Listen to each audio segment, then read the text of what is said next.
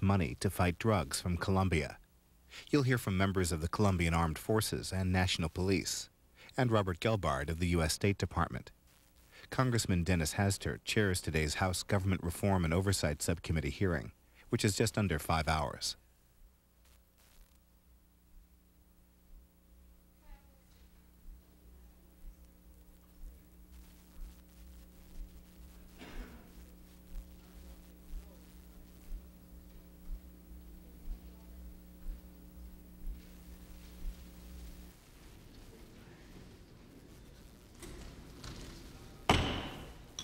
Subcommittee on National Security, International Affairs, and Criminal Justice will come to order. First of all, I want to bid everyone good morning and thank you for coming today. This subcommittee conducts its first hearing of the 105th Congress. This is also my first hearing as the chairman of this committee. I think we have our work cut out for us, especially what we're going to the topic today in the drug war uh, in this country, in our southern hemisphere, and, of course, in the world. The drug usage rates of our young people clearly show that the drug war must continue and, frankly, deepened. That's why we're here today. I want to pause long enough to welcome all our new members and our returning members and to extend a special welcome to our ranking member, uh, Mr. Tom Barrett of Wisconsin. Tom, I look forward to working with Tom and uh, developing a, a, very, very fine relationship. I uh, hope that the next two years and the many important oversight challenges that we face, uh, we can do together on a bipartisan basis, and that cooperation will live on. The title of today's hearing may lead one to believe that this hearing is only about Colombia. It's certainly about the heroic efforts of certain Colombians in the drug war, including uh, General Serrano and General Bedoya but it also is about the youth of America, our children, and frankly, our future. In the last three years, six homicides in Aurora, Illinois, the town of my birthplace and the place that I represent, have been drug related. As recently as June, Claudia Ramos and Juan Medina were found killed, their bodies dumped on a side road. And six year old Nicholas Contreras was shot and killed in his sleep in a drug related crime we must stop the effects of drugs in our country. The overwhelming majority of the cocaine and heroin that leaves Colombia is headed straight for cities and towns like Aurora, Illinois. And the target population for the growing and diversifying drug cartels is mainly our youth. The international drug onslaught is the most insidious national security threat we face as a nation. That's why it's so vital that we provide ample counter-narcotic support to the brave and honest men and women who work hard in the drug war in this country and in Colombia. Those heroic individuals are fighting not only for Colombia's survival, but also for ours. The timing of this hearing, just weeks prior to the annual certification decision by the President, is not a coincidence. I'm concerned that last year's decision de to decertify Colombia impeded foreign military sales to Colombia. If the President decides to decertify Colombia for a second year in a row, I'm at least hopeful that he will present Congress with legislation which would allow the military sales for the limited purpose of counter-narcotic missions. I also plan with, to work with the Department of State and the Committee on International Relations to find a way to expedite the transfer of these tools that are needed to fight this war. For every day that a DC-3 or a Huey or a Black Hawk helicopter is not flying, more drugs reach our streets. We cannot afford to have any more delays in the transport of, of equipment or spare parts in our counter-narcotic support for Colombia. International drug trafficking organizations based in Colombia are the world's leading producers of cocaine. Colombian traffickers also continue to supply marijuana to the United States. And recent indications are that Colombian drug trafficking organizations are making quantum leaps in the production and trafficking of heroin. Colombia is engaged in a drug war, and its outcome affects all Americans.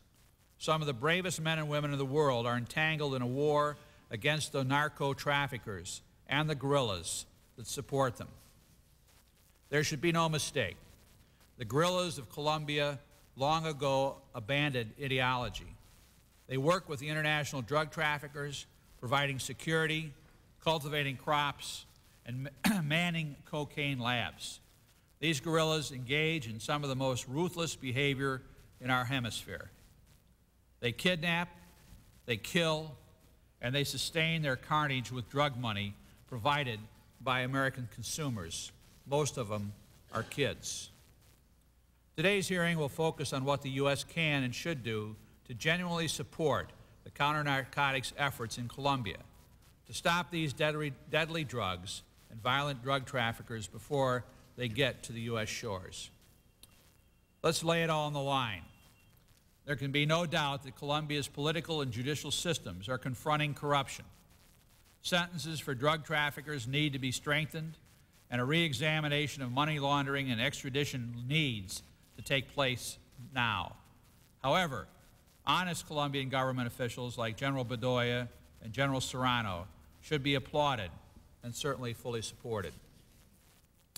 How can we ask honest Colombians like these men to continue putting their lives on the line every day without basic U.S. support for the international anti-drug effort? The truth is that such support is both good government and cost-effective to us at home in the United States. And before proceeding with our first witness, I am pleased to turn to my colleague, the subcommittee's ranking minority member, Tom Barrett from Wisconsin, for any opening remarks that he might have. Thank you, Mr. Chairman, and congratulations on heading this committee. I very much look forward to serving with you, and I'm very optimistic that we'll be able to work closely on a lot of these issues that I think are basically nonpartisan in nature. Uh, I think that this committee plays an important role, and as evidenced by the hearing today, um, this is a, a, committee that will look into issues that have tremendous importance for our country. Uh, the issue of, uh, of drug trafficking in America is clearly one of the most serious issues that we face uh, as a nation. And as a father of three young children, I share with you the concern of easy access of drugs to America's youth and will do everything that I can to make sure that we can have the tools necessary to combat drug use both domestically and internationally. The cost to our society of illegal drug use is staggering. Uh, substance abuse and addiction cost is now estimated at $400 billion a year. 2 million Americans use cocaine at least once a week, and 500,000 Americans are addicted to crack cocaine. Colombia has a close relationship with this problem because the threat to the United States from Colombia is significant. 80% of the cocaine available in the United States is produced in Colombia, and 60% of the heroin being seized in the U.S. can now be traced to Colombia. This is a timely hearing since the administration will be making many important decisions in the near future, including the very important issue of whether to continue decertification of Colombia. I am very excited and very interested to hear from our witnesses today because I think that this, this issue of how we deal with a foreign government and how we deal with the drug problem in another country is a very thorny issue. And I think all of us agree that we, as a country, have to do everything we can uh, to stop the drug trafficking from Colombia and other countries. Um, what we also have to do, of course, is, is, make sure that we're doing it in a prudent way. So I look forward to this hearing and um, turn it back over to you. At this time, I would, uh, without objection, ask that all uh, opening statements be submitted to the record unless somebody insists on doing, giving an opening statement. Uh, any objection? Okay. So ordered. I'd like now to welcome Assistant Secretary of State for International Narcotics and Law Enforcement Affairs, uh, Ambassador Gelbard. Ambassador Gelbard has been involved in our foreign relations with Latin America since his service in the Peace Corps. In addition, his assignments in European and African issues, Ambassador Gelbard served as ambassador to Bolivia from 1988 to 1991, and most recently as the Principal Deputy Assistant Secretary of State for Inter-American Affairs. I think probably when you uh, find a, a, tough place to deal with, uh, Ambassador Gelbard tends to be there, and uh, it shows the great confidence that our administration has in him. Ambassador, we're pleased to have you here. If you would stand and raise your right hand, the committee's rules require me to swear you in. You solemnly swear that the testimony you give before this sub subcommittee will be the truth, the whole truth, and nothing but the truth. I do. Let the record show that the witness responded in the affirmative. Thank you, and uh, please proceed with your opening statement. I assume that you have an oral statement, and anything else would be submitted to the record.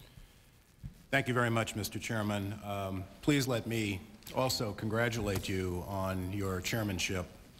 Um, I think it's particularly worth stating that thanks to your efforts, in addition to some others, uh, the budget for my bureau dedicated toward counter-narcotics and anti-crime efforts around the world uh, was substantially increased for this fiscal year, and I appreciated your efforts very much, sir. Um, as you said, sir, I do have a written statement that I would like to submit to the record, for the record. I am pleased to have this opportunity to discuss with you U.S. counter-narcotics policy toward Colombia.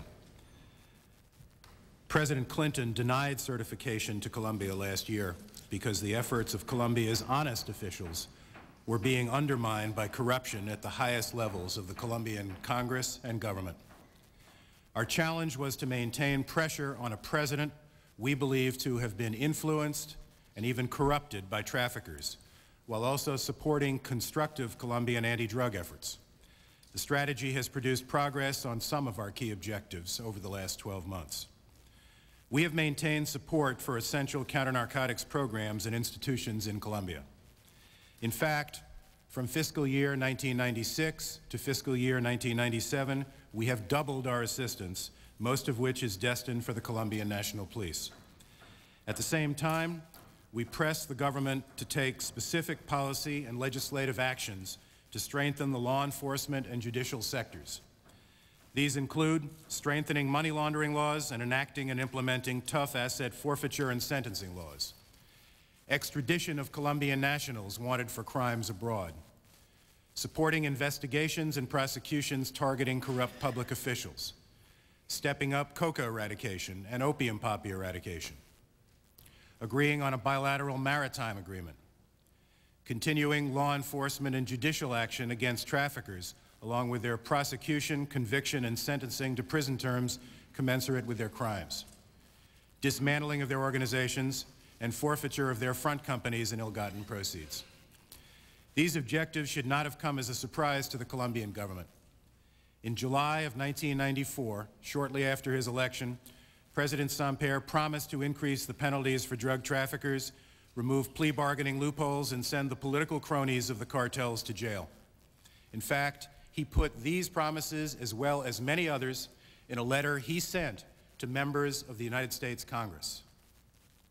Instead of following through, however, Samper publicly attacked the Prosecutor General's office for its far-reaching investigation of political corruption, known as the 8000 case, an investigation in which he himself was implicated, as well as other top administration and congressional figures.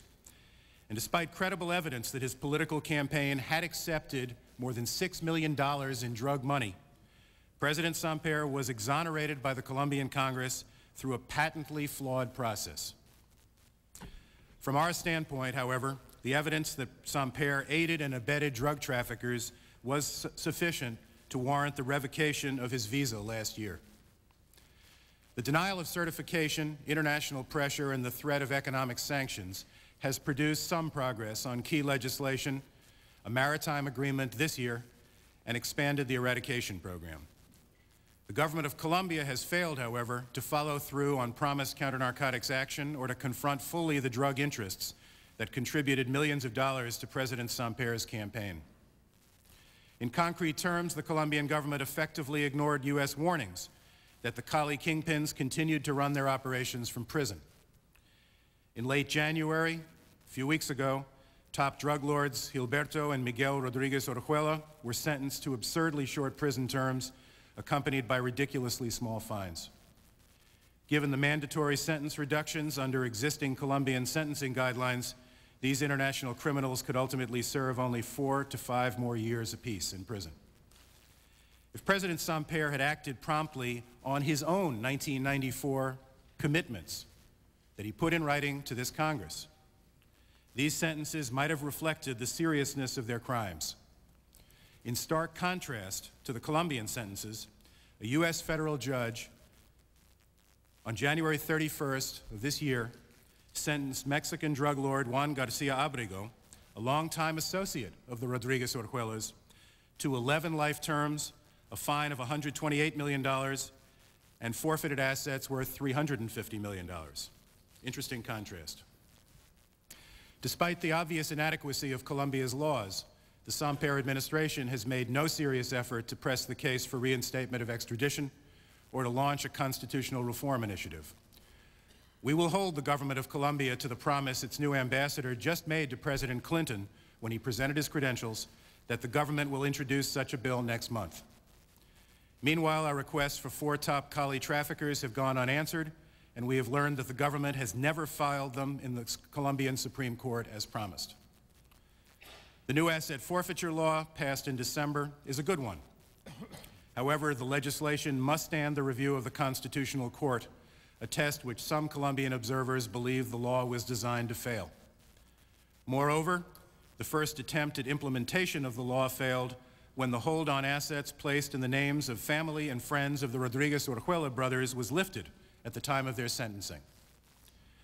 We can only judge the Colombian government by its concrete actions. As recently as late last year, while the investigation and trial of the Cali kingpins were under, was underway, Samper and Interior Minister Serpa were actively pursuing negotiations with the Cali mafia kingpins, negotiations which clearly would have undermined the efforts of the Colombian police and the Prosecutor General's office. This revelation was merely another reminder that President Samper's commitment to take on the top traffickers must be evaluated on the basis of specific results rather than stated intentions.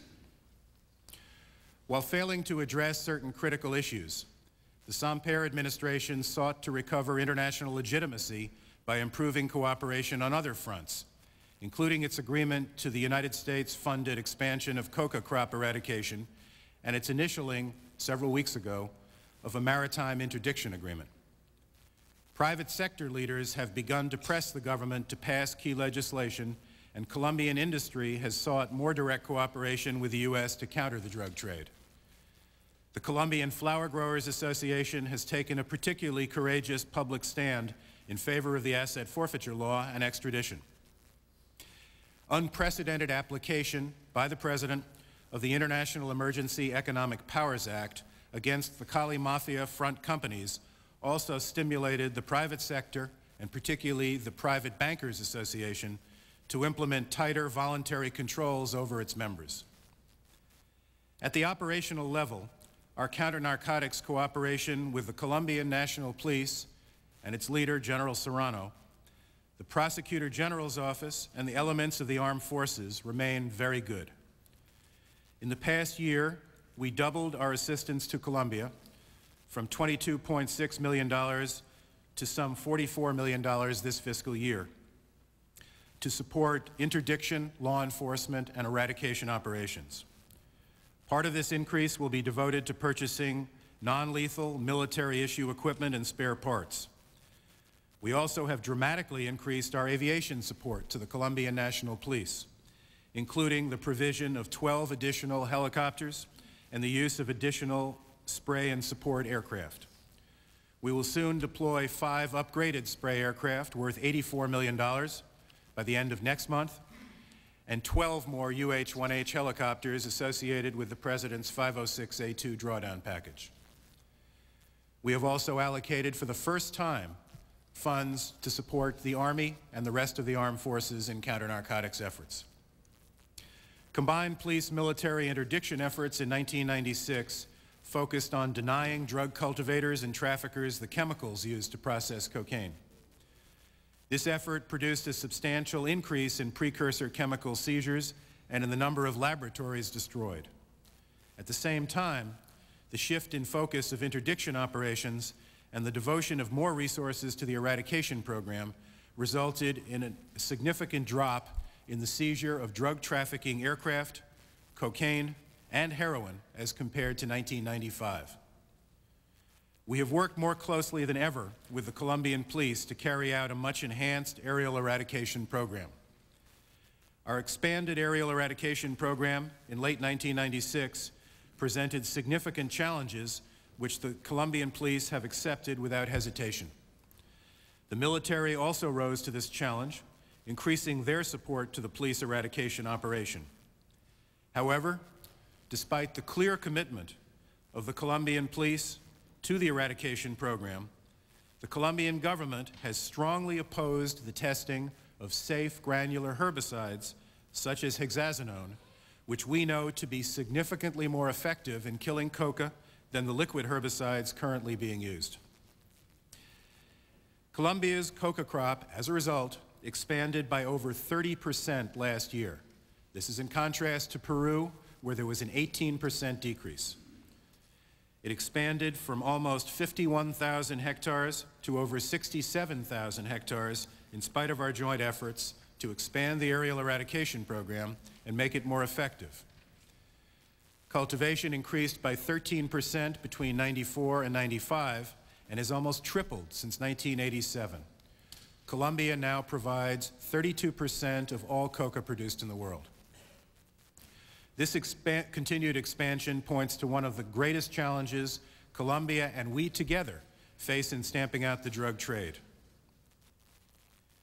The crop has been steadily expanding since 1987, and we must recognize the decisive role played by some elements of Colombia's insurgent guerrilla groups. They identified an economic opportunity, the insatiable desire of the traffickers for a reliable source of cocaine products, and carved out a significant portion of that market for themselves. The increased self-sufficiency of Colombia's drug industry has significant implications for our efforts to eliminate this scourge. Those guerrilla fronts engaged in the drug industry now have a proven source of income and a vested interest in expanding and protecting the trade. And these guerrilla fronts constitute a real, real threat to Colombian anti-drug forces deployed to eradicate fields and the American personnel who support them, including, sadly, the loss of one American life late last year.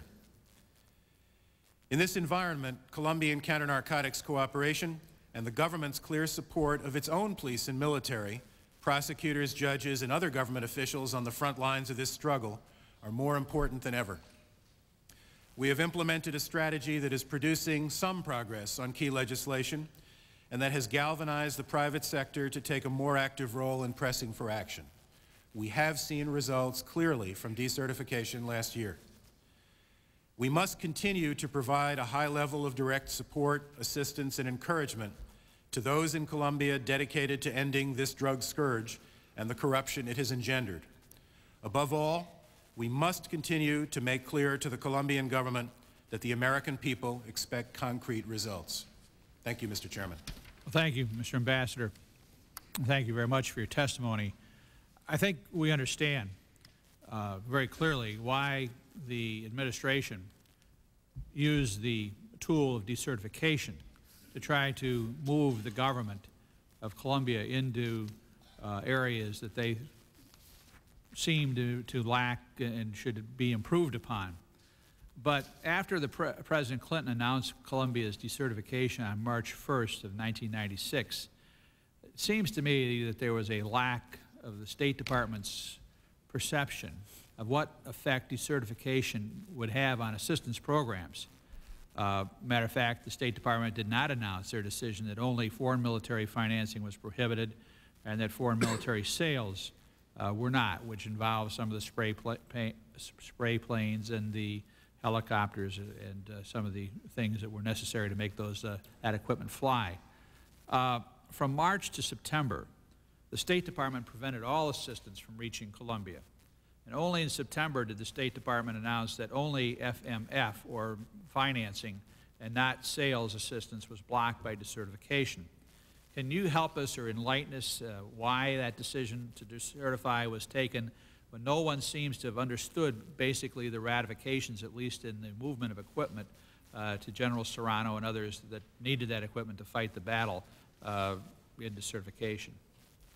The President took the decision to decertify Colombia because there was a clear unwillingness on the part of the government of Colombia to cooperate with the United States in counter-narcotics efforts.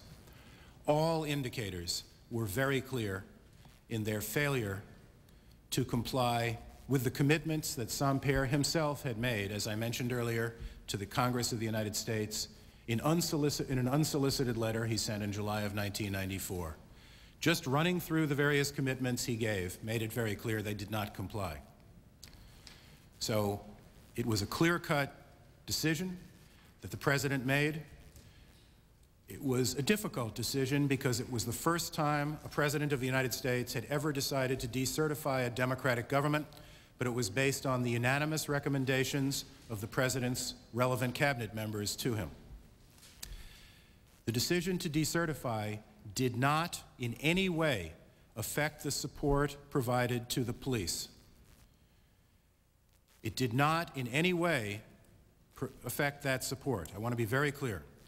Nor did it affect this provision, the provision of spray planes, for example, which are flown by the Colombian police.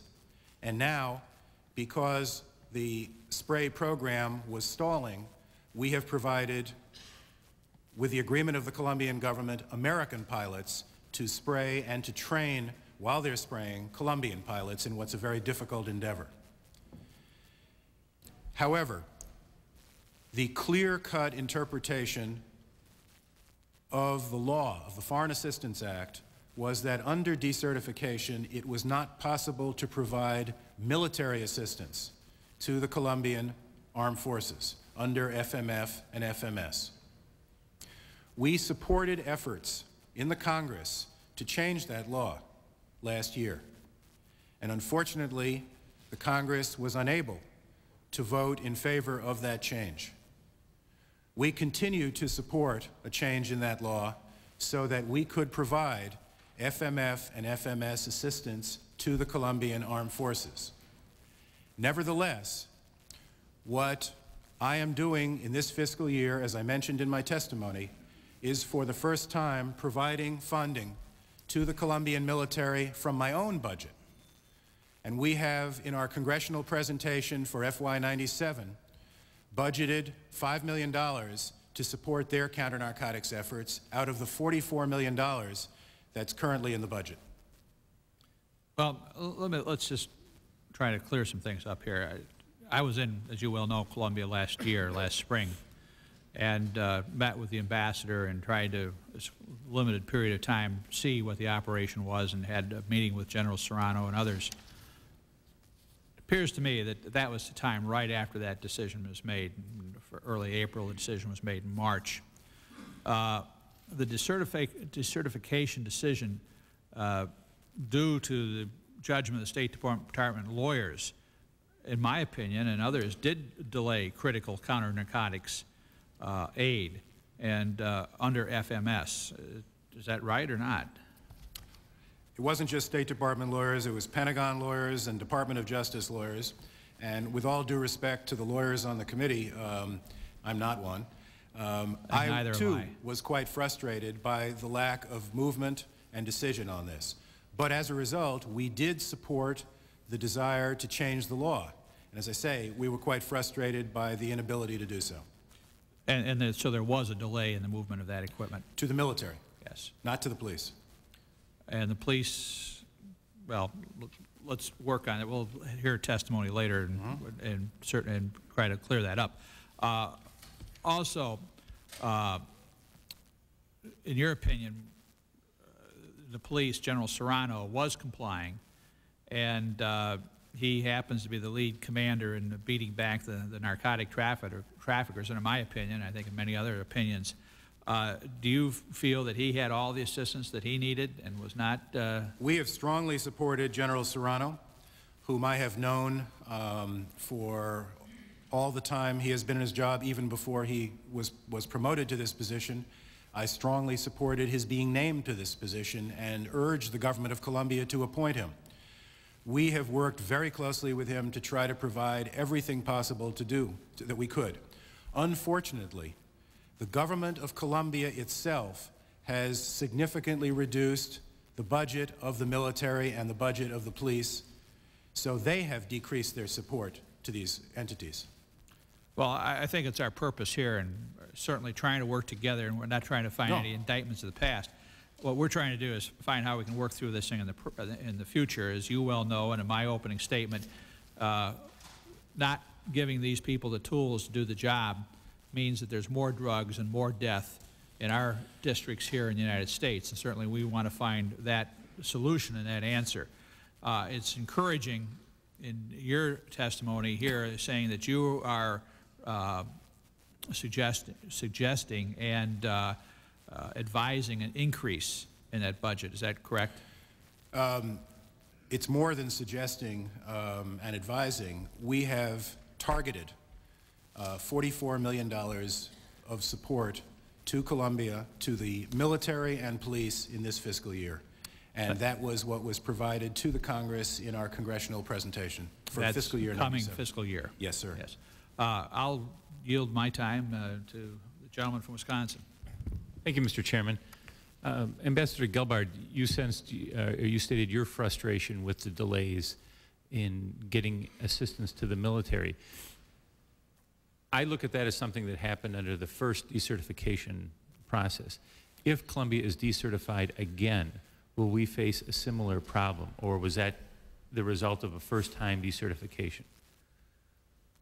We are working and would like to work with this Congress to work together in a very cooperative way to effect the kinds of changes that I mentioned earlier to permit the transfer of such equipment So- under FMS and FMF cases. So that the, the decertification still provides barriers to you as to what you want to do or think you should be doing?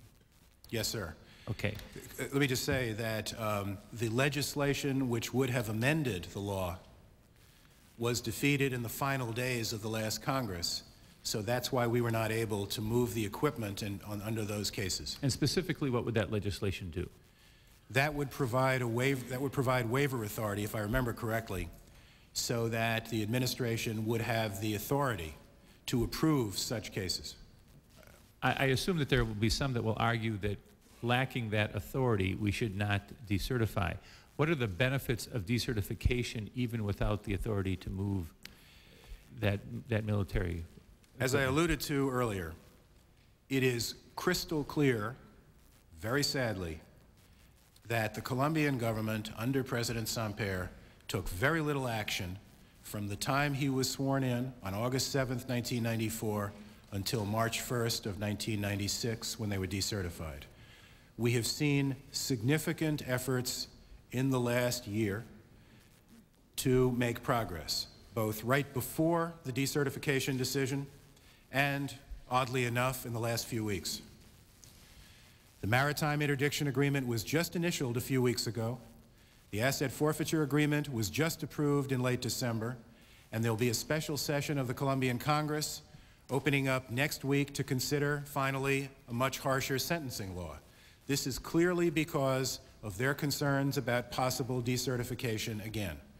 It's a sad story that there's only a positive response under the threat or when there's actually decertification, but we have seen when, uh, in the face of this corruption that that is the only thing, sadly, that has produced the results from the government itself. My sense from, from the questioning of, of the chairman and from others on this issue is that the military, the, the transport of military equipment is, is the issue here. Is that correct, or are there more issues underlying the issue of decertification? That has not been, that has been an adverse consequence of decertification. Um, the other adverse consequences are that under the law, there is a prohibition of the use of OPIC and Exim Bank financing to countries which are decertified. We obviously don't like that because that hurts American companies and hurts their competitiveness overseas.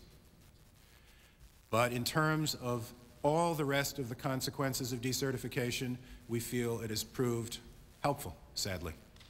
Okay. Uh, Again, if we were to put together the, the perfect policy for you is to provide you with the best tools for fighting drugs in Colombia, would, would that entail, and, and I, I assume from your comments that it, at a minimum, the administration is leading towards decertification again, um, but would decertification plus a change in the law, would, would that, do you think, make this a more effective battle? We, w- this has been, in fact, a relatively small part of the total amount of assistance provided to Colombia. So overall, we don't feel, excuse me, that it's had an overwhelming effect.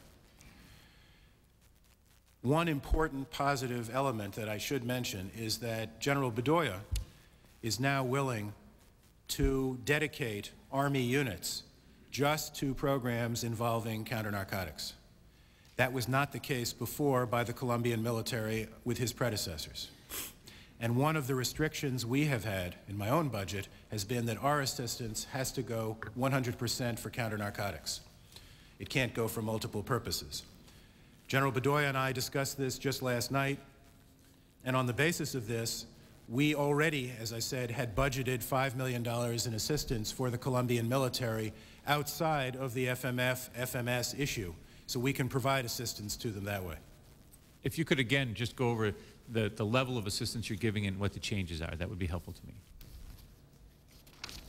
In this fiscal year, we are increasing commodities to the Colombian police, aircraft parts, tools, avionics, radios, vehicles, field investigative equipment from 7.4 million to 12.6 million. Training is at one and a half million. Aircraft operations and so on are doubling from 4 million, 4.1 million to 8 million. Military assistance would involve 2.5 million in commodities, a million in training, and 1.5 million in other programs. Judicial sector reform, we are now picking up uh, support for this very important program of $250,000. And we're providing aviation services. We will be providing um, aviation programs at $14 million. And in addition, new equipment this year involving UH-1H helicopters valued at $10.8 million, Bell 212 helicopters valued at $9 million, and OV-10 Bronco aircraft valued at $84 million. So actually that's a total of $147.8 million. And how does this compare to other countries? My final question. Far and away greater in terms of uh, equipment and support to the interdiction law enforcement authorities. Okay, thank you. And thank you, Mr. Chairman. Uh, Thank you. Just a quick follow-up to that, and that's for this coming fiscal year, is that correct? The current fiscal year, Right. sir. And let me just, oh, qu- another quick follow-up. The president could have wa, had a 614 waiver, is that correct? The president um, theoretically could. We are studying that possibility right now. Thank you. Uh, The vice chairman of this committee, uh, Mr. Souder from Indiana. Morning. Got a um, couple of questions. I thought I heard you say a, a minute ago that the Colombian government had reduced support for uh, the National Police and General Serrano. Is that what you're? General Bedoya told me that the budget provided to the armed forces and the police has been significantly reduced. Do you know what, when you say significantly, what? I would suggest that you ask him uh, Okay. when he appears, sir. Because one of the core questions I think it's hard for a lot of people to uh, understand here is that we have a democratic government in Colombia, and yet the you're saying and praising the national police, you're praising the attorney general, you're praising uh, to some degree the military of Colombia, saying that they're fighting with us, they've been courageous, they've obviously lost many lives in, in trying to do this. Yes, sir. How do you explain that balance? Uh, In the case of the prosecutor general, he is independent from the government. He's actually part of the judiciary, and under the 1991 Constitution is independent. Um, in the case of General Serrano and the Colombian police, as I say, um, we were actually quite instrumental in getting President Samper to remove a highly corrupt predecessor head of the National Police, General Vargas. And was that excuse, was that impacted by the certification? this Or- was earlier than that. This was in late 1994. And I personally provided the then Minister of Defense, who is now incarcerated himself for corruption, with significant information about General Vargas's corruption. General Serrano was appointed in his stead. He was at that time the police attaché here, had worked very closely with the United States, with government agencies such as DEA, and we felt at that time enormous confidence in him. It has been very clear that General Serrano has been heavily criticized by his own government, by his own Congress, but he has shown enormous courage uh, both physical and moral, by continuing to pursue the right course. if what's kind of curious to me is it seems like the most uh, critical, and I'm trying to sort through the decertification process, the most critical thing, I mean, ideally, and it, it's very frustrating. I know when we were in Colombia, to their frustration with the court process, that they get somebody and then they get off, and the sentencing problems that you've talked about. But that the most critical portion in this is, is that, in fact, we have the police, the defense, and the attorney general on our side, and we're trying to put pressure on the rest. Would you agree that that, in a certification process, is something that you look at in cooperation? Uh, uh, for example, if a country has a bigger problem in their law enforcement and police and defense, would that make them more or less likely to be certified? Well, because corruption, uh, I mean, we're looking at almost all these countries at mixes of this, and obviously one of the things I'm uh, hinting at here is that in Mexico, we have a huge problem with the Attorney General, we have a huge problem with corruption of the police, we have a problem with corruption in the military, um, and I'm trying to sort out how you're making a decision of who you're certifying and not certifying. when I announced the President's decisions on certification last year, first of all, I made it a point to single out the excellent cooperation and work done by the Colombian police and by Prosecutor General Valdivieso and his staff. The test of the law, as I said then, under the law it's very clear, you can ask Congressman Mica because I think he helped write that law, um, is whether a government is cooperating with us. The government in this case is the one headed by President Samper. We, do not, we did not believe then that it was cooperating with us. The President still has not taken his decision, obviously, on this year's certification process, uh, but will. We tried to be very careful in terms of separating out the cooperation, the extraordinary cooperation we have received in working with General Serrano and his police, with now the Army, with the Prosecutor General, and with some others, from the undermining that has taken place on a consistent, on a consistent basis by others in the government. As I mentioned in my oral statement, the government has not even yet pursued what President Samper promised in his letter to the Congress in terms of extradition.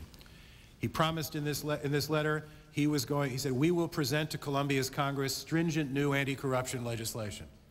Well, it comes as no surprise that he hasn't done that. Um, so we have seen, on the one hand, efforts by serious, patriotic people, but th- and then they themselves have come out and thanked us for, their, for our support, but then they have been undermined by corruption. I'm so the decision had to be made based on the final results.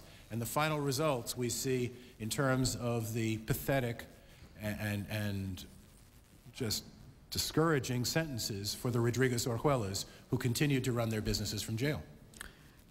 I'm not interested in trying to defend the president of uh, Colombia, uh, where he takes his money and, and what he's done. What I'm trying to sort out is the concept of government here is a little bit nebulous when they're independent parts of the government. And what you're saying is you'd rather have the support of the president, even if the police is corrupt, the defense may be corrupt, and there's changes in attorney general than you would, but you'd rather have the support of the president than you would rather have in Colombia's case, where we don't have the support of the president and we have pressure on Parliament, but we have the support of the people actually cracking down in the drug war who are dying and fighting for it. That's what I'm trying to sort out is, is that the government here, if it's just the president and what he's promising to do, in fact, in your statement you said the measure is what is being done. And in Colombia, they're fighting and dying, and part of my concern is that in some of the other countries that we're dealing with, they don't seem to be in the enforcement part, but they seem to be giving us some of the lip service. Congressman, what we're interested in, as I said several times in my statement, are concrete results. And when I look at the concrete results, as I outlined some of them in the statement, and as was clearly the case by March 1st of this of last year, the concrete results, the bottom line, were inadequate. In spite of efforts by the police, in spite of efforts by Prosecutor General Valdivieso and others. But the, the concrete results, bottom line, were clearly inadequate. There is as much cocaine coming into the United States or being produced in Colombia as ever before. As the chairman said, there is more heroin being produced in Colombia than ever before.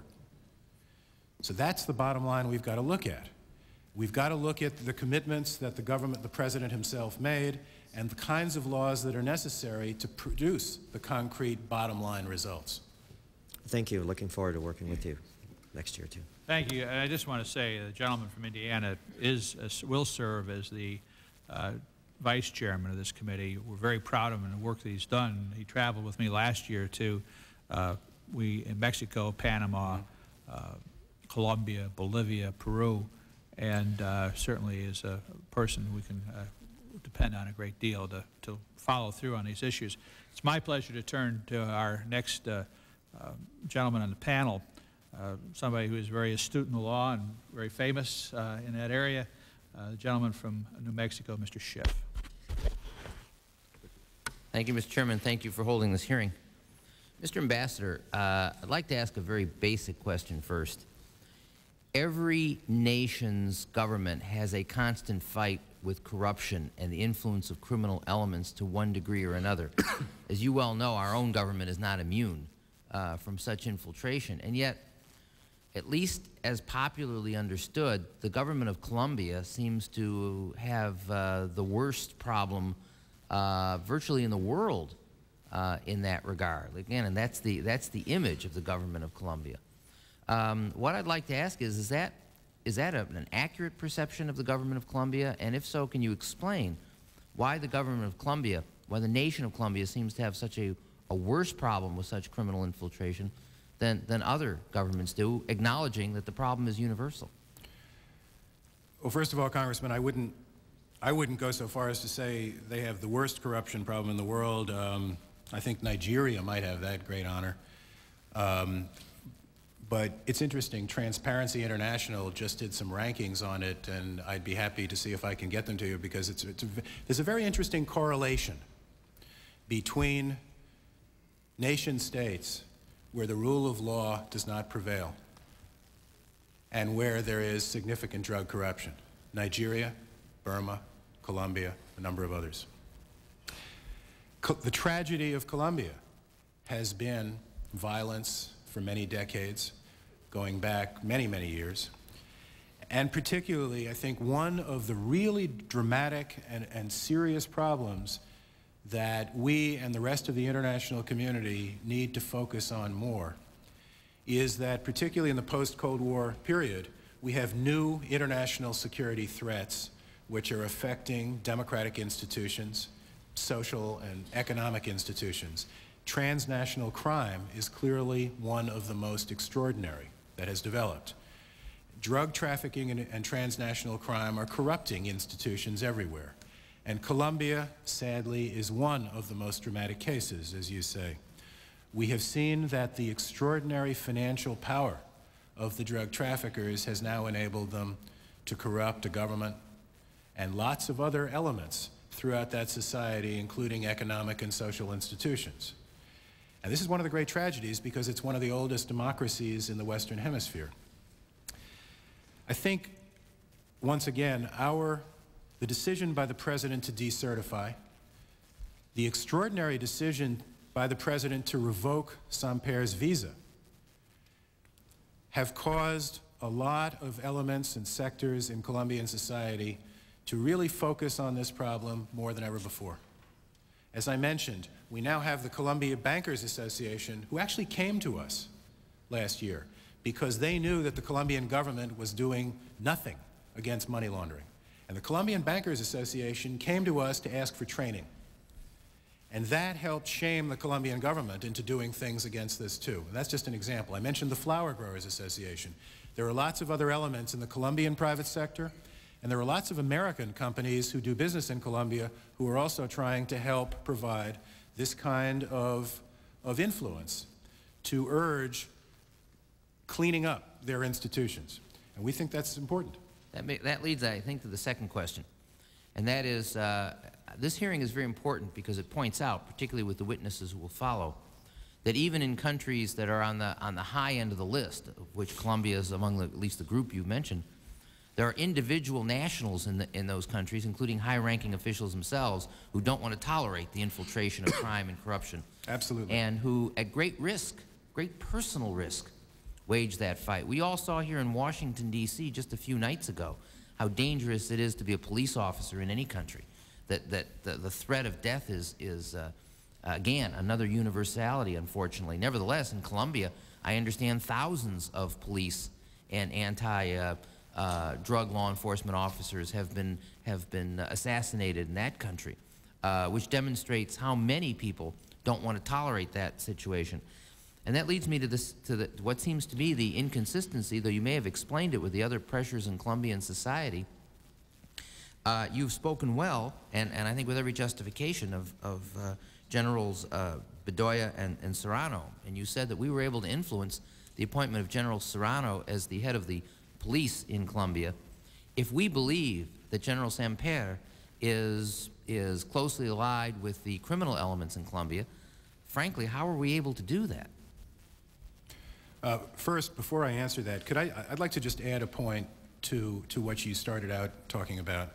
I fully agree with what you said. I could not agree with you more in terms of the extraordinary courage of people in the government of Colombia and in the private sector of Colombia who really have, are, are, are extraordinarily patriotic in doing this.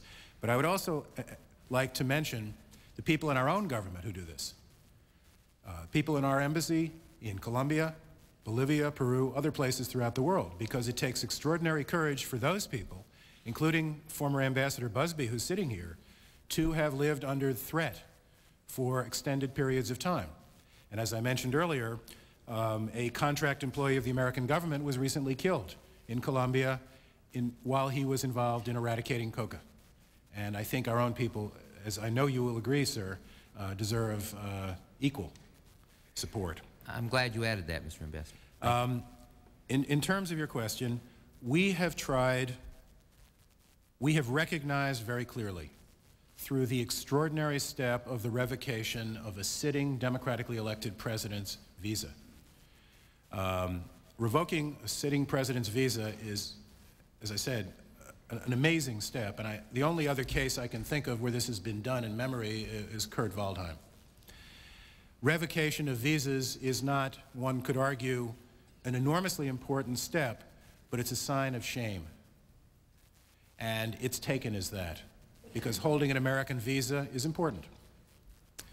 We are not going to try to interfere in Colombia's internal affairs. Um, they elected him. They knew what they were getting. His record has been clear for decades. What we have tried to do, though, is establish standards under which we're prepared to cooperate and support Colombia in many other ways. It's up to the Colombian people, obviously, to decide how they want to be ruled, but it's up to us and the rest of the international community to decide how we're going to deal with those kinds of individuals. I have one last question, Mr. Ambassador.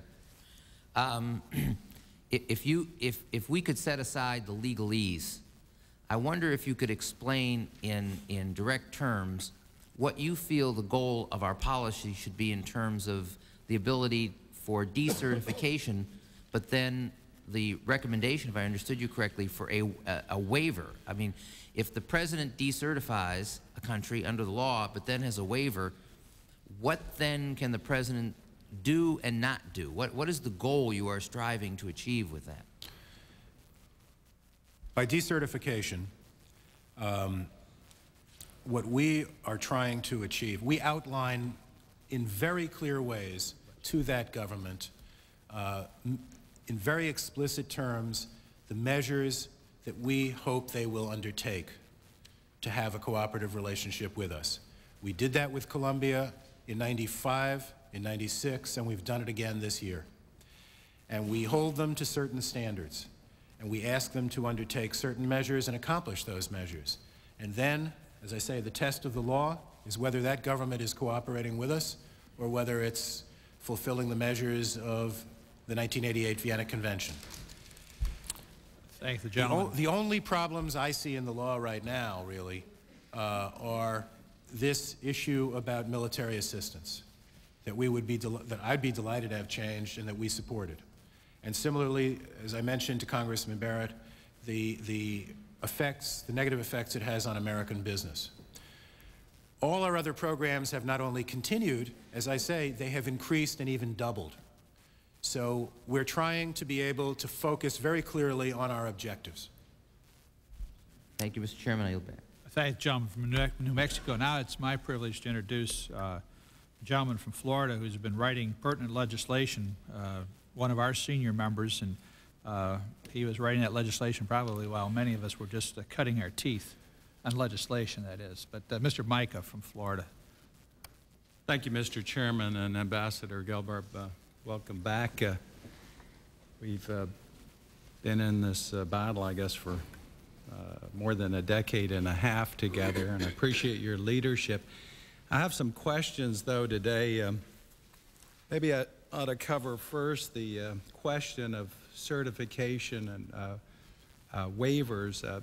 as you mentioned, I was active in helping to draft the certification law, and uh, I just had staff check over the evening to see if we had originally included the waiver amendment when we wrote it, and we did not. It was added as an amendment in 1988, and it, it was an amendment uh, contained in the International Narcotics uh, Control Act of that year. And in fact, it did provide a waiver. I think it's pretty clear. You said you've had trouble, I guess, with uh, just, Justice and DOD uh, attorneys as far as interpretation. Is that correct? Yes, sir. Well, we have had, I think through this committee, and the ch chairman of the full committee wrote uh, back, uh, I believe it was in November, uh, a request uh, that uh, a waiver be granted and no action. I think that went to General McCaffrey, which disturbs me. In checking also on waivers that have been granted under this uh, Section 614 authority, I find waivers have been granted by the administration to Serbia and Montenegro on almost a half a dozen occasions, at least twice to Somalia, uh, to Haiti, to Rwanda. Uh, there, there are two pages of waivers that have been granted. There seems to be plenty, plenty of precedents when in fact it, it's in the national interest for waivers to be granted. I can't believe the administration uh, doesn't consider this instance as in the national interest and has uh, drag, been dragging their feet. I'll provide you with copies of those. Uh, that's the first uh, point. Uh. the second point that concerns me is uh, I see the PR that Colombia is doing getting ready for their certification campaign. And they've got this ad that's appearing about we're well on the way to making drug traffickers suffer as much as the people they supply. And then they talk about uh, how they're making them suffer. The pounds of cocaine have, uh, that have been seized have actually been reduced from 95 to 96. The acres of coca destroyed have actually been reduced uh, from 95 to 96. So it sounds like some serious suffering. What concerns me also is in your testimony, you said at the same time, the shift in focus of interdiction operations and devotion of increased resources uh, to eradication programs. That's on page nine. So you'd think that we'd gone to, uh, from interdiction, uh, actually interdiction has increased. We've gone away from interdiction to uh, eradication. Page 10, then you testified Colombian uh, coca crop has expanded over 30% last year from 51,000 hectares to 67,000 hectares. So it seems that the emphasis, uh, area of emphasis is uh, uh, that they're taking is also a failure, eradication and uh, interdiction. Is that correct? Well, let, let, me respond to several points you made, Congressman. Um, as you say, you and I have known each other a long time, and I have enormous respect for your background and experience in, the, in these issues. I have to say that um, I obviously noticed this media blitz. Um, I think the timing is clearly geared to certification. Um, I also noticed this lovely color supplement, about 17 pages in Forbes magazine, um, on Colombia, a leading Latin American economy. It's a multifaceted economy, obviously.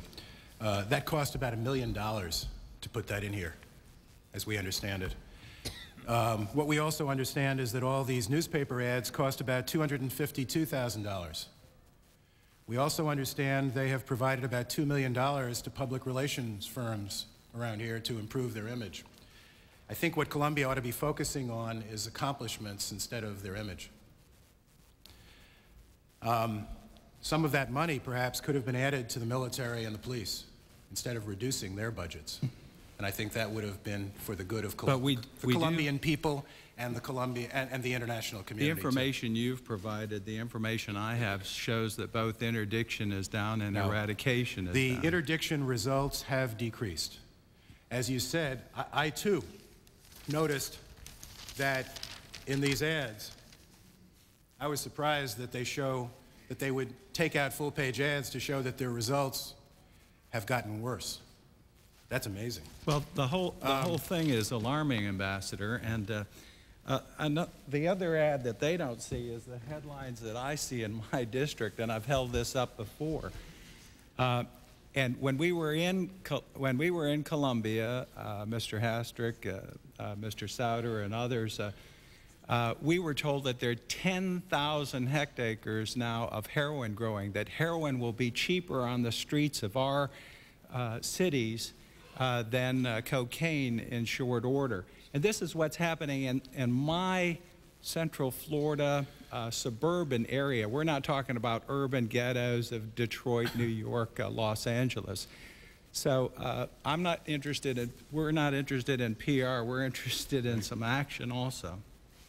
Uh, I, let, me, let me say, I, um, on, on opium poppies, I think, I think the area under cultivation, we've just completed our survey, and uh, I mentioned the coca crop up 32%. We think the opium poppy crop is, is about 6,300 hectares, which is a slight increase over the past. However, you're absolutely right, Congressman, because almost all of the heroin that is being produced in Colombia is coming to the United States.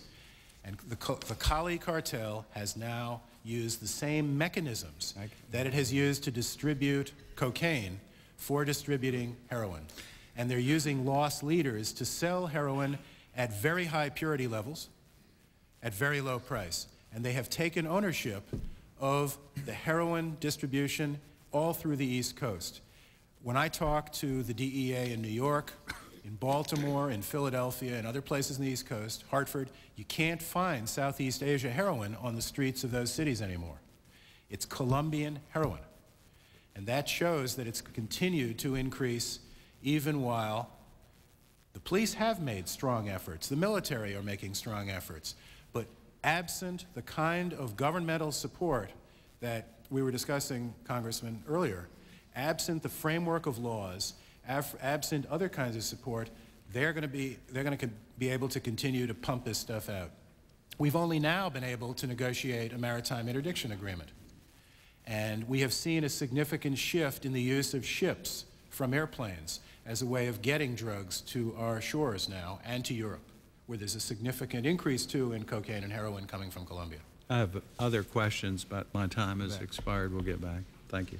I advise the gentleman, we'll come back with a second round for anyone who may have another question or round of questions. I just, a quick follow-up question or uh, observation on this. A, a couple of statistics that we've been throwing back and forth here today. Uh, basically, you said that uh, that the interdiction is down, uh, drugs coming out of uh, Colombia.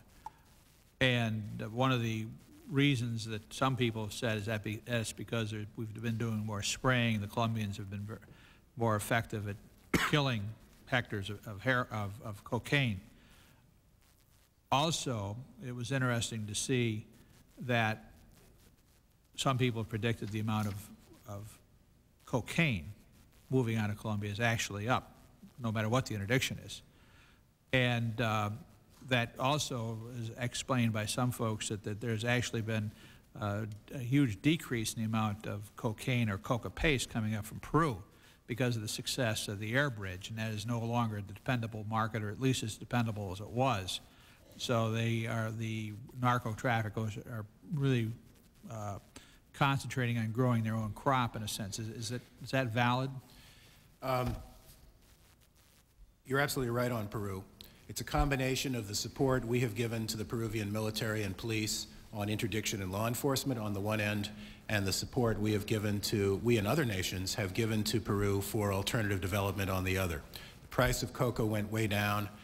we're providing funds for other livelihoods, and people are literally walking off the land. So there's an 18% decrease nationwide. In Colombia, I don't think there has been a real shift from interdiction to eradication.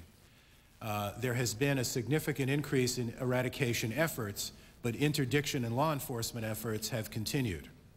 The problem has been, I think, overall corruption. And once again, the statistics are not ours. These are statistics provided by the Colombian government themselves. Th thank you, Ambassador. Uh, the next uh, gentleman I'd like to introduce is certainly somebody who's distinguished himself in this panel and others, uh, the gentleman from Georgia, Mr. Barr. Thank you, Mr. Chairman.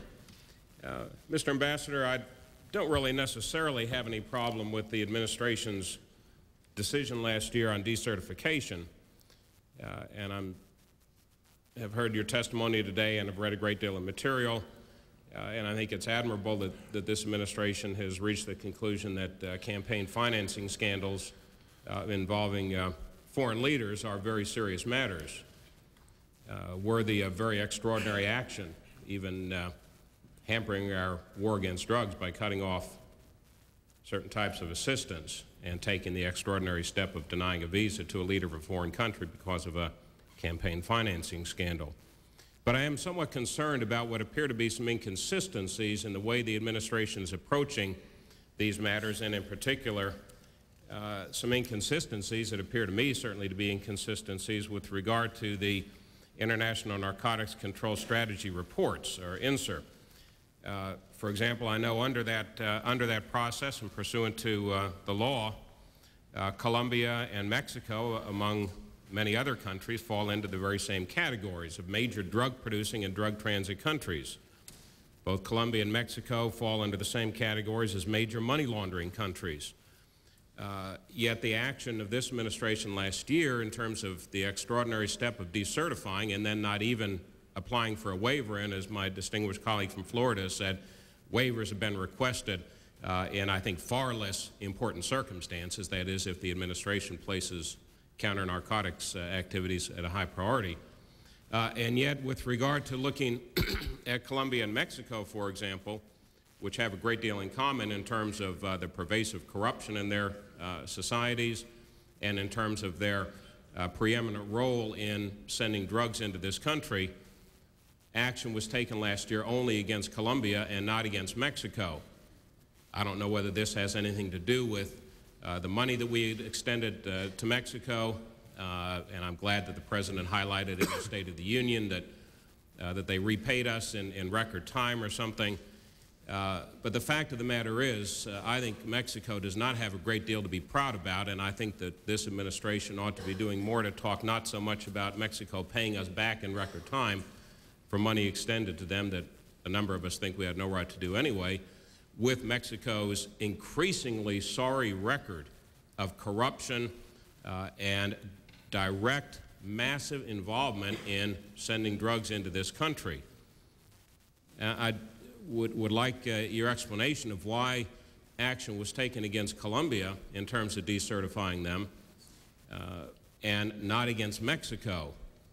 Uh, and secondly, I, I would appreciate, uh, again, an explanation of, of uh, something that a couple of the other members of the panel have touched on, and that is why the administration has failed to take advantage of the very, very broad authority uh, that I presume uh, lawyers on, on your staff and that you're very familiar with uh, under, for example, 22 U.S.C. Section 2364. It's very broad authority for the President to uh, simply by notifying uh, the specified members of, of Congress uh, of his intention, very, very broad authority to, to continue or expand military assistance, which is, as you said, uh, to these countries that can be used for eradication and counter-narcotics efforts.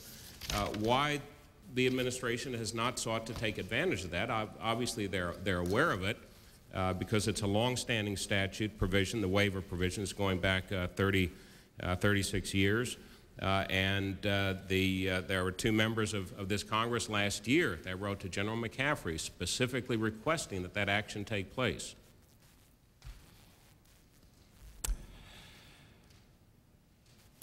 I know nobody here is going to sit and question the decision of the President to have decertified Colombia uh, led by a clearly corrupt president who has had a history of involvement with drug traffickers, of soliciting and receiving drug money going back to 1982. Clear history, no question. All the information is out there.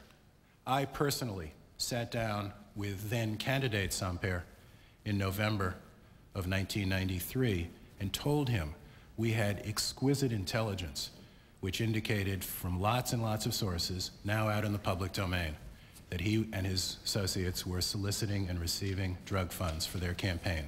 He denied it, of course. I told him it needed to stop right then because we would know if it continued, and the relationship with him, if it continued, and he were elected president, would be bad. He went back to Colombia, and it continued. And the proof is out there now about soliciting and receiving more than $6.6 million in drug funds. We've seen the consequences. The president took the decision to decertify Colombia, a very important decision based on the test of the law, which was whether the government was cooperating with us. The government was not cooperating with us. The test of the law was also applied in the case of Mexico. And the president believed, I believe, that President Zedillo was cooperating with us. the president hasn't made his decisions for this year, for 1996. Um, that will come out toward the end of this month. But there have been clear-cut cases, examples of progress in terms of our cooperation with Mexico during President Zedillo's administration. Um, the lack of institutional capabilities in Mexico, I think, were fairly clear compared to Colombia. We have a strong, honest police with strong, dedicated, honest leadership. In Mexico? In Colombia. Okay, good. We have the same in the Prosecutor General's office. We now have in General Bedoya a serious, honest person who wants to work with us in closer ways than ever before in counter narcotics. And as I mentioned, for that reason, we've taken the step of now allocating funds directed to the armed forces for the first time out of my budget. President Zedillo and many of his ministers have now been trying to push for much better results in Mexico. And over the course of 1996, I think we've already seen some dramatic changes. For example, um, and Congressman, knowing your, um, your distinguished record as a prosecutor, you'd understand this, they have, for the first time, started extraditing their own nationals uh, without precedent. They deported to the United States Juan Garcia Abrego, whom I mentioned earlier, who has now received, and I mentioned, 11 life terms and many other. These were very important, unprecedented steps. We have begun cooperation with Mexico in counter-narcotics with their army, and we're seeing very strong positive results as a result of that military-to-military -military cooperation now engaged in interdiction, and as they had already been engaged in eradication. We're seeing seizures up significantly in Mexico as a result of cooperation that we have with the Army, with the Air Force, and with certain police elements. They have now passed a major money laundering law for the first time, and they've implemented it and already making cases. They have passed an organized crime law modernizing the tools that you, as a former prosecutor, are familiar with that most countries are not allowed to use, such as allowing uh, evidence from wiretapping that's court authorized to be used in a court of law, which had not been allowed before. Arrests are up of drug traffickers. Arrests are both uh, domestic and foreigners who are in the country. Seizures are up. Of heroin, they're up something like 79% in Mexico. Seizures of cocaine are up. Uh, so we think there has been progress under President Zedillo, but in terms of the contrast, and I, I obviously can't predict where the president's going to come out on certification. In fact, the recommendations haven't even gone to him yet. And, and the second question that I had, please, about uh, why, why the president oh, has not yeah. sought the waiver um, First, what, what we did, what we were, what we did concur with were the efforts in the House International Relations Committee to get a, an amendment to the law to permit this. And as I said earlier, unfortunately, the Congress failed to pass that amendment, and I regret I'm, that. I'm talking about the, the, the, I, I, I was, the existing law. I'm, I'm, talking about the existing law, of trying to change the existing law about prohibition on FMF and FMS. We have been looking at the issue of a 614 waiver. Um, I also know that the Congress in the past has criticized the administration for overuse of the 614 waiver. So we do hope to be able to provide assistance to the military. But once again, this is a relatively small part of overall assistance to Colombia. The more important issue, I think, is that um, we, through my budget, which is the main source of funds far and away to Colombia, are going to be providing this year equipment and support worth $147.8 million to Colombia. You know, and- that's an and- and that's extraordinary great, but- amount. But why, why hasn't the administration sought the, the- and I, and I maybe disagree with you, I think the waiver uh, in uh, 22 U.S.C. 2364 is very broad. Why hasn't the administration used that as a tool to get assistance directly to the, uh, the military and the police in Well, in assistance to the police has gone through. I think we'll come back in a second round, be able to answer those, ask Okay. those questions. Gentleman from Ohio. Thank you, Mr. Chairman, and thank you for having this hearing. Mr. Ambassador, I, in preparing for this hearing, I was uh, struck by some of the strength of the remarks made um, by various officials in our government about President Samper. Um, in your testimony on page four, um, and again, repeated it, I think, in questioning with uh, Mr. Barr, that uh, you reached the conclusion that the President has aided and abetted drug traffickers, uh, and that led to, uh, in part, to the decision to revoke his visa. Uh, I was reading an observation by our, uh, our drug czar, I think our, our new national drug czar, drug policy director, General McCaffrey, uh, who indicated that he's been complicit, the president has been complicit with international criminals. And I think even our ambassador uh, to that country made the observation that although he says all sorts of things, he's done very little, and he has no friends in Washington. As someone who uh, is coming to this committee afresh, uh, I have read, uh, and I've heard you say today that there's a, an observation that uh, $6.6 million found its way uh, apparently into President Samper's uh, campaign uh, coffers from uh, drug traffickers. And, and I've heard you, I hadn't read before, but I've heard you say for the first time that there's apparently you've uncovered a history of that type of transaction since 1982. Is, is it the, uh, uh, the conclusion of the administration that the acceptance of these funds from questionable characters uh, equals he must be complicit and, and therefore um, um, uh, coddling or caving into um, drug traffickers, narco traffickers, or is there additional evidence that that is in fact the case? And I, I guess what I'm getting at is, uh, I suppose one could make the argument that he's accepted a campaign contribution. Uh, he wrote a letter to Congress saying that he would do certain things. He didn't do it. Therefore, it must be the campaign contribution equaled. He didn't get the money laundering statutes passed through his Congress. Or, or is there other evidence that you're uh, familiar with that leads you to that conclusion? Um, the Cali cartel has been, never been known to have provided support without a quid pro quo. Um, we believe that there are, there is information uh, which causes us to believe that uh, there, that there were direct consequences of the receipt of these funds. Okay. I, I think that's an important, at least to me, it's an important question because uh, I don't think that you would argue that merely, as, as Mr. Barr, I think, was asking you, the mere acceptance of campaign contributions from people of questionable character equals uh, that you do what they want you to do in contravention of the best interest of your nation, certainly. The President made the decision to revoke the visa under a provision of the law um, which deals with individuals who um, aid, abet drug traffickers. Okay. If I could fast forward now to uh, the present day, and I, I was very interested in Mr. Mica's questioning and also your uh, showing us the Forbes magazine piece. Uh, I don't think there's anything wrong with a country promoting itself and, and saying that it's a nice place to visit, has a strong economy. But there have been other things in the news recently. Um, in particular, I, I was uh, interested in a, a raid that apparently occurred down at the end of January uh, in Colombia on a, uh, a uh, drug manufacturing center. And there, I've, I've observed two spins put on that. One is that uh, it was a huge distribution or manufacturing center that could have supplied up to half the manufactured cocaine done in Colombia on an annual basis.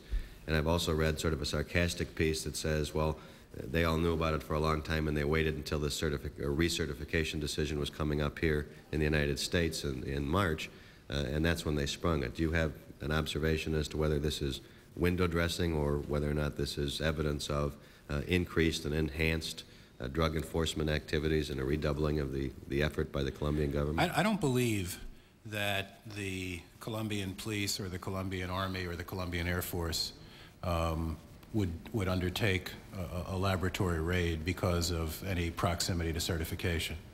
We have a great deal of trust in them and their leadership, and that's why we work with them so closely. But I think this goes to, um, in fact, part of my own experience. I was ambassador to Bolivia when during part of that time, and this goes to also some of your questioning, Congressman, we had a president then in Bolivia, Jaime Paz Zamora, who had been corrupted by the drug traffickers, and um, his visa was also revoked, by the way. We were working very closely with the Bolivian police and Bolivian Air Force on some significant counter-narcotics achievements on a separate track from what the government itself was doing and the governmental leadership, and it's possible to do that. Um, we have a very close collaborative relationship with the police, the Army, the Prosecutor General's office. Likewise, the, uh, I assume the activity that occurred maybe a week ago, I understand there was an 11-city sweep that occurred down in, uh, in Colombia relative to rooting out uh, suspected uh, uh, trafficking activity. You would put the same Well, characterization what, on what that. I would say is that, um, as I mentioned earlier, I don't think it's a coincidence that suddenly the government has moved at the end of December to get the asset forfeiture law passed. That suddenly we have seen them initial, agree and initial the maritime interdiction agreement, which we have been pursuing for a few years. That suddenly they're having an extraordinary session of their Congress next week to try to discuss a sentencing law. Um, w- we happily will take the results. They're important results, but the timing uh, isn't coincidental. That- That's what I was going to ask you. Although you may question their timing, you consider them to be significant progress on, on the part of uh, the Colombian government? On those issues, once again, I think the certification process helps. Okay. If- I could just ask you a technical question, um, uh, the, on the extradition question, is it, is it, am I correct in my understanding that in, in order for uh, Colombia to modify their policy on extradition, there would have to be a change to their constitution? Am I correct in that? Um, there are two interpretations. There's one school of thought which says they have to modify the 1991 Constitution. Um, and in that case, the Cali cartel clearly was able to buy enough votes in the, in the Constitutional Convention to exclude that. There's another school of thought which says that the bilateral, the treaty we have with Colombia, which I think is 1979 treaty, um, would override the constitutional provision, and that apparently is going to be taken to, um, to the highest court in Colombia soon. Thank you, Mr. Ambassador. Thank, Thank you, you, Chair. sir. A couple quick questions, and I think we'll go in a round of quick follow-up questions if we could. Uh, Mr. Ambassador, uh, one of the obvious things that the whole drug war, multinational drug war, uh, you can grow coca leaf, turn it into paste, transport it, remanufacture it into cocaine, crack, same with uh, heroin and the poppy and the heroin. Uh, it comes in, most of it at least, comes to this country, uh, wholesaled, retailed, retailed again, sold on the street, uh, literally uh, multiplying its value, uh, not by tens or by hundreds, but thousands and sometimes millions of fa- factors. That money, in order for all that work to be done, there's no value in all that movement unless the money comes back to the person who is in charge. Money laundering probably is one of the, is tied to this. What nation in the world is number one in money laundering? Can you give me a, a crack at that? The United States. What country's number two? Um, hard to say. Um, let let me say, I fully agree with you.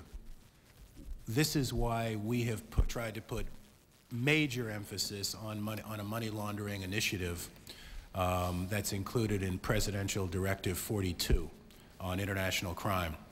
We have tried now to marshal all our resources in the United States government through Treasury, Federal Reserve, Justice, and the State Department and others to work with countries to put major emphasis on anti-money laundering, much more than ever before. Secretary Rubin, in fact, chaired a little over a year ago a hemispheric conference on money laundering, and we are pressing governments such as Colombia to take the strongest possible action. An example of Samper's cynicism was at the Miami summit, hemispheric summit, where he called for a hemispheric convention on money laundering, and Colombia hadn't even criminalized money laundering yet. They subsequently passed a weak money laundering law. We are now pressing them to, to toughen that law and then to take other measures. We're doing the same with other governments in the region, whether they're large governments such as Venezuela, Mexico, which, as I say, has now adopted a tough money laundering law, or even small Caribbean countries which are used as centers for dirty money, such as Antigua. But we're doing the same also around the world. And this has been a presidential initiative. And the fact is, number, the United States is number one. Mexico is probably number two. Panama is probably number 3 And, uh, you know, Colombia is down there four or five or six, which doesn't validate anybody or give them license. The fact is, all the money comes into this country, and we're doing a very poor job because the money, drugs wouldn't come into this country unless the money could flow out again. And I think one of the emphasis that I would say that this Congress ought to do is take a look at how we can make our laws better Well, and can- can I- enforce those laws. Can I say I agree with you? Um, what's happening, though, uh, when I talk to DEA and other law enforcement organizations which work inside the United States, what they're telling me is now the toughness, there are very tough anti-money laundering laws in the United States, and enforcement has been dramatic. The result is that drug traffickers are now shipping their money out by, in cash, and they're shipping it out in containers. Um, Jim Milford, who is now the deputy administrator of the DEA and was previously the head of their Miami office, has told me about seizures of tens of millions of dollars that they've picked up in Miami of money going out of the country on its way back to Colombia. And we've got, we've got to be able, the hard part is getting a handle on those containers, and that's very hard.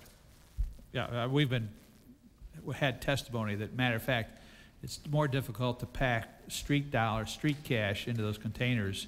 Takes more container volume than the drugs that come in on them. Uh, The, the other thing, if I could say, sir, is that we've been working for a number of years since the Financial Action Task Force, which is the multilateral organization deals with this, based in Paris, was set up a number of years ago to try to establish international standards against money laundering. And we and some of our allies in Europe and Japan have been working together to urge countries such as Colombia, Mexico, Panama, and others, including European countries such as Austria, which has never ratified the Vienna Convention, to take strong action on money laundering. I have one quick question before my rounds up here. During our period of time on decertification, the Colombian military and police continue to fly excess uh, U.S. Huey helicopters. Five of them were shot out of the sky by the narco traffickers and guerrilla armies. It took the administration about six months to replace these excess helicopters, uh, based chiefly uh, on trying to get legal opinions, whether it was right or wrong, and during this period of time. Uh, just as there have been sometimes delays of months in trying to find the spare parts to make the DC-3s fly, which got materials out into the jungles, and uh, also the uh, herbicides that were needed. Uh, we also delayed the delivery of the Black Hawk helicopters, and I'm not even sure they're in, on the shores of Colombia yet. Uh, this has all happened since the, basically the decertification of Colombia. In view of the numbers of Americans dying from violence on, on American streets because in part this happens, how can we expect that not to happen again? First of all, that had nothing to do with certification. Uh, the Black Hawk transaction is a commercial transaction. And in fact, we and the Pentagon uh, got Sikorsky to agree to jump Colombia to the front of the line to get their helicopters. The first helicopters are in fact arriving tomorrow in Colombia. Second, last year we provided 12 more helicopters, 12 Huey helicopters to them. We are, we- we're provi- we've provided three Bell 212 helicopters and are about to provide three more. We've given them all the spray planes we've got worldwide. And as I mentioned, we've lost two, one to ground fire and one when tragically an American pilot crashed. We're about to provide five more OV-10 Bronco aircraft, two this month, three by the end of March. And we'll be providing 12 more Huey helicopters within the next month or so. So we feel we are moving this as rapidly as we can and as rapidly as their absorptive capacity can handle it. I would point out that um, the, ma- the, the operating rate in Colombia for aircraft is lower. It's about 65%. Um, it's lower than we have in Peru and Bolivia, at about 85%. So the, it's not just a question of pumping equipment in, it's also a question of maintaining that equipment well and being able to use the spare parts. And getting the spare parts there. We've got four, we provided $4 million in spare parts this last year, too. Thank you. Thank you, Mr. Chairman. Barrett. During the course of the conversation this morning, we've, we've heard um, you praise the political leadership in, in Mexico, but not have such great praise for, praise for the military or police in Mexico. And in contrast, in Colombia, there's been strong praise here for the police and military, but obviously no praise at all for the, for the political leadership. Can you cite some examples where, where some of the higher reaches of, of, of the government in Colombia has undermined the hardworking efforts of the, of the police and the military? I think the primary examples um, would rest in um, cutting their budget, first of all. How much has the budget been cut? I, I- I don't have uh, any answers on that, but I would suggest you might want to ask General Bedoya uh, about that. But one would think that if, as even President Samper says, the fight against uh, the um, guerrilla terrorists and the fight against drug trafficking are as high priorities as he says there are, then their budget would go up the way ours did. Um, Second, they did nothing to uh, try to move expeditiously on a new sentencing law uh, that was promised uh, almost three years ago. Uh, That would, I think, have helped enormously in terms of um, not just the morale, but the rule of law for the police, who had superb performance in capturing the leadership of the Cali cartel.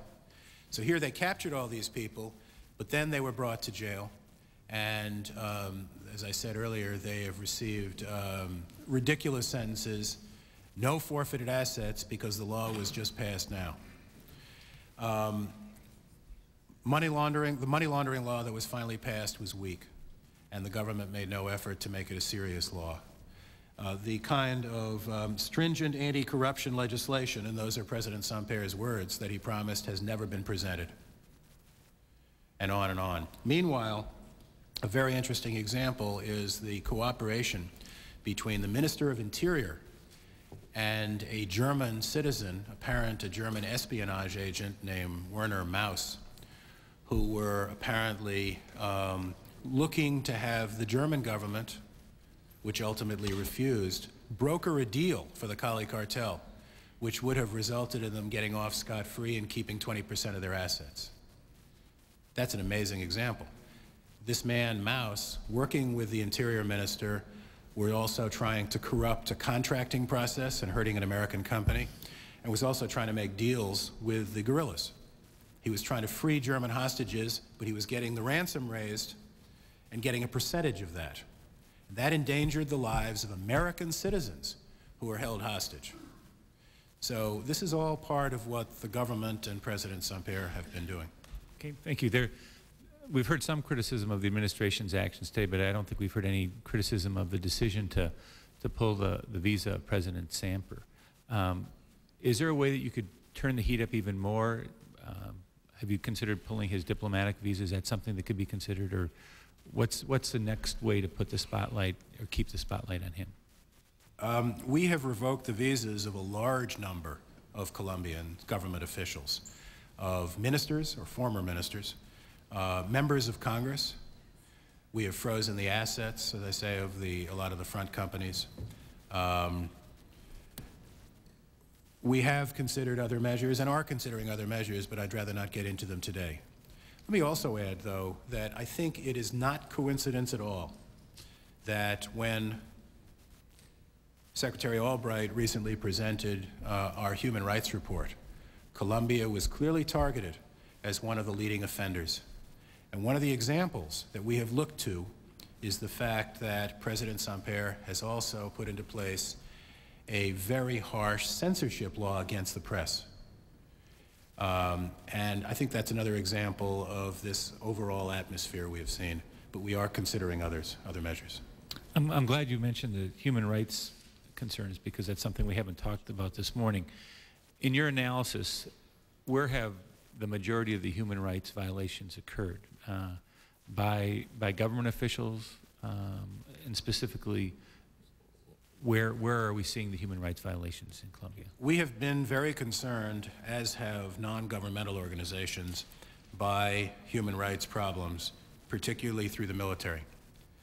General Bedoya, I think, has been making a major effort, as did the former Minister of Defense and now Ambassador in Washington, uh, Esguerra, to try to improve that situation. And in fact, General Bedoya and I discussed that issue yesterday. We feel that General Bedoya is making serious efforts on this problem. Um, I have to say, though, that there is no question that the real human rights problem has also been, at the same time, what the guerrilla terrorist groups have also been undertaking, the FARC, the ELN, and other groups. They have kidnapped foreigners and their own citizens.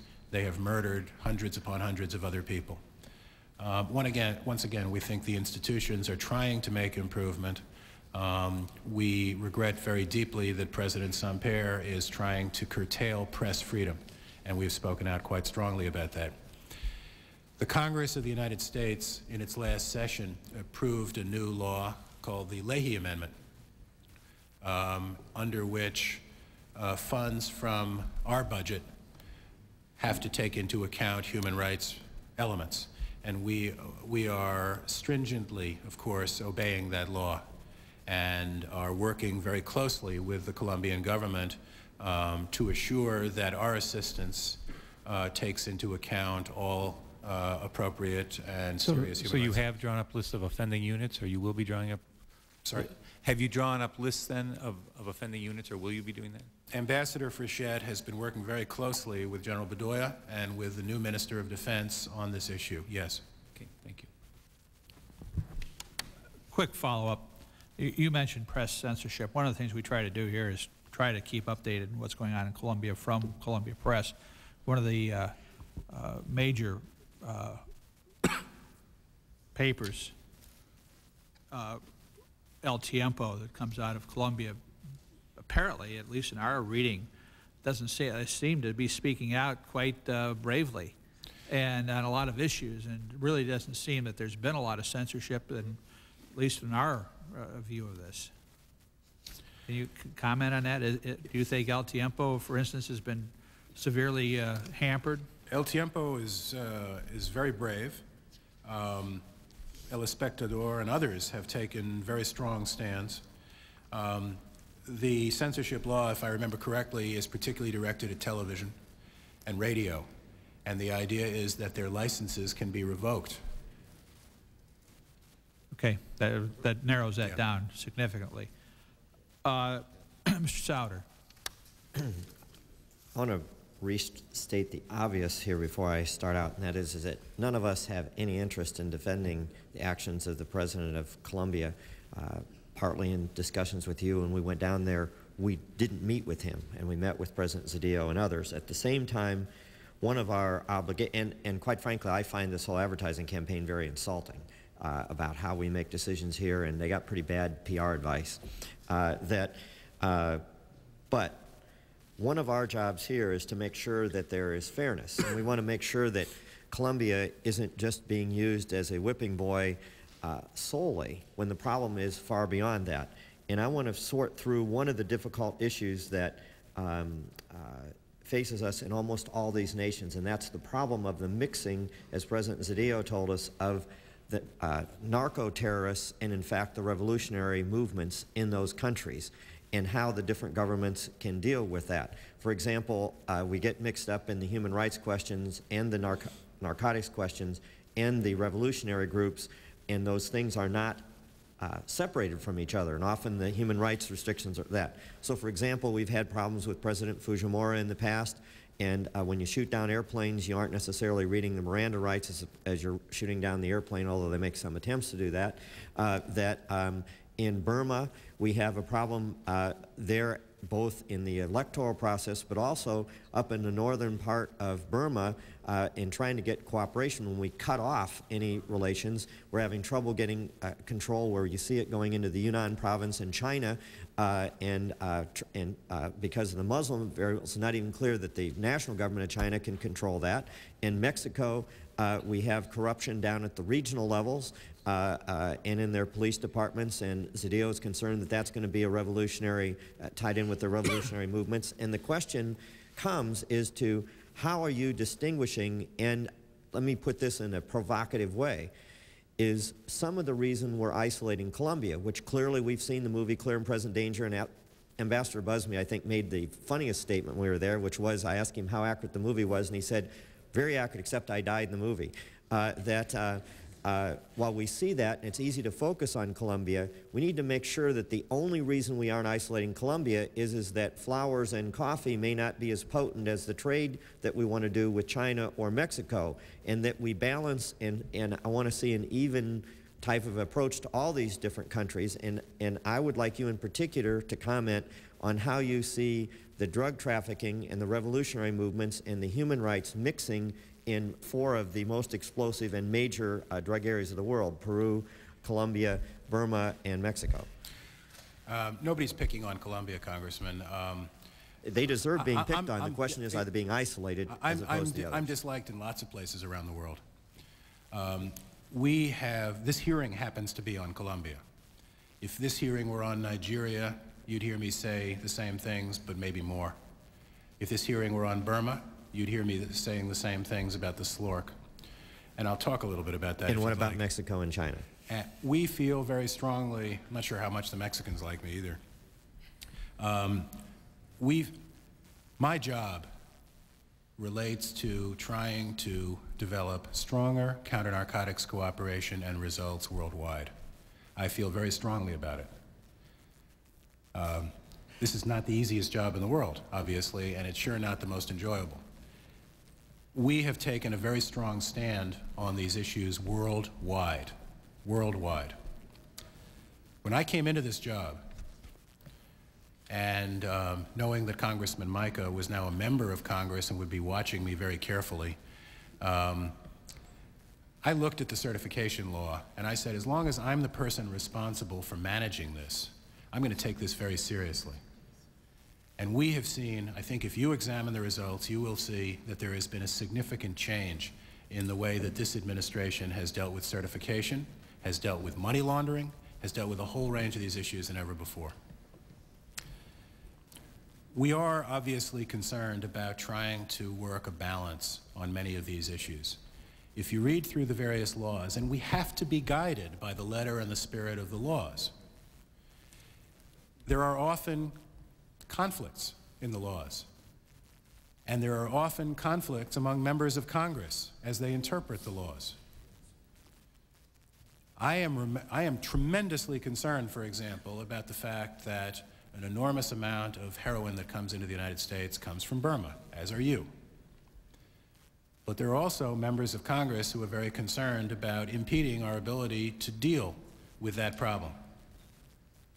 What I'm trying to do is work with the United Nations Drug Control Program through that kind of program and develop a program with integrity to deal with eradicating opium poppies and having crop substitution, particularly in the Wa area. I've been in Yunnan province in China. I've spent a lot of time with the Chinese authorities and with others. We also see an enormous amount of corruption in the SLORC and in lots of other places in Burma. In Colombia, we have been trying to develop serious programs to deal with the ever-increasing problem, the overlay between the guerrilla terrorist movements, drug trafficking, and increasingly cultivation. The phenomenon of the involvement of the guerrilla terrorist groups in drugs isn't new. In 1985, when I became involved with this for the first time professionally, it was quite apparent then. The FARC at that time were guarding drug laboratories and benefiting from it. The M19 at that time apparently was on contract from the Medellin cartel when they murdered um, a large number of members of the Colombian Supreme Court. This is what, but the law also says that any assistance from my budget has to go 100% against drug trafficking. It can't be used for multiple purposes. But this, this is what General Bedoya and General Serrano and I were discussing just last night, how we can work together in certain regions of Colombia where it's clear that the guerrilla terrorist groups are involved very clearly in drug trafficking, in cultivation, protecting cultivation, and we can have programs that will fully be in concurrence with American law. And we had some detailed discussions about that last night. And that's also why we have now explicitly put $5 million in our budget specifically for the military of Colombia. But at the same time, we have to be very clear in our own minds about our own standards and our own beliefs, as well as the law regarding uh, human rights. In Peru, if I can just say, yes, there were obviously a great deal of concerns about human rights that have less to do, in my mind, with uh, force down and shoot down of aircraft. But we also were faced with a law um, that may or may not have had a certain meaning regarding civil aircraft. Um, as you probably know, Congressman, I led the fight to make sure that we would be able to provide real-time intelligence support to the air forces of Colombia and Peru. And we're doing that now. We're doing that with great results. But we've had to be very careful, in part because we fundamentally believe in the rule of law and the need to have effective programs that won't be undermined over the medium and long term. And I, I, once again, I want to reiterate that I believe that you have been committed and have been pushing in this administration for that. And I want to make sure that you understand, too, that in addition to the countries that are, quite frankly, have less financial clout in the world, Burma, uh, Colombia, and some of the others, compared to some of the bigger countries, that some of us want to see the same pressures across the board. And uh, we're not faulting, uh, we want to keep pushing you, but we're not necessarily faulting where you've been. Thank the gentleman, gentleman from Florida, Mr. Mica. Mr. Chairman, uh, Mr. Gelbard, one of the problems with uh, the decertification uh, law as we wrote it, and we wrote it back in the 80s, uh, was it tied foreign aid into um, drug eradication or drug uh, uh, drug efforts by nation, and many of the nations were poor, um, and were dependent on U.S. assistance, received large U.S. assistance. And one reason I don't think it works with Colombia too well is actually it's a pretty wealthy nation. It's one of the wealthiest in the uh, Western Hemisphere.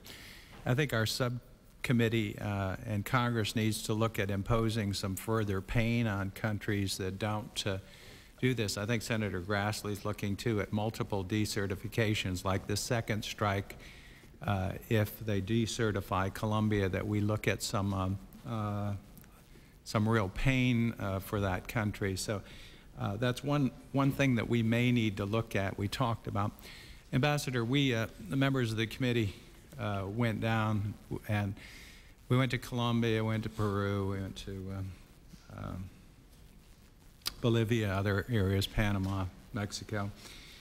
We the it, this administration had really uh, emasculated the uh, interdiction program and even some of the eradication programs, we came back and we uh, put together uh, all the resources that everyone needed or asked for. I don't think there was a, anything that, that you all didn't ask for that we didn't uh, uh, deliver. we felt that policy was a disaster. Our experience in looking at it proved it was a disaster. Then in September, and, and you alluded to in your testimony too, the problem now that with some of the air cover and other things that now these folks are going to uh, riverine uh, strategy, taking the stuff out in boats and ships. In September, uh, Barbara Larkin, Assistant uh, Secretary of Legislative Affairs, sent the chairman, uh, I think this is uh, Gilman, notifying him of a drawdown for funds. And this is, I talked about the, the uh, other pot, the FMS pot. This is your pot under state. And that was to buy uh, patrol boats uh, because we saw the problem now with this new pattern of trafficking and other equipment. Um, it's my understanding that even in September, when you told us that this was going to be done, that nothing's been done in ordering uh, this equipment. Is that correct? No, that's not correct. Um, we have moved um, to provide, this is the program under um, Section 506A2. And if I'm, if I'm not correct, if I am, isn't that right? Yes. Yes. Um, we have moved to try to establish um, the, the, the proper agreements with the nations involved so we can send the equipment there. The Colombian, we, we've needed two provisions under the law. One is an end user agreement, and the second is an agreement on human rights. We finally received that agreement from the Colombian Minister of Defense on February 11th. Uh, we were delayed by the Colombian government. Um, So, so it's the agreement, that, that's the That's done. Uh, but these still haven't been ordered, right? This No, it's all ordered and it's ready to move now Uh, that I would have. have to disagree with that. I have the manufacturer back in the back of uh, the hearing room here, and uh, he tells me nothing's been done. The same thing for Peru. If you turn to the, the administration's letter, uh, and I don't know of any decertification of Peru, we will also furnish three river patrol boats craft to uh, Peruvian security. Uh, We're asking for a drawdown of 13.75 million. The stuff hasn't even been ordered yet. They tell me it'll take after the order uh, 120 days, a half a years before this is produced. So we went down in April. You requested this in September, and nothing's uh, done, as, at least as far as ordering the equipment. Is that correct? I don't order the equipment. This is, Well- the- excuse me, this is the Department of Defense, and I'm sorry, but I can't answer for the Department right, of Defense on this. Mr. Chairman, I'd ask that our staff look into this. Uh, This is, this is absolutely uh, uncalled for. Now, we've talked about moving to eradication, and we, I have a confidential report here that we had 12 aircraft in the air in eradication. Then we went down to eight, now we're down to five. Is that correct? Are we now flying only five, or is this wrong? No, that's not right. How many are we I said, I've said several times today, Congressman, that we have um, nine spray planes there. We had 11. Two were destroyed, including the loss of life. So the We have, we have increased the number of helicopters substantially in Colombia, and um, we now provide something like two-thirds. um, We How have. many eradication- Can I, can I just give you some Yes. details, please, But how sir? many eradication planes are flying today? I'm just about to give you the Okay. details. We have the, um, nine U.S. government-owned turbo thrush spray planes. We have, um, Are flying today. yes, sir.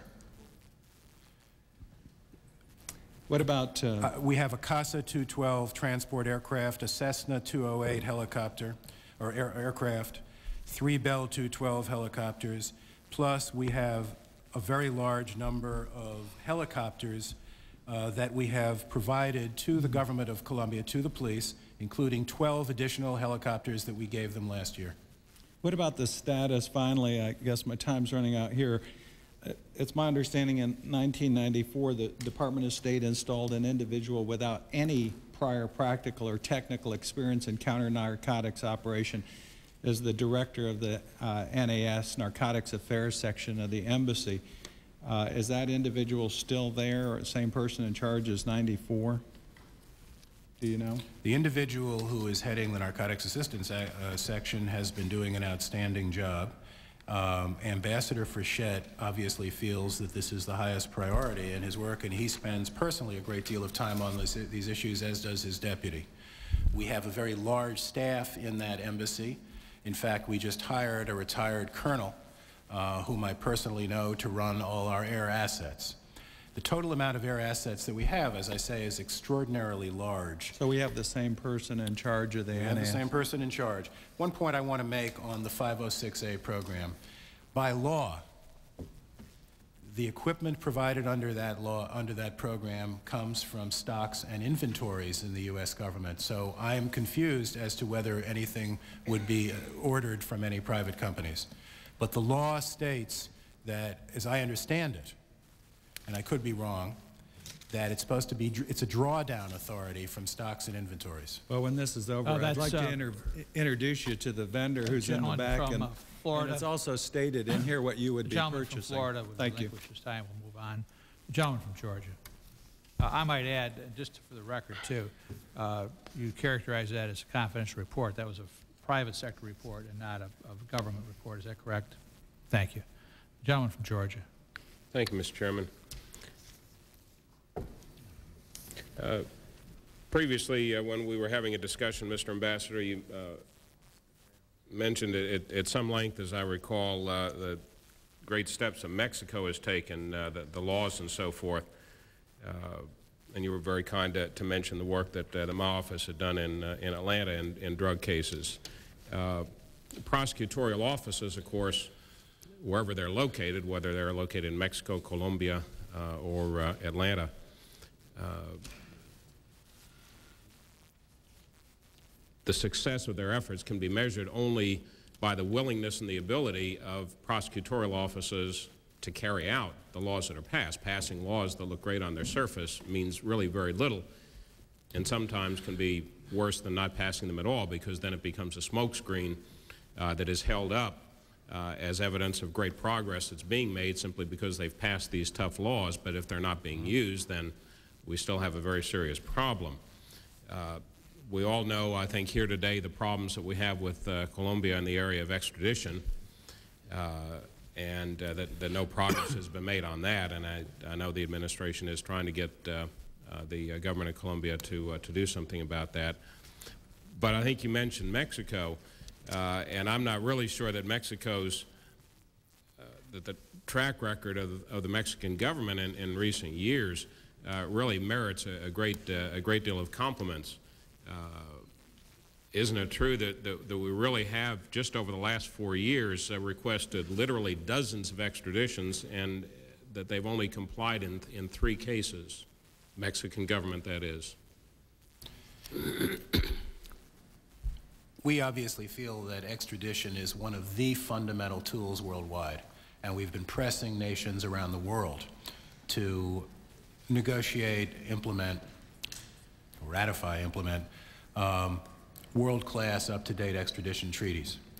Um, let me say that we've been very pleased um, under Attorney General Reno's leadership in particular that we have now been successful in negotiating a series of new extradition treaties. Recently, one in Bolivia came into force. Into force. We've just initialed a new world-class extradition treaty with Argentina. That's, that's fine. I'll, I'll, I'll But accept for I'm the answer record your that the question. administration has done a great job in, in these you. areas. I'm talking about Mexico. Um, What's happened with Mexico, as I said earlier, is that they started for the first time to extradite nationals early last year. And this was important because it was without precedent. Under their law, it says they can extradite people under exceptional circumstances. We obviously would like to see them extradite an awful lot more people. Um, I don't have the exact numbers that they have extradited so far, but we clearly would like to see many more. Okay. It's my, it's my information that there have been only three and that one of those was a U.S. citizen. They So have. I, I, I re- No, I, th- I think there have actually, in terms of U.S. citizens and other nationals, I, I believe, and I'd be happy to get you the statistics on this, that they have extradited a great deal more.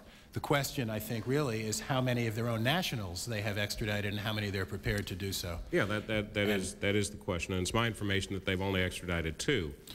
We- Uh, we if you, have- if you have different information, I'd certainly be happy We, to receive we've it. been pressing them to do more, and when the new Attorney General was just here two weeks ago, the Attorney General and I and others, General McCaffrey, have been pressing them as at the very top of our priority list. I, I appreciate that, and, and I understand we've also been pressing the Colombian government to do more, notwithstanding the problems that we have with, with the president himself down there. Uh, but again, I, and I don't want to beat a dead horse, uh, I'd, I'd continue to, to feel, and, and I think you can gather that maybe some other members of the panel share my uh, concern here, that we are applying one standard to Colombia and a very different standard uh, to Mexico. Uh, I would like to, in the remaining uh, short period of time that I have, though, return to an area that we left unfinished uh, earlier, although in subsequent discussions you've touched on some of the things that, that I was going to mention also, and that is the uh, letter from September of 96 uh, concerning the waiver under 506A2, uh, and that's and that's fine. Although I'm concerned, as Mr. Mica is, that uh, there's a big difference between you know, the documents being set forward and sent forward, and then uh, the action being actually taken to get the equipment in the hands of the of the folks down there in Colombia. but again, has there been no the other waiver authority contained in the same section in the earlier paragraph, uh, A, A1, in terms of a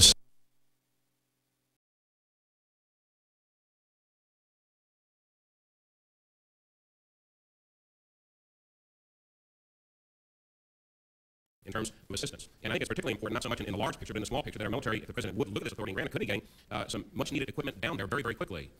Uh, we, we know that, we're having a, that they're having a problem with the, the, the helicopters and delays in getting them repaired, the DC-3, uh, the miniguns, uh, which uh, you know, they've expended the money on their own because apparently somebody made the decision that the use of the miniguns would violate human rights or something. Uh, but isn't isn't the authority that the President could be exercising under, under A, A1 uh, a tool that could help here? Let me just get back to the issue under A2. According to law, we have to have guarantees about end use of equipment, and we now have to also have guarantees about human rights provisions. The Colombian government only gave us those, those assurances on the 11th of this month we are now moving, and we have the military are moving um, to, to to move that equipment to Colombia rapidly. Could I could I just suggest to help you all out that I mean you have the the gentleman here today, and you deal with them on a regular basis, and have stated uh, I think very accurately that they have tremendous uh, records of integrity and, and, work with us in this area. Uh, why does it take that long? I mean, you have the you have the men here. You deal with them on a because regular basis. Because Ambassador Frechette felt um, that he needed assurances from the Minister of Defense, and the Minister of Defense just gave it to him now. Um, and I'm not going to second guess the ambassador on that. um, in terms of 506A1, I've got to say I've got to study that, and I'd like to give you an answer for the record on that. I'd, I'd appreciate that very sure. much. Thank you, Mr. Chairman. Gentleman from Ohio, Mr. LaTourette. Uh, I might state that we're going to ask that the authorities submit written questions and uh, have those questions answered and the record uh, be open. Thank John you, from Ohio. Thank you, Mr. Chairman, and I'll, I'll be as brief as possible. I, in your earlier testimony, you were talking about increased levels, I think principally from your budget, dealing with eradication efforts. And although I may have the figures wrong, I, I wrote down 22.6 going to 44 uh, million, if, if I remember that correctly. Will the certification decision upcoming on March the 1st uh, affect um, the State Department's commitment to increasing uh, these dollar amounts in this next fiscal year? No. Okay. There's also a... Uh, there's a waiver authority. I mean, once again, I don't know what the decision will be, but right. there is a waiver authority under the law so we can continue providing counter-narcotics assistance. Then something that hasn't been touched on yet that, that I just want to ask because I haven't heard it uh, discussed. Um, in response to the certification decision of 1996 and in response to the pulling of the president's veto, or visa, excuse me, and I understand that we also have a blacklist of some 300, a little over 300 uh, Colombian companies that are considered to be front companies. Has there been retaliation by the Colombian government, uh, either in uh, trade sanctions or other activities uh, vis-a-vis -vis the United States government or uh, American businesses? I think to a degree there has been. Um, but I think it's hard to disaggregate that from um, the standard high levels of corruption which exist. One example was a contract recently for their National Civil Registry, which I alluded to earlier, where um, a um, German company, Siemens, uh, appears to have found ways to gain unfair advantage on the contract, perhaps by bribing. Bribes are tax deductible under German law, amazingly. That is amazing. Um, and um, then when it became, then they were eventually disqualified after they had won the contract, by coincidence. Um, and then it became, came down to between a French and American company, and my understanding is that the American company was clearly uh, the best qualified. Ultimately, they decided not to award the contract.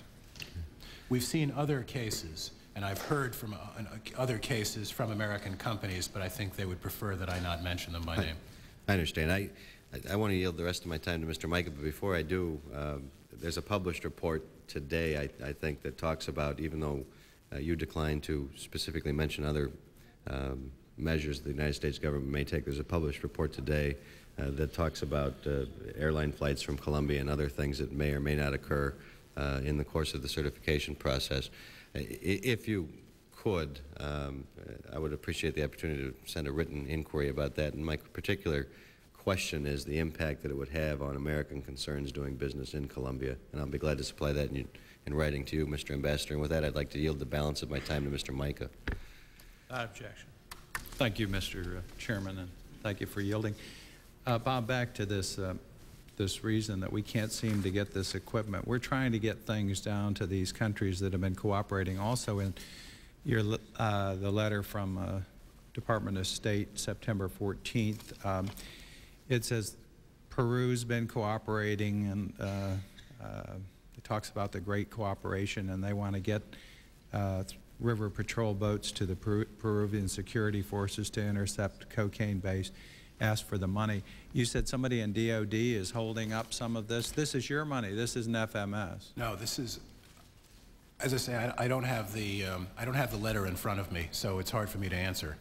Is But- this the 506A2 Yeah, program? Yes, uh, and you, s- 506A2 program is from military inventories and drawdowns. And it, it's off the shelf, under the law, it's off-the-shelf military equipment. that's not what it says here because it talks about some specifics that will be acquired too. In, in any event, uh, Bob, is there somebody at DOD that is not cooperating that we can talk to? Because we, we want to get this equipment to them. I don't care if it's I do off, too. if it's off the shelf, it's not in the, it's not in the Yungay where it needs to be or in the uh, Riverine program. So who, what's, what's the problem? You wrote us asking for this in September, uh, or, or state did, and it's still not there. This is done by DSAA, the Defense uh, Supply Agency. Uh, I will be happy to get you specific answers on this within the next few days. Thank you, Mr. Chairman. Let let me just add, I am as frustrated as you are about this because when the bureaucracy doesn't move, I know who eventually gets blamed, but I also want to see the, more importantly, I want to see the equipment out there. I want to see them having the, this stuff that they can use, whether it's airplanes or boats or anything else, and it is a source of eternal frustration for me when they don't move faster. Thank you. Uh, I'll yield my few remaining seconds to Mr. Souder. As long as seconds. Is that okay, Mr. LaTourette? Um, In the, in a fairness question, you have rejected uh, the ability of the President of Colombia to travel on visa. We have a report here that suggests that one of the governors of Mexico has been also in, uh, implied that he's involved in the, uh, with a lot of drug money and drug trafficking. Would you be willing to look at revoking his visa as well? We look at numerous examples with frequency, and our Bureau of Consular Affairs, um, working with us and others, does try to examine this with seriousness. So we're prepared to look at all information. Okay, we'll follow up with. Thank you, gentlemen. Ambassador, just two very quick questions before your time is extinguished.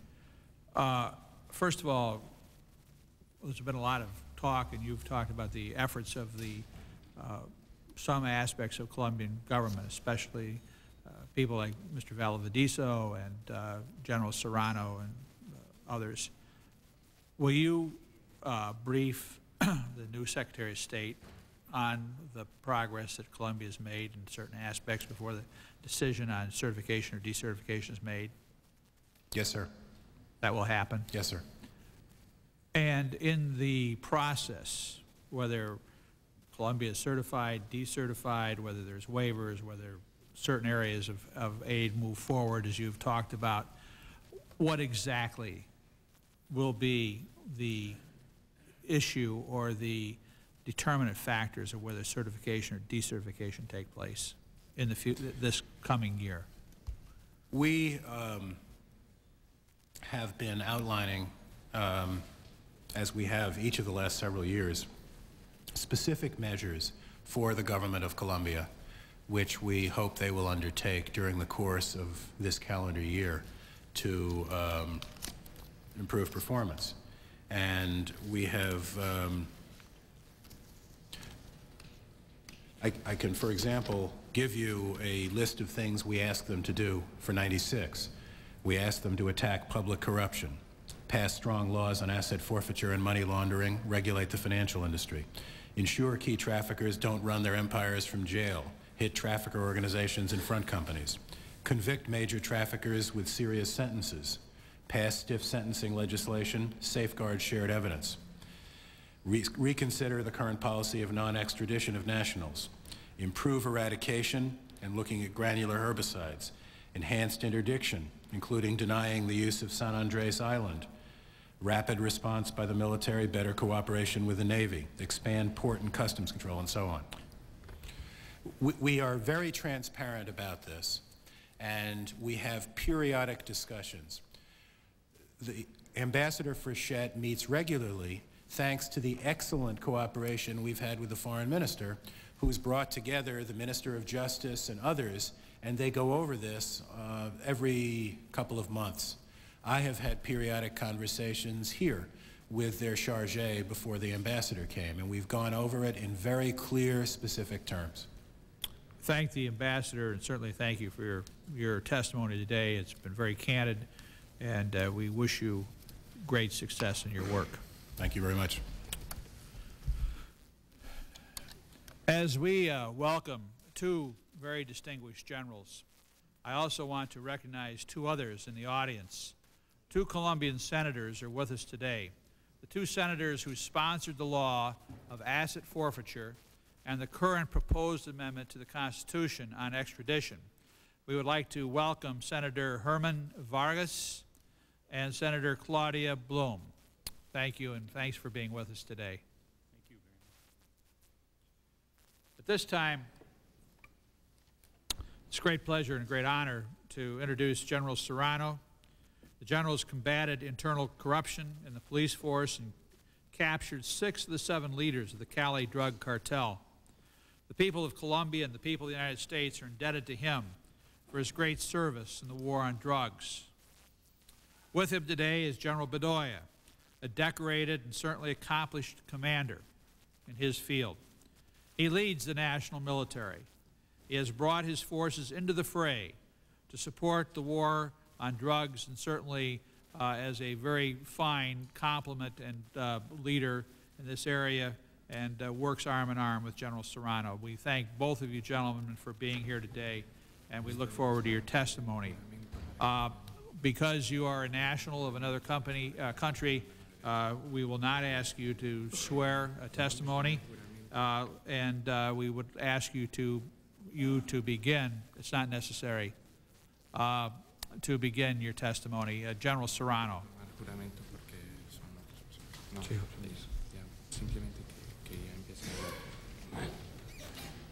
We also welcome the translator, uh, Mr. Avizadito.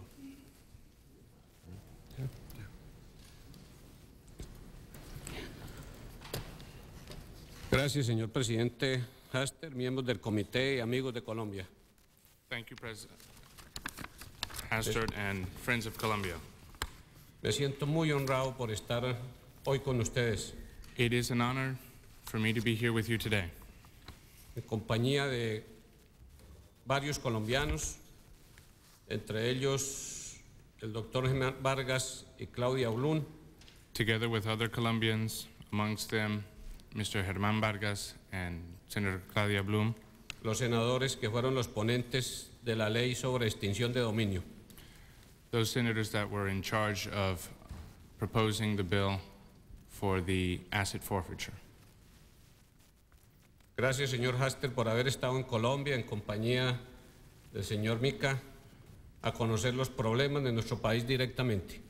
Thank you, Mr. Hastert and Mr. Mica, for having gone to Colombia to understand the problems firsthand. Desde mi cargo con los militares hemos liderado la lucha más espectacular contra las organizaciones criminales de narcotráfico. From my position as head of the Colombian police, we have been charged with carrying out the, the fight against the uh, international narcotics organizations.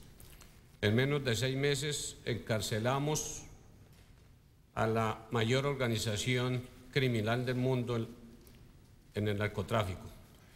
In less than six months, we incarcerated the heads of the most important criminal organization in the world. Para eso tuvimos un gran apoyo del gobierno americano.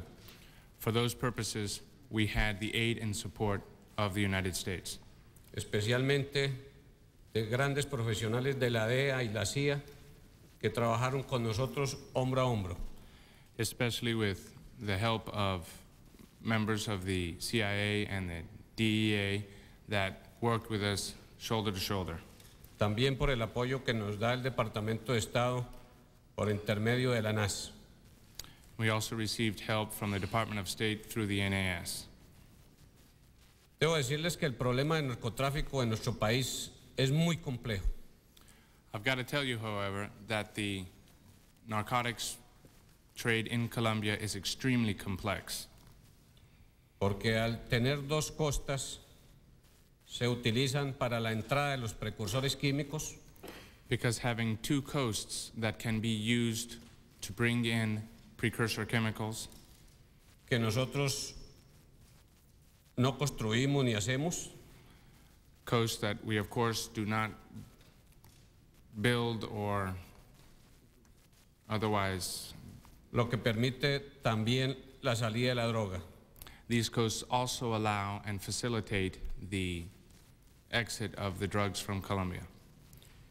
Tenemos adicionalmente la facilidad para transportar dinero, especialmente dólares, Additionally, we are able to transfer and transport money y la facilidad de moverse en avión los narcotraficantes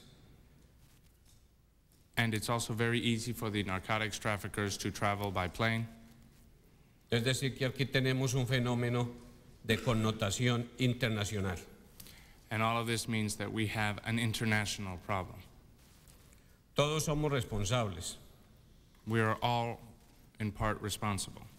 La manera de resolver el problema, creo yo, después de luchar por más de una década, The way I believe that we need to solve this problem after having fought the fight for more than 10 years es que todos reconozcamos nuestros errores is that we all recognize our own errors y no le echemos la culpa al vecino. and we don't start putting the blame on our neighbor. A veces oigo países que dicen, soy un país de paso o de tránsito. Sometimes I hear some countries saying that I'm only a transit country. Pero en esos países también hay gente corrupta que permite la llegada de los aviones But also in those countries, there are people that allow those planes to arrive y después entran a la droga a los países consumidores. and then they turn around and send the drugs on to the countries in which it is consumed.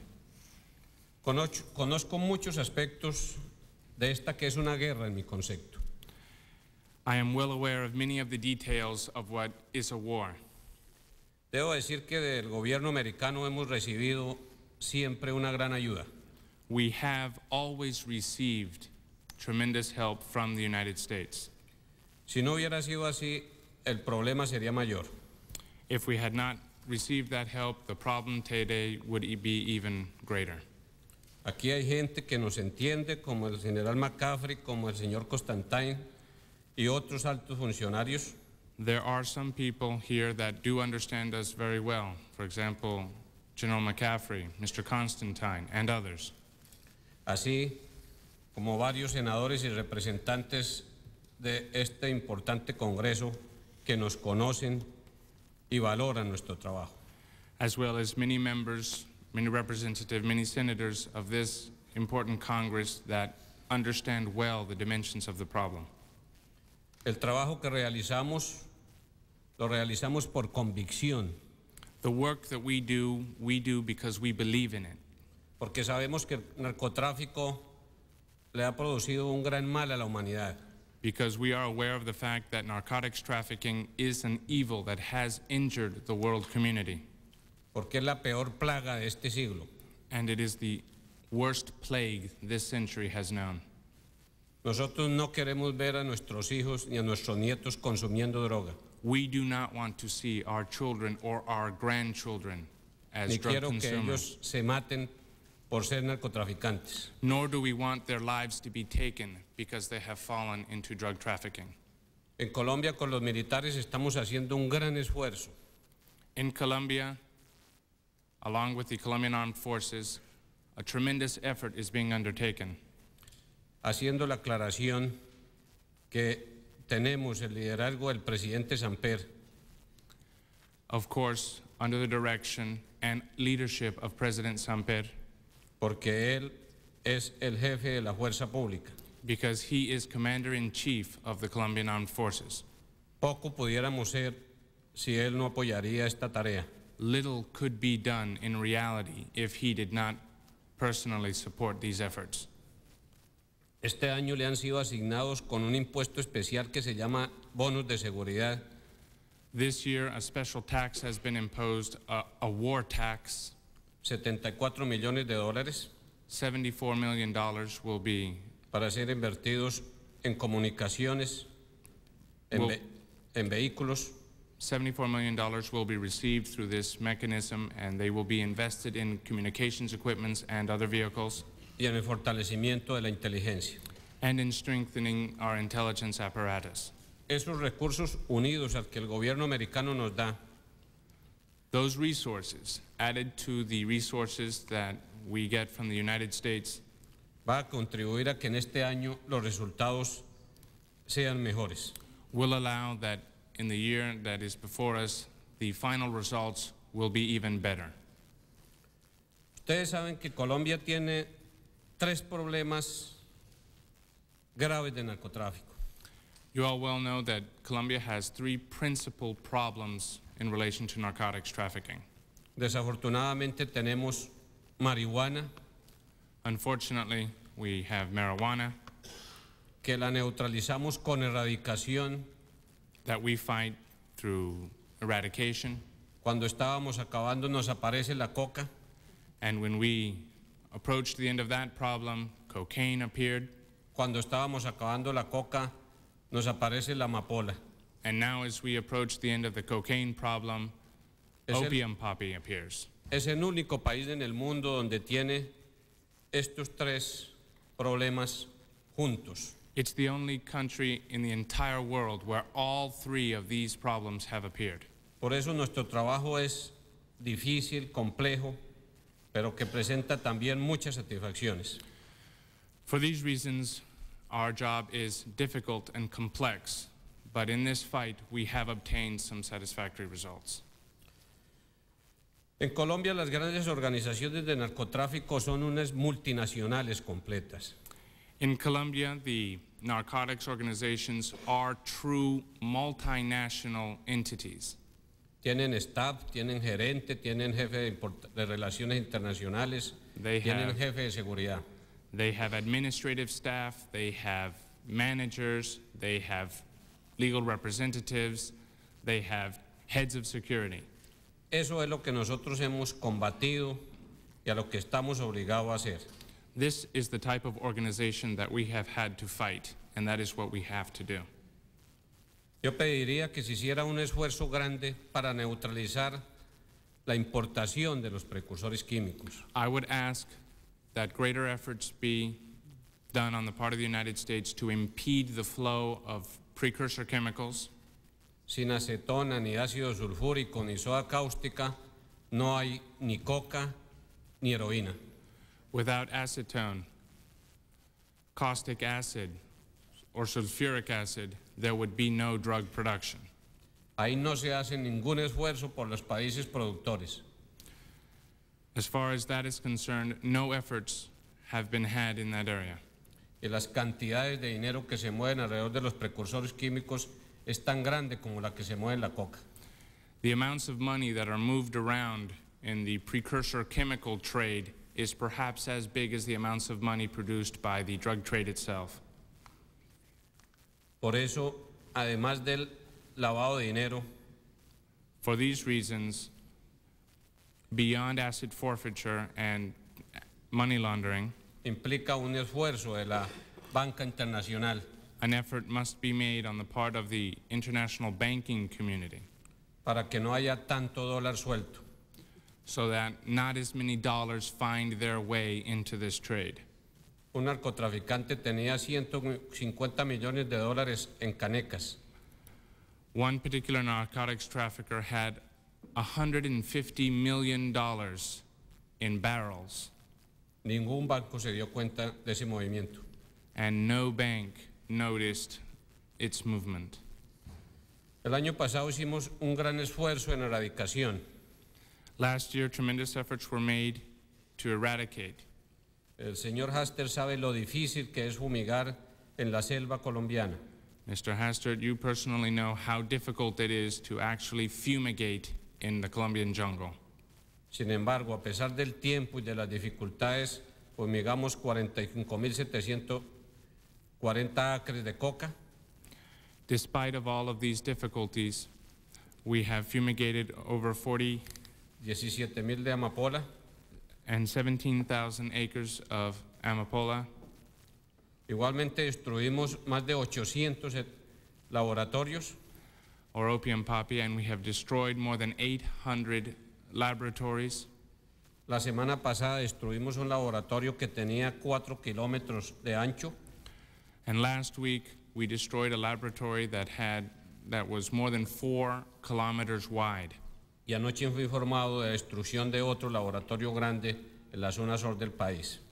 And only last night, I was informed of the destruction of another large laboratory in the south of Colombia. Eso implica que el trabajo es permanente This means that our work is ongoing and permanent, y que con una buena ayuda y un buen entendimiento el- la guerra la vamos a ganar. and that with good help and good understanding, this war will be won. La captura de delincuentes fue espectacular el año pasado y el antepasado. The capture of different criminals was spectacular last year and the year before. El cartel de Cali, después de un gran planeamiento que hicimos con la DEA y la CIA, After drawing up extensive plans with the CIA and the DEA, actions were had against the Cali cartel, lo dominamos en poco tiempo. and the car- cartel was brought to its knees. Un narcotraficante, Santa Cruz Londoño, se evadió de la cárcel y a los 40 días fue localizado y al enfrentarse a la policía murió. One particular narcotics trafficker, Santa Cruz Londoño, was able to initially avoid the actions of the police, but after 40 days of running from us, he died fighting the police. Esta es una gran lección para los narcotraficantes en el sentido de que estamos controlándolos y que estamos encima de ellos.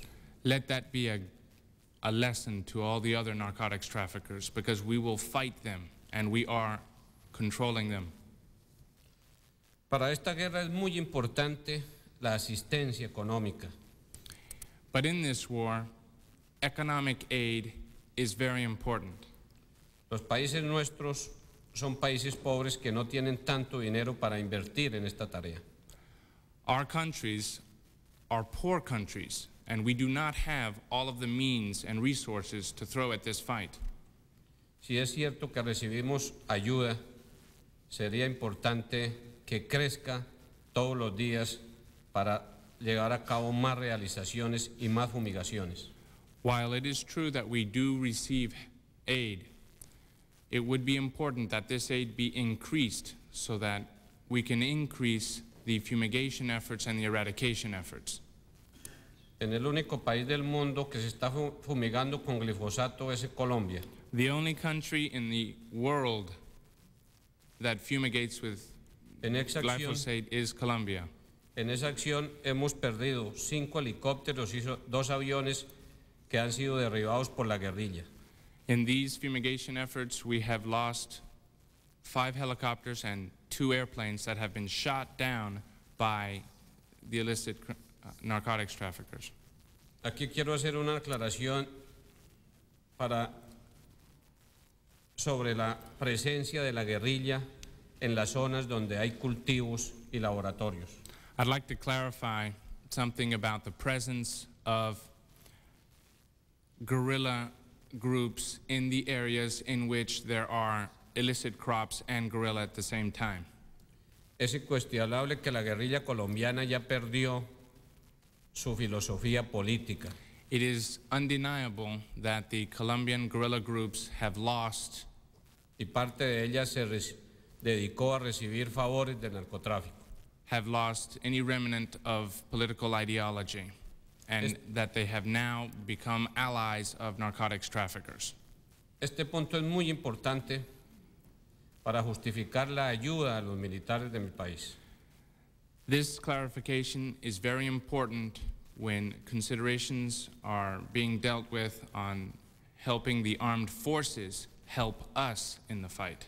Si ellos tienen helicópteros y si ellos tienen medios, nos van a ayudar para que no nos maten cuando estamos fumigando o destruyendo laboratorios. If they had helicopters, if they had different resources, they could protect us so that we are not killed while we carry out our activities.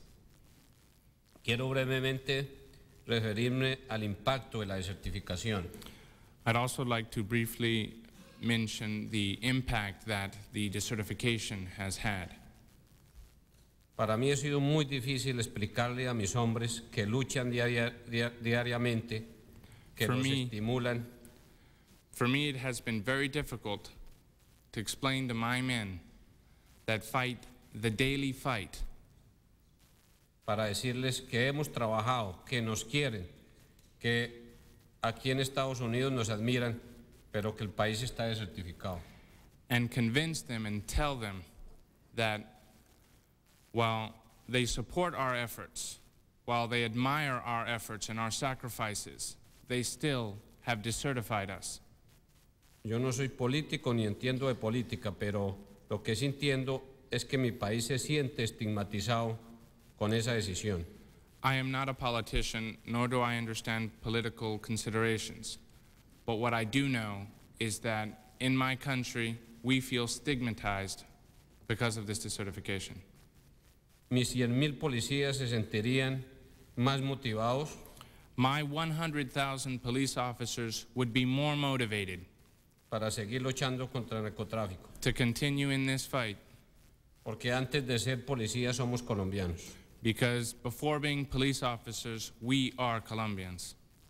En el segundo punto, la desertificación nos ha afectado especialmente en un programa muy importante que se llama FMS, On the other hand, the decertification has affected us severely in the FMS cases. que corresponde a la dotación de repuestos de helicópteros, that have to do with the procurement of spare parts for helicopters, municiones y explosivos munitions and explosives, y entrenamiento. and training. Yo creo que esos recursos nos han hecho falta I believe that those resources have been sorely missed porque siempre he pensado que en menos ayuda, más narcotráfico. and I have always believed that the less aid, more narcotics trafficking.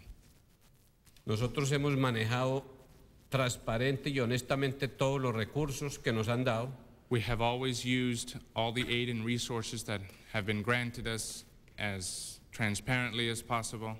Los resultados los conocen ustedes, señor Haster, The results are well known to you, Mr. Hastert, y sobre todo conocen nuestro, nuestro compromiso. and above all, you know that we are committed to this fight. No vamos a desfallecer en esta lucha. We will not abate. Esta guerra la vamos a ganar. we will win this war. La vamos a ganar a pesar del dolor que siento cuando voy a los sepelios de mis policías.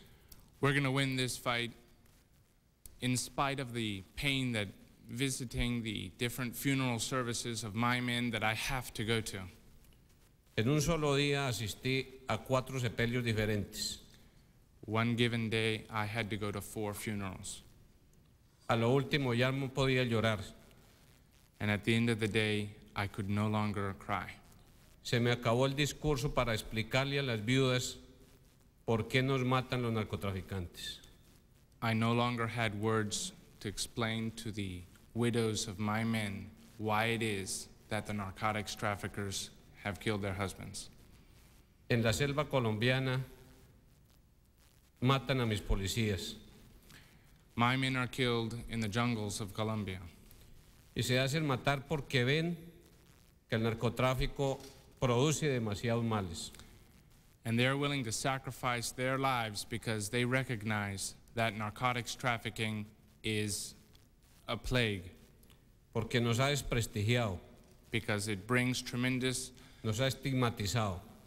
stigmatism to Colombia.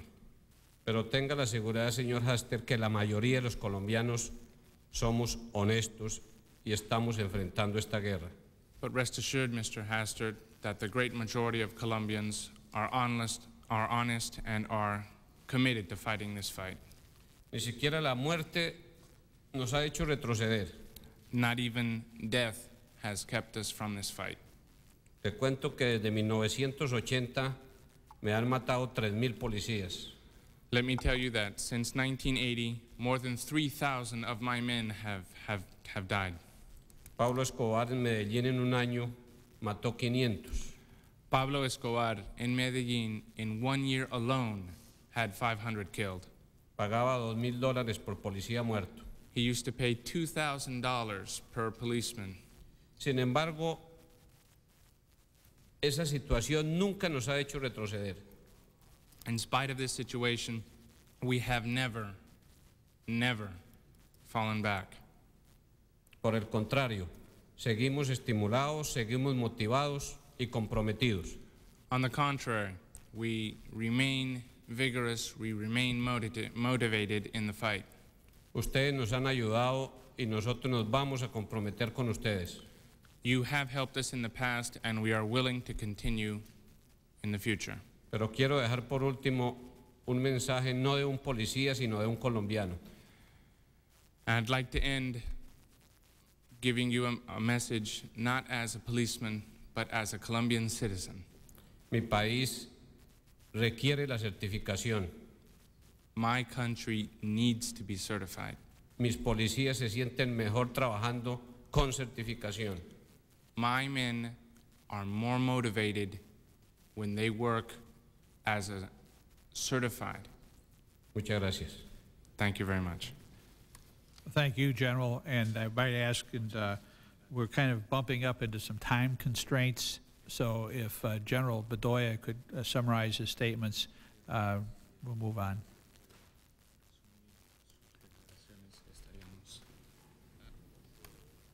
Señor presidente, distinguidos miembros del Comité de Seguridad, Mr. Chairman, members of the subcommittee, quiero empezar por agradecer la invitación que me hicieran a esta reunión thank you for having invited me to this meeting. y poder, eh, como el soldado más antiguo de Colombia y comandante general de las fuerzas militares, And I would like to, as the oldest soldier in Colombia and commander of the Colombian Armed Forces, expresarles eh, nuestra amistad, que no es de ahora con los Estados Unidos y sus fuerzas militares, express to you the friendship that the Colombian Armed Forces have with the United States that is not new, sino que se remonta a años atrás en donde con ustedes pudimos en las trincheras. But that was born when many years ago, together, defender la libertad, la democracia en la República de Corea. We fought together to defend liberty, freedom, democracy in Korea. Quiero eh, decirles que las fuerzas militares decidieron el año antepasado entrar de lleno en la lucha contra el narcotráfico. Want to let you know that the Colombian Armed Forces entered into the narcotics fight completely last year. Porque el gobierno consideró que se trataba de una agresión nacional e internacional contra el pueblo y la sociedad colombiana. Because the government considered at that time that it was an aggression, an attack against the people of Colombia and against the country as a whole. Y porque la Policía Nacional no disponía de la capacidad militar para enfrentar a grupos de narcotraficantes armados And because it was also decided that the police did not have the capacity nor the means to fight groups such as the ones that they were fighting. y en las selvas de Colombia, que son una tercera parte del territorio nacional, Additionally, in the jungles of Colombia, which comprise about a third of all of Colombia, se encontraban los grandes laboratorios y las grandes plantaciones de cocaína cuidadas y protegidas por grupos armados que hoy en día eh, dejaron de ser guerrillas para constituirse en grupos eh, terroristas armados, uno de ellos las FARC. it was discovered that the large cocaine or drug processing laboratories were protected and guarded by groups that have now become terrorist narcotics traffickers themselves. El año anterior, en el mes de agosto, 30 de agosto, en la región del Caquetá, Last year, last August 30th, in the Caquetá region, en esta lucha contra los narcotraficantes fueron asesinados 26 soldados we lost 26 soldiers in the battles with the narcotics traffickers. y actualmente tenemos 60 soldados secuestrados en manos de estos grupos. And right now, we have more than 60 soldiers that are currently kidnapped and are in the hands of these narcotics traffickers. No me refiero a los otros esfuerzos y sacrificios que hemos hecho en el Guaviare o en el Putumayo, donde hemos también tenido muertos y heridos. This is without mentioning the other efforts and other activities that we have done in other regions, such as the Guaviare and the Putumayo.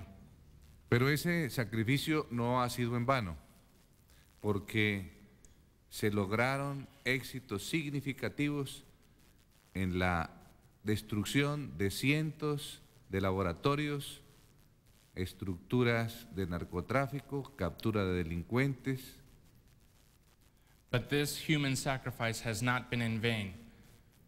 Beyond this, we have made significant improvements in the destruction of laboratories and in the capture of different elements. y con la Policía Nacional hacer operaciones conjuntas para definitivamente entrar a enfrentar y liquidar este fenómeno del narcotráfico. And with the National Police, we have been able to work together to fight and to defeat the different elements of the narcotics trade.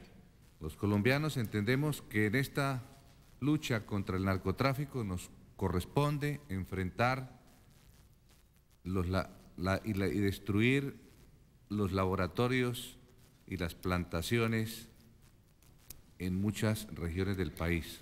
We as Colombians understand that we need to destroy the laboratories, the plantations of illicit crops wherever they may be, wherever they may be found in Colombia. Pero también entendemos que el problema del narcotráfico es de la región. But we also understand that the problem of illicit narcotics is a regional problem. Muchos países como Perú y Bolivia también tienen este flagelo. Many other countries, such as Peru and Bolivia, also fight this plague. Igualmente los Estados Unidos tienen el flagelo del consumo. The United States itself deals with the problem of drug consumption. Otros países producen los precursores en, las, en, en Europa Still, other countries produce the chemical precursors that are necessary to produce illicit drugs. y hay toda una infraestructura logística para mover- movilizar y comerciar este delito y este crimen de la humanidad. And an entire infrastructure has been put into place to continue this illicit trade. El pueblo colombiano ha sufrido de, este, eh, de esta agresión de los narcotraficantes. We, the people of Colombia, have suffered at the hands Nuestra tradición ha sido de democracia, de libertad y de trabajo honesto we have, limpio. we have suffered at the hands of illicit narcotics traffickers. However, our tradition is of freedom, of working towards ending this. De ahí la importancia de que esta lucha, que es una guerra contra el narcotráfico, And that is why it is so important that this fight, this war against illicit narcotics, encuentre en nuestros aliados y compañeros that it is that it that is why it is so important that we find allies, that we find co-workers, la comprensión necesaria para continuar esta lucha y definitivamente liquidar el fenómeno del narcotráfico. that we find the understanding necessary to eliminate the problem. Las fuerzas militares de Colombia han sufrido la desertificación. The Colombian armed forces have suffered from the decertification decision. Nuestros oficiales jóvenes no pudieron volver a las escuelas norteamericanas. Our young officers have been unable to return to the training courses here in the United States. Las ventas y las eh, compras, las donaciones por FMF y FMS o están suspendidas o están eh, paralizadas. The different types of sales, amongst them the FMS cases, are currently suspended or otherwise have been suspended. Es contradictorio que en esta lucha en la que todos debemos estar unidos, It's difficult to understand how it is that in this fight, in which all of us must work towards the solution, quienes estamos combatiendo en las selvas y en las montañas, those of us who are fighting the fight in the jungles and in the mountains, suframos los efectos de la desertificación. are the ones that actually suffer the effects of the desertification. No tenemos municiones en muchas áreas, como tampoco repuestos de helicópteros. In some areas, we don't even have the munitions necessary to fight the fight, much less helicopters. En cambio, nuestro enemigo común, los grupos narcoterroristas, On the other hand, our common enemy, the narcotics traffickers, disponen de una flota de transportes aéreos y equipos y armas sofisticadas, have at their disposition a fleet of airplanes sin ninguna restricción en las compras o en los gastos. and other equipment, and they have no restrictions on how they might purchase things or where they get their money. En estas guerras que estamos librando debemos de identificar claramente al enemigo. In a frontal fight, you have to clearly determine who your enemy is. El enemigo no somos quienes enfrentamos a los terroristas y a los narcotraficantes. We are not the enemy. El eh, enemigo es el narcotráfico internacional. The enemy is international narcotics. Ese narcotráfico internacional está en todo el mundo. that is prevalent in the entire world. El pueblo colombiano es un pueblo noble, trabajador y sufrido. The Colombian people can be characterized as noble, a working people, and they also have suffered. Consideramos a Estados Unidos nuestro aliado y aspiramos que todos unidos enfrentemos este flagelo We consider the United States as our ally in this fight and hope that together we will continue to fight y lo derrotemos. and win the battle. El año anterior, en el sur del país, las fuerzas militares invirtieron 24 millones de su presupuesto en la lucha contra el narcotráfico. Last year alone, in the activities that were carried out in the south of our country, the Colombian Armed Forces spent more than $24 million of their budget. Logramos destruir laboratorios We destroyed laboratories que hubiesen podido producir 45.471 millones We destroyed laboratories and other elements that would have been able to produce 45 billion de dosis de cocaína cocaine doses por un valor que hubiera podido ser de 284 mil millones de dólares. with a possible street value of 284 billion dollars.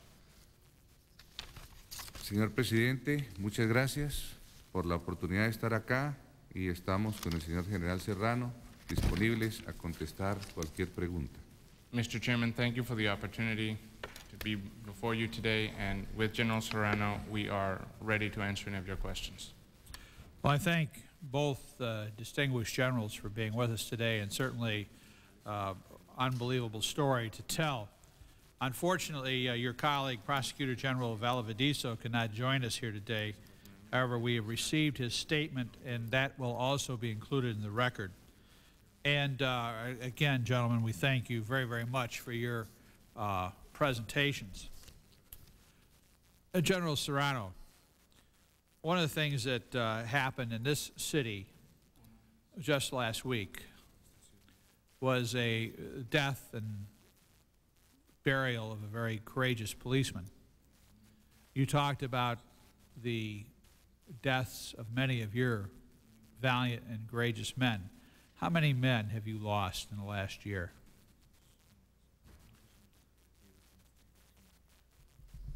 En el año 96 perdimos 36 policías y fueron heridos 61. In 1996, we lost 36 policemen and 61 were injured. General Bedoya, how many men did you lose? El año pasado fueron asesinados 330 soldados en combate. last year, the Colombian Armed Forces lost 330 soldiers in action. What about the year before? El año anterior la cifra fue aproximadamente la misma, pero tenemos en este momento 70 soldados secuestrados, 60 en la región del Caquetá y 10 en la región de Urabá por, eh, a manos de los grupos narcoterroristas de las FARC. The year before, the figures basically the same, but added to this, you have to consider the 60 soldiers that are currently kidnapped in the south of Colombia and 10 that are kidnapped in the Urabá region. How about General Serrano? Yo no tengo secuestros el año pasado. Year before. Eh, El año antepasado, más o menos unos 27, 28 policías y heridos unos 50. En los dos últimos años han disminuido porque policía se está cuidando mejor, pero los ataques han sido superiores. The year before, um, 27 or 28 policemen were killed, and these numbers are, are getting better because the Colombian police are learning to defend themselves. But the attacks, the ferocity of the attacks, has increased. Thank you. Certainly uh, a a war in anybody's uh, comment at all and uh, view. Uh, ha- uh, For General Serrano, as a President Clinton's decision to decertify Colombia on March 1st, 1996, had a significant detrimental effect on the levels of counter-narcotics support you were receiving to fight the war on drugs. How did it affect your ability to do your job?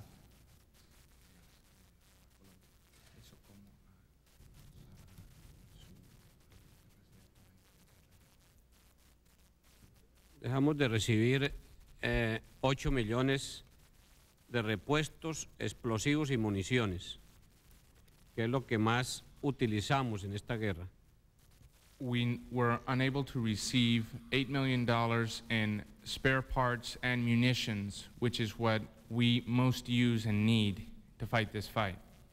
Y también en entrenamiento. Aquí venía más policías a prepararse. We also lost training. Many policemen had been coming to the United States to prepare themselves for the war. Ahí hay una, una limitación. Sin embargo, se han hecho esfuerzos por parte del Departamento de Estado para enviarnos más helicópteros. Esperamos que este, en este semestre nos lleguen 12 helicópteros para poder seguir trabajando en los programas de fumigación. However, there have been efforts on the part of the uh, State Department to send us 12 helicopters. It is hoped that those helicopters will eventually arrive in Colombia sometime this semester. the process, the equipment that you needed last year, and of course, the DC-3 aircraft that you use for support and for some of the drug eradication, uh, how do you use those DC-3 aircraft, and how many in your inventory, and what are their approximate ages? Tenemos dos DC-3. We have two DC-3s. Los DC-3 son de la Segunda Guerra Mundial, pero arreglados. These DC-3s are World War II vintage, but they've been souped up. Le han puesto turbinas, es un buen avión, They've been given new turbines, and it is a reliable airplane. Pero cuando no tenemos repuestos duran dos o un mes parados hasta que los conseguimos.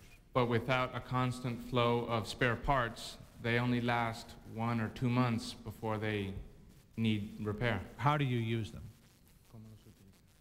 Nosotros los utilizamos para transporte de personal a las zonas selváticas porque aterrizan en pistas costas, cortas, pero es básicamente para llevar glifosato a las zonas de fumigación y transporte de personal.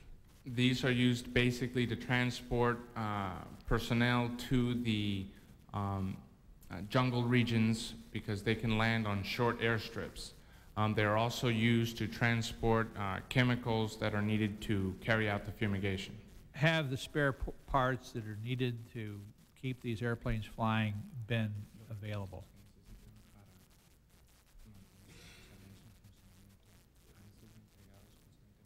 Sí, los repuestos los pedimos al Departamento de Estado de la NAS. Algunos se demoran, otros no, pero sí uno nota voluntad de que los aviones estén en funcionamiento. Yes, while the um, spare parts must be um, asked for, eventually they are forthcoming. Have, last, uh, in in 1995, you lost a DC-3 in a rather serious accident in August.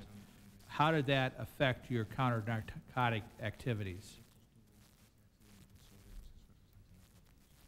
Eh, ese duró más o menos uno- un año parado, ya lo enviamos en Estados Unidos para arreglo y ya está nuevamente funcionando, pero fue un tiempo en que nos hizo falta el avión.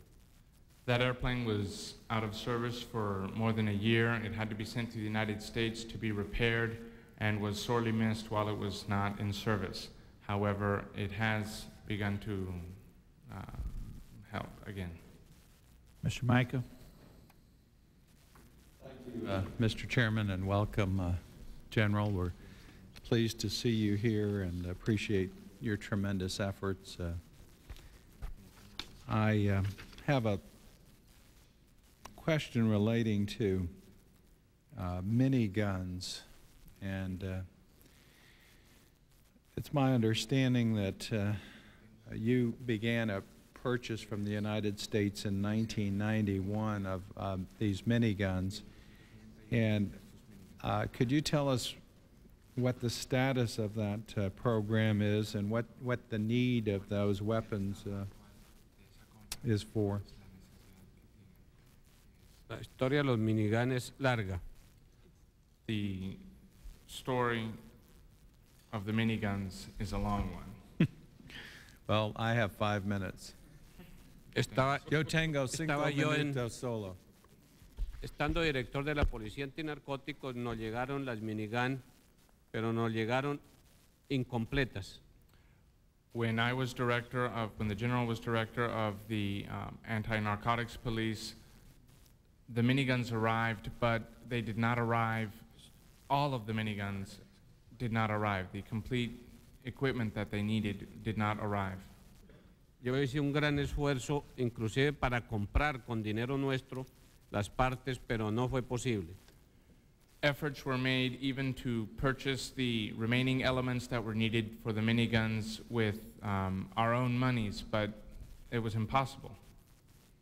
Propuse que de nuestro presupuesto diéramos una parte después de hablar con el eh, asesor del señor Haster. I even proposed that from the, from our budget, um, money be set aside. And uh, about this, I spoke with uh, Mr. Hastert, y estamos pendientes de poder recibir la autorización para utilizarlas. and we are still waiting for the authorizations to use them. Porque salió un argumento que por violación a los derechos humanos eh, no podíamos utilizar esas armas los policías. Because now something has been said about um, the police being unable to use these weapons because they might possibly violate human rights. Pero son muy importantes para la operación de fumigación porque por eso hemos perdido cinco helicópteros y dos aviones. But they are extremely important in the fumigation activities and the fumigation runs in which we have lost five helicopters and two airplanes. How would the uh, miniguns be used again? Can you explain that? Los miniguns se utilizan en los helicópteros 206 The miniguns would be used in the uh, helicopters, uh, in the 206 helicopters, para reaccionar cuando la guerrilla ataca los helicópteros o los aviones. to provide uh, effective response when the uh, other helicopters are attacked como una medida disuasiva. in an attempt to dissuade these attacks from occurring. Now, uh, General uh, Bedoya, um, can you tell me your perspective of the problem with those, these uh, miniguns? And uh, maybe also the time frame. Uh, was some of this equipment, uh, well, this equipment order goes back to 1991, uh, and uh, I guess that some of these problems predate the uh, decertification. Is that correct? Can you give us a little explanation of what took place and the timing?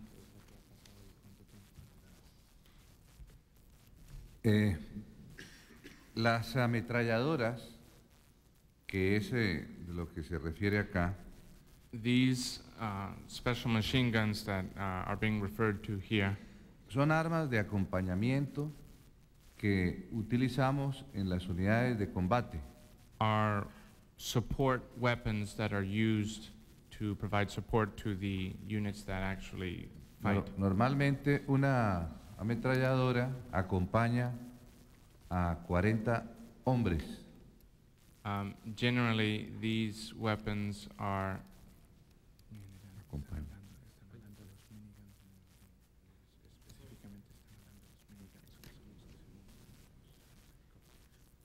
Sí, por eso. Es un arma que acompaña las tropas cuando van a combatir. Me explico. Hoy en día, para desembarcar tropas en alguna región donde hay narcotráfico, deben haber unas armas que apoyan el desembarco de las tropas para evitar que los asesinen en el momento del desembarco. These are weapons that are used when the, uh, to support troops as they um, exit from the helicopters. These are weapons that are used to suppress the attacks while the soldiers themselves are um, leaving the helicopters. And the problem uh, relating to acquisition about the weapons and the parts predates certification, decertification.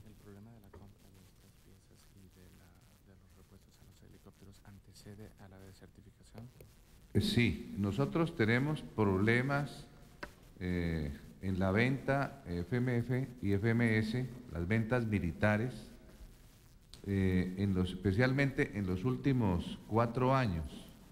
Yes, Antes we- de la descertificación teníamos el problema de los derechos humanos. Yes, we have had different sorts of problems and the different sorts of sales that we have been trying to get from the United States, uh, among them the uh, FMS cases, um, for about four years. Before decertification came around, the problem was uh, some sort of human rights issues that were being raised. Esto impide que nosotros hayamos recibido 35 millones de dólares en compras militares o en donación militar. This has made it um, impossible for us to receive around $35 million of elements that we would either have purchased or elements that would have been given to us.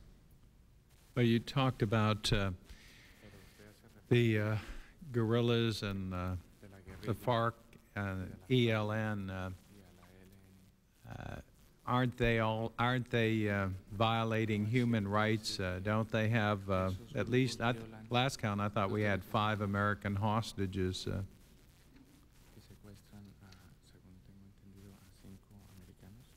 la, estos grupos terroristas que usted se refiere, el año anterior secuestraron más de mil colombianos. These terrorist groups that, you're, that you refer to last year um, kidnapped more than a thousand Colombian citizens. y asesinaron a otro tanto. And they killed another thousand. Estos grupos están fuera de la ley y lógicamente no respetan ningún convenio de, de derechos humanos ni, ni convenios de las Naciones Unidas. These groups carry out illegal activities, and of course, they do not respect any um, international convention or they do not respect any human rights. En las zonas de narcotráfico hay mucha gente que trabaja para ellos en, la- en actividades de cultivos y de laboratorios y esta gente se queja de violación de derechos humanos cuando entramos a combatir el narcotráfico. In the different areas and regions where the uh, narcotics production is carried out, there are many people that are employed in this production. And when the um, armed forces arrive in the area, these people complain to the armed forces of the human rights violations that are perpetrated by these uh, narcotics trafficking and guerrilla groups. And uh, the um, uh, miniguns that we talked about, uh, would they be used uh, in this uh, fight against the narco terrorists and uh, guerrillas?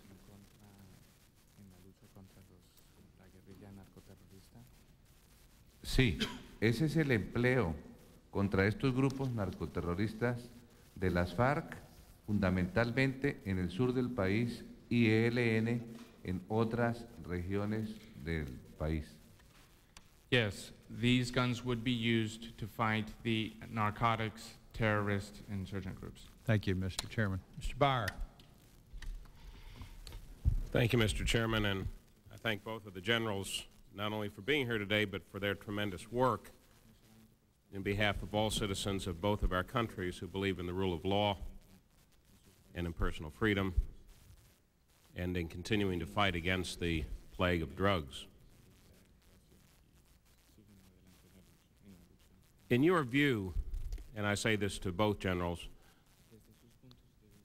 is the fight against narcotics simply a matter of treating it as a disease, or is it in fact a war against forces of evil who seek to destroy the very foundations of our societies?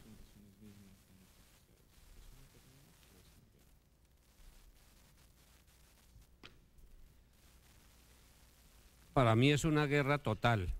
To me, it's an all-out war.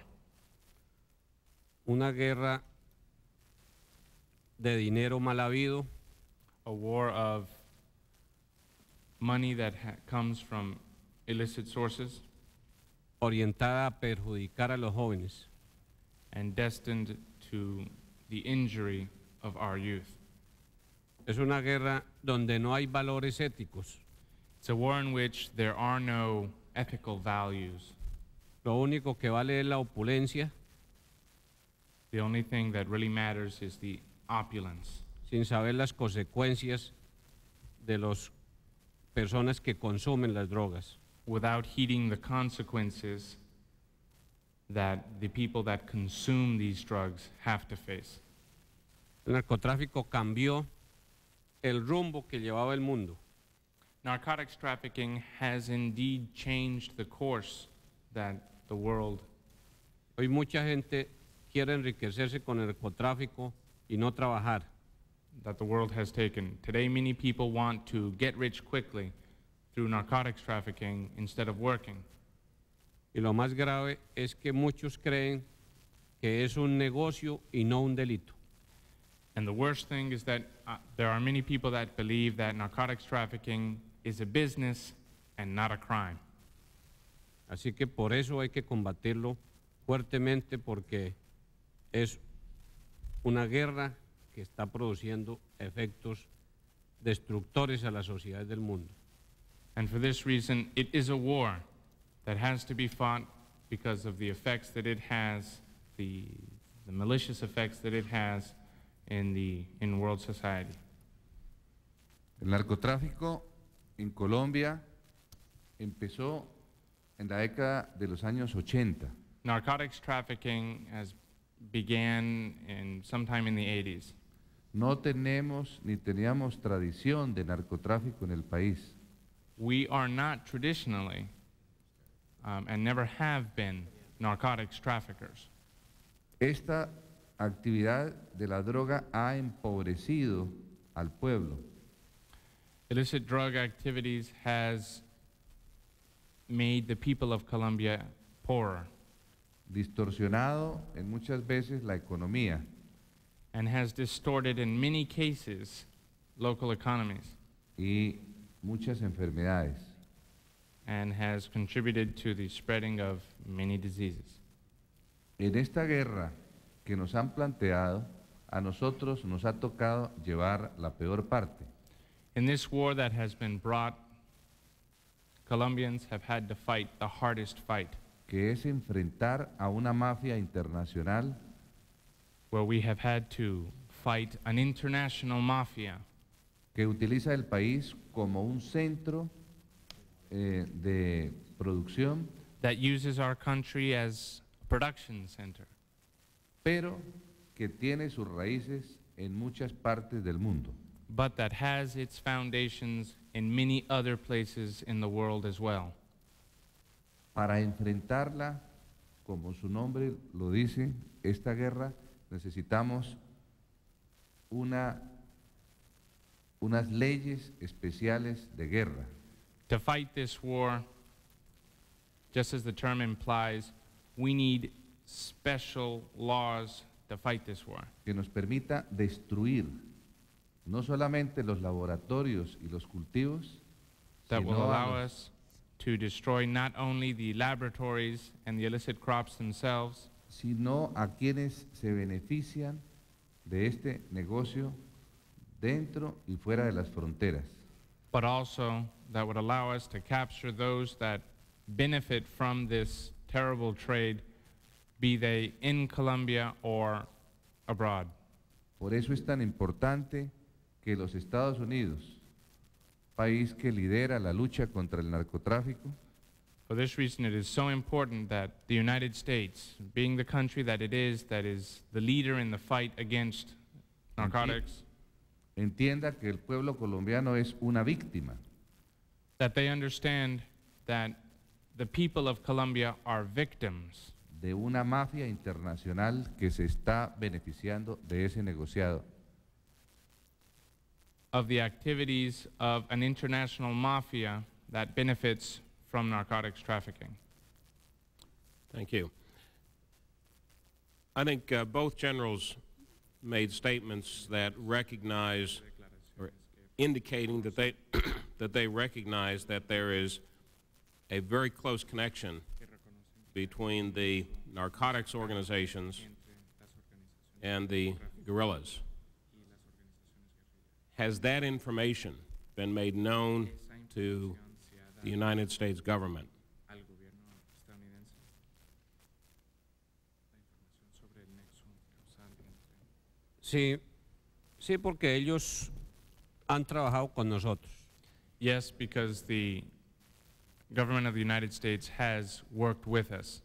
Mi experiencia es que donde hay cultivos de amapola o coca, In my experience, wherever there is cocaine or coca crops or opium poppy o laboratorios, or laboratories, la guerrilla los protege. these guerrilla groups provide protection. Tenemos pruebas contundentes. We have definitive, definitive proof. La guerrilla cobra porcentajes por kilo de coca The guerrilla has established percentages that they charge per kilo of cocaine that is produced. cobra por los precursores químicos, They've also established fees for the entry of chemical precursors, por utilización de las pistas clandestinas, and they have established fees for the use of uh, clandestine airstrips, y por el transporte. and also for the transportation of, the, of these different elements. Calculamos que cobran entre todo un impuesto de vein- del 25% de la producción de la coca en las zonas donde hay cultivos. All told, we estimate that their share is about 25% of the value of the cocaine that is produced and transported in the areas in which they operate.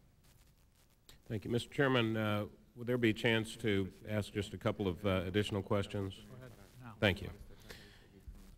How many, uh, how many uh, guerrillas uh, do you estimate are active in uh, Colombia right now? And, I- and we've seen published reports here of 14,000. Eh, quiero informarle, para completar la pregunta anterior de si es eh, narcoguerrilla o no, que aquí In hay order un to- documento In order to complement the answer that was given to your previous question, I want to let you know that here I have documents que se ha entregado a la opinión pública colombiana e internacional y se lo quiero entregar a usted personalmente. that honorable. have been made known both to the uh, Colombian media and the international media, and I personally want to give these documents to you para que Thank se you. vea cómo es este negocio de la guerrilla antigua, que hoy en día es un cartel. so that you can see firsthand how it is that the relationship, the, the, the old relationship between the guerrillas and the narcotics traffickers actually is. y que se tapa con el ropaje de movimientos guerrilleros políticos And even though they are dressed in the old ideologies of, in, of, of uh, political fight and political insurgency, y desafortunadamente algunos países de la América les hacen eco and unfortunately, um, some other countries in, in the region um, respond to that disguise y justifican muchas veces sus delitos. And they try to justify many times the, these, their crimes. Hay en este momento aproximadamente unos 10.000 eh, narcoterroristas antiguamente llamados guerrilleros en Colombia. In response to your current question, currently there are approximately 10,000 narcotics terrorists that used to be called guerrillas.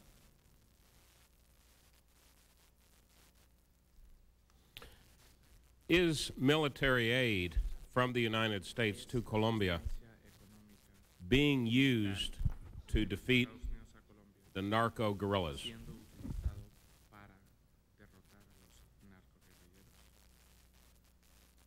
La asistencia militar norteamericana no permite que se utilicen eh, al apoyo norteamericano en la lucha contra las guerrillas, porque no se ha establecido públicamente la existencia real de la narcoguerrilla.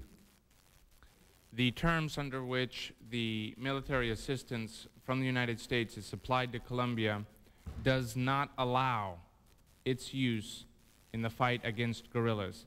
This is because there has not been established in the eyes of the public um, a relationship, a direct relationship between guerrilla groups and narcotics traffickers. But it's our government leaders that make these decisions, and in your view, have our leaders in this country been given sufficient information to clearly understand that these are one and the same enemy that we're fighting?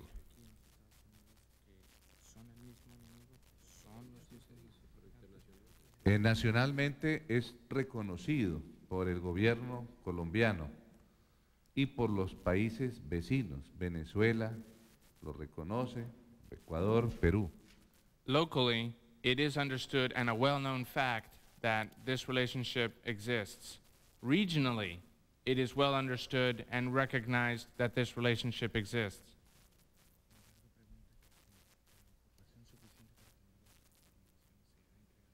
La información, perdón, honorable, yo se la puedo entregar, pues eh, además de muchos informes que le hemos entregado a la Embajada de Colombia, de Estados Unidos en Colombia, hay muchos documentos que han sido entregados y yo he traído algunos para entregárselos al Congreso de la República, al Congreso de los Estados Unidos.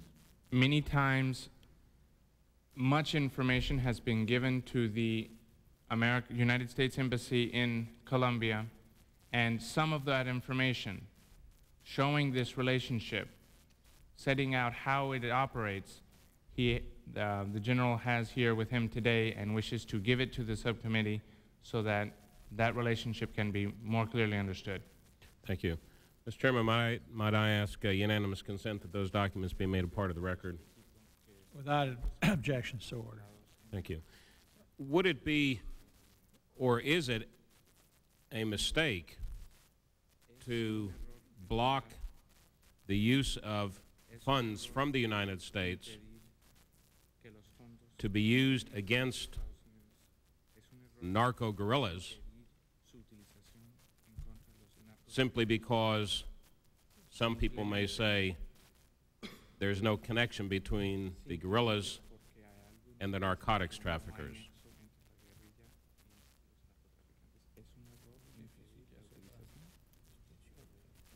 Es un error porque en Colombia los grupos que se llamaban guerrilleros hoy en día son narcotraficantes It is a mistake because in Colombia, the groups that used to call themselves guerrillas are now narcotics traffickers. Tenemos evidencias, muchas, videos que ellos mismos han filmado traficando, comerciando con la droga.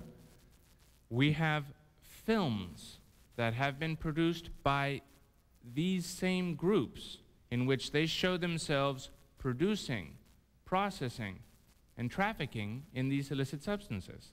Esa es la razón por la cual estos grupos armados están muy bien eh, apoyados logísticamente porque disponen de recursos y aparatos aéreos, muchas veces que les permite la movilización en las selvas.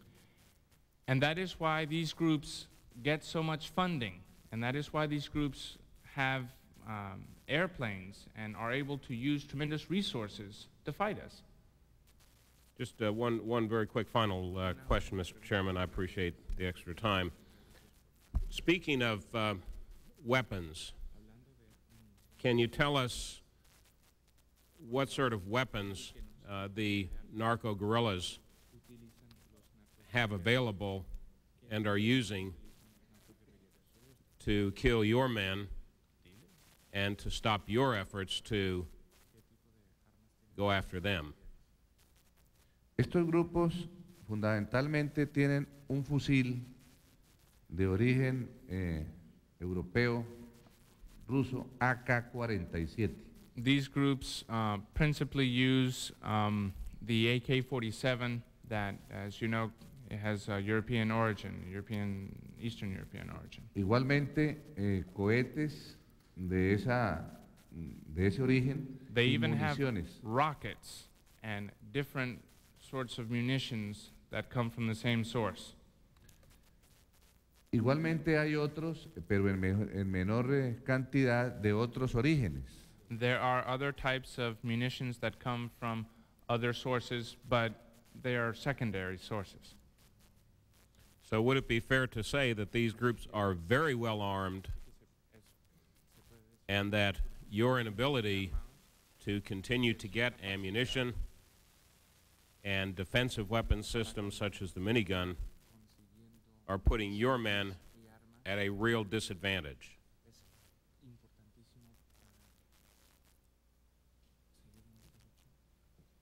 Estos grupos eh, compran armas en el mercado internacional de las armas, que son muchos. Hay muchas armas eh, europeas, muchas armas de origen norteamericano también, que normalmente los cambian por droga.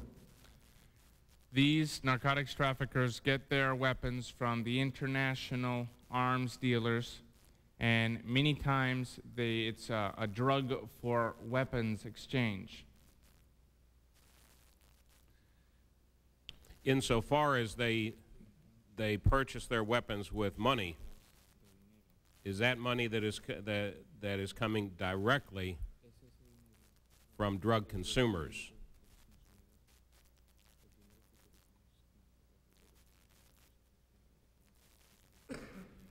El, eh, las a- la- la- el dinero que ellos utilizan lo obtienen directamente en las zonas de cultivo de, droga, de la coca, en las zonas de laboratorio. Y hay alguna evidencia dicha por ellos mismos de que tienen capacidad de exportación. Yes, basically the monies that they use to purchase these weapons comes from the areas of, of cultivation, the areas of production, and there is some evidence that they even have some exporting capacity. Do we see any evidence that other terrorist groups outside of Colombia are involved?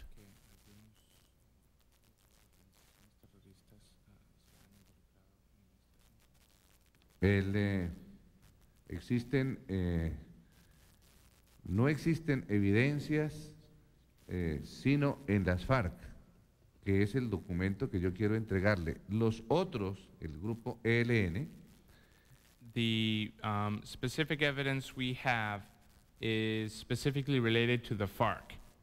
That is definitive. Regarding other groups, También pueden estar trabajando, no tenemos las evidencias, y se sostienen fundamentalmente con el secuestro. it is very possible that they also participate. We don't have specific evidence as of yet, but it, we do know that they do um, gain their funds and they do supply the funds that they acquire through kidnapping. Thank you. Thank you, Mr. Chairman. I thank the uh, gentleman. I'd like to finish with just a series of questions that, if you could just answer them very briefly and try to, uh, what we're trying to do is to establish something in the record that I think uh, pulls together a lot of your testimony today. First of all, in the issue of the, uh, the guerrillas, ELN and FARC.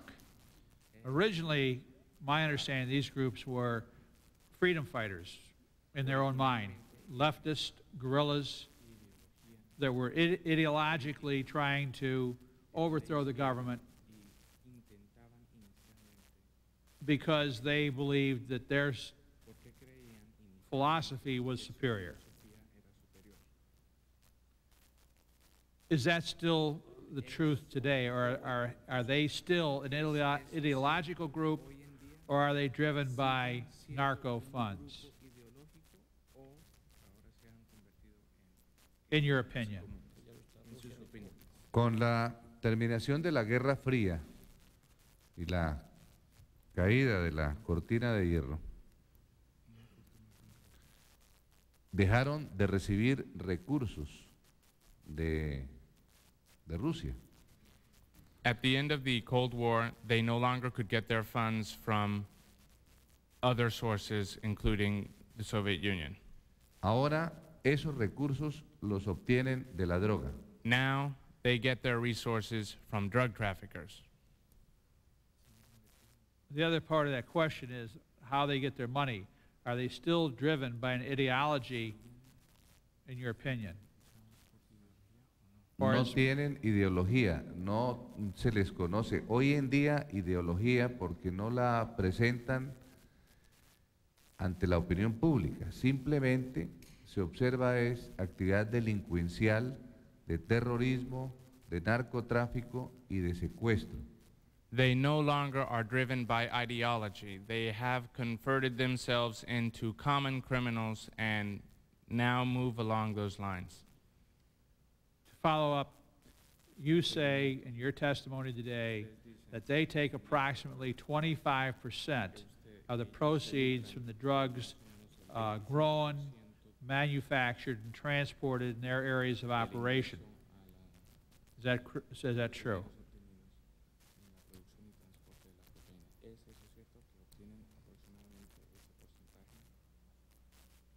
Totalmente cierto. Absolutely true. Es que en esas zonas eh, el Ministerio de Hacienda son las FARC. The truth is, the sad truth is, is that in that area, the tax collector is the FARC. Is it also true, uh, from other testimony that we, prior to today, that these organizations have committed transgressions against humanity? They, in a sense, have no regard for people's civil rights and the operation of protecting drugs and the growing of drugs, the manufacture of drugs, and the transportation of drugs is the number one importance. Human rights are not important to these people.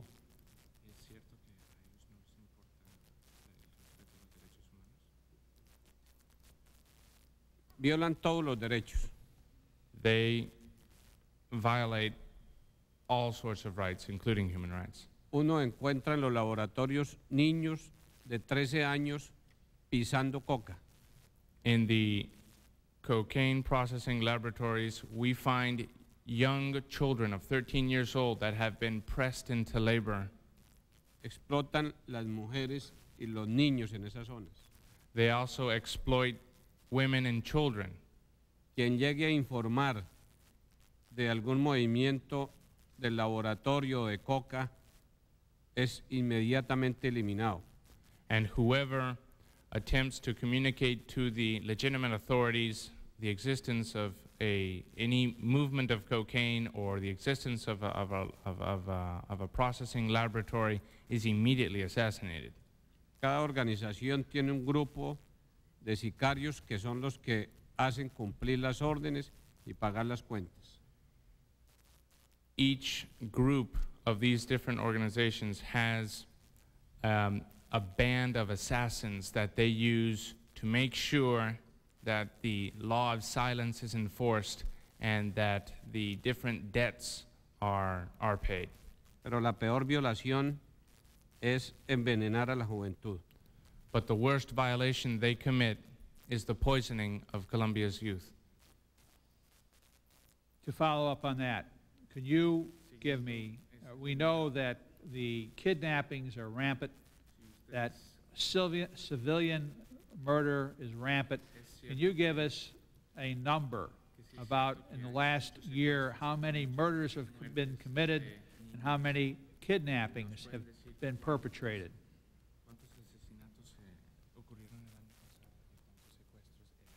Your best of knowledge, your best of your knowledge. El año pasado hubo en Colombia 100, 1.200 secuestros. 1.200. Last year in Colombia, there were 1,200 kidnappings. Rescatamos 250. We were able to rescue 250. El 60%, el 60 de los secuestros en mi país los realiza la guerrilla. 60% of the kidnappings that occur in Colombia are carried out by the narcotics guerrillas. How about uh, murders? En asesinatos depende de la acción. Si los familiares no pagan, los asesinan. Si la policía llega, los asesina. Yo creo que el, un 10% de asesinatos. About 10% of these kidnappings end in the assassination of the people that have been kidnapped.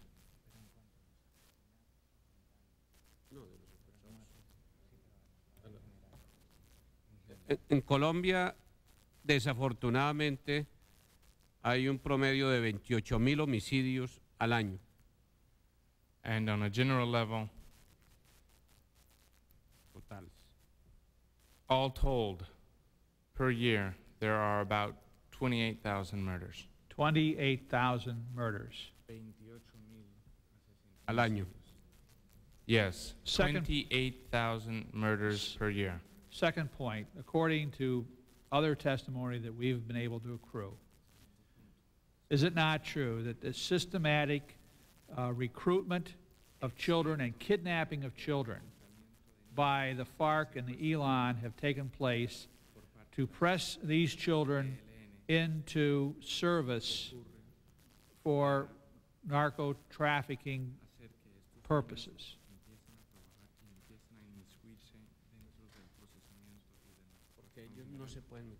Eh, aquí en este documento que le voy a entregar, usted va a ver niños que hacen parte de estos grupos mm, narcoguerrilleros, que han sido secuestrados desde los 10 o de los 12 años y se quedan toda su vida o mientras vivan dentro de la organización. Esto es una realidad, está sucediendo y seguramente va a seguir sucediendo. In the different documents and in the video that will be given to you, you will find children of different ages that are kidnapped from 10 or 11 years old and are kept within the criminal organization all their lives. This is a reality that is ongoing in Colombia. Is it true, excuse me, is it true that an area known in your country as Miraflores, which is approximately the size of the state of Texas, that that area is virtually overrun with guerrillas and narco traffickers? A raíz de la operación que se hizo el año pasado con ejército, eso se está acabando. Miraflores va a desaparecer en, uno, en un año porque ya tenemos dominio de la situación. While it was true in the past, ever since we started the operations last year, the control of this zone by the narcotics traffickers and the guerrillas is being eliminated. That situation will come under control. Ahí tenemos concentrada la mayor parte de la fumigación de coca. It's specifically in that area where the efforts to fumigate are concentrated. The a- ability to move into that area and to control it and to, fart, to fight the guerrillas and narco traffickers depends upon the use of DC-3s and Huey helicopters and what other equipment we've got. Is that true or not true? En el caso nuestro depende de la capacidad de los aviones de fumigación, As far as the police are concerned, the ability to carry out these efforts um, relies on the airplanes that are used for the fumigation de los aviones DC-3 y de los helicópteros. and on the DC-3s and on the helicopters. Le doy un ejemplo para entender mejor rápidamente. A brief example so that you might understand further. Un avión de fumigación de nuestra base cuando sale, los cultivos los encuentra a una hora de vuelo. When a, an airplane um, leaves on a fumigation run, the actual illicit crops are to be found more than an hour's flight away. Le toca fumigar rápido, devolverse para poder llegar con combustible. And the plane must um, hastily perform the fumigation runs and return so that it, would have an, it will have enough fuel to make the entire run. Es una zona totalmente selvática, profunda en la distancia. It's a completely, it's, a, it's an area that is completely overrun by jungle and that is very far away from the normal means of transportation. Any holding up of that equipment because of the decertification by our country of your country has a serious consequence of the transportation, the growing manufacture and transportation of drugs back into this country. Is that true or not, in your opinion?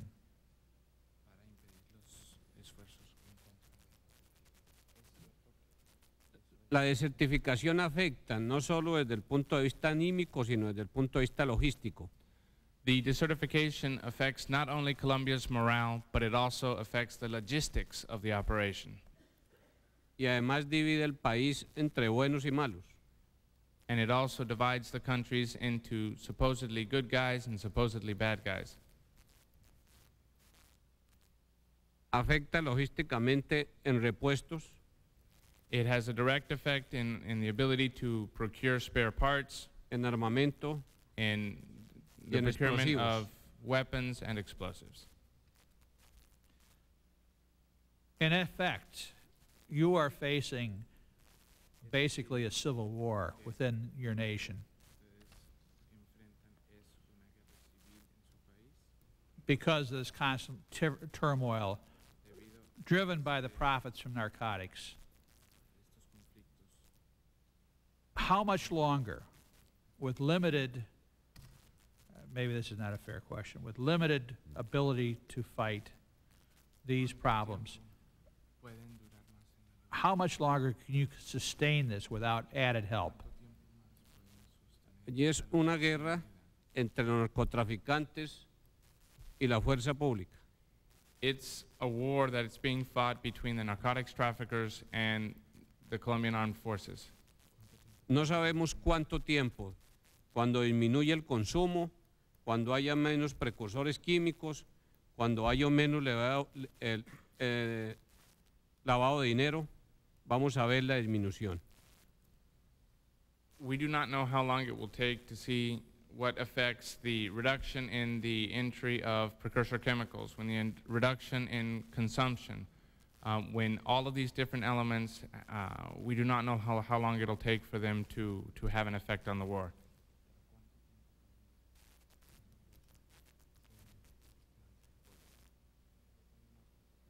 No, si- sin apoyo se aumenta el narcotráfico, indiscutiblemente.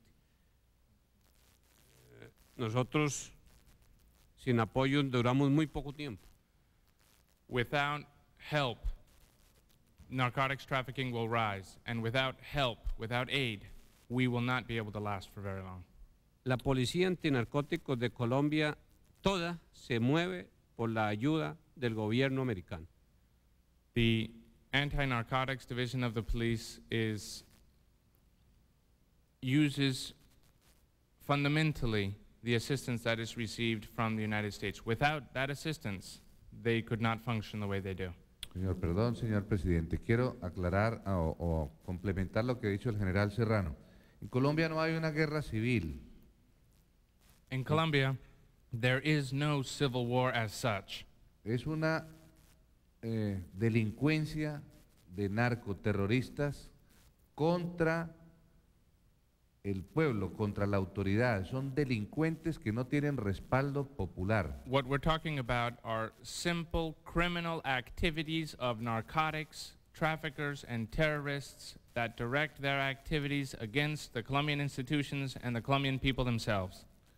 I think the uh, use of civil war is probably a, a bad choice, but it is an inherent struggle between, in essence, good and bad.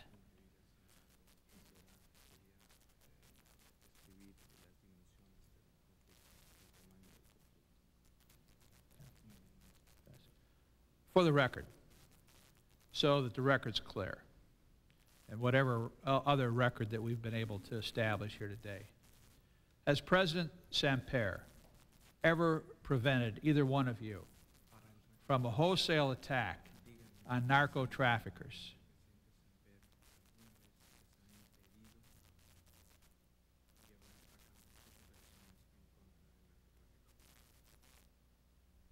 Nunca. Never. En los dos años que yo estoy de director, In the two years that I have been the director, nunca se ha inmiscuido en la tarea nuestra. there has never been any interference in our activities. Por el contrario, Quite to the contrary. antes de capturar al cartel de Cali me sentí presionado para que lo hiciera rápido. Before we were able to capture the members of the Cali cartel, there was a lot of pressure that we get that done. Thank you. I want to put myself out on a limb. Two things I'd like to say. First of all, I uh, try not to put myself on a limb very often. But General Serrano and General Bedoya, certainly your efforts, I think, have been heroic. That is the reports that we've had. I was able to confirm that when visiting your country and talking to many, many people, both in your country, in the Southern Hemisphere, and in this country. General Serrano, your efforts certainly are our best hopes for this terrible plague that is upon us, upon our children, upon this country, and upon the citizens that want to live a decent life. It affects our people almost as badly as it affects your people. We hope that we can win this war and that we can have peace from the plague of drugs. It Takes a great effort on nations and politicians, elected officials, and people who serve your country, such as yourself. I think, I don't know how you would ever put together a nomination for a Nobel Peace Prize, but I think you're certainly deserving of your fine effort. And I hope that we can stand in support of you, and this country is behind you all the way. And when you have to talk to the next widow, the next funeral you go to, I hope that you'll also express that we stand behind you as well. Thank you very much. Thank you for your testimony. Gracias.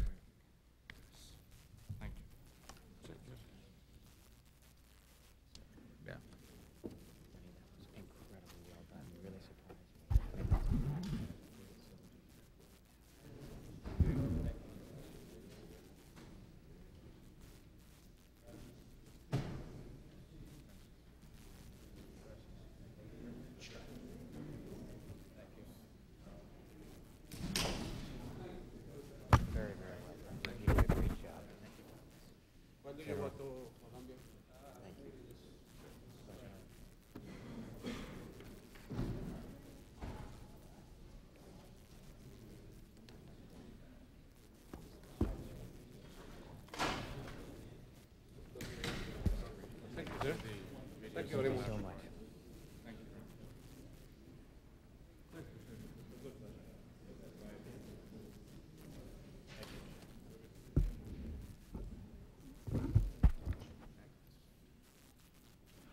This time, at this time, uh, I'd ask for our final panel to come forward. Uh, certainly, uh, it's been an overwhelming uh, experience today to have the first two panels before us, but uh, we'll not be dis disappointed in the third panel, I can tell you that.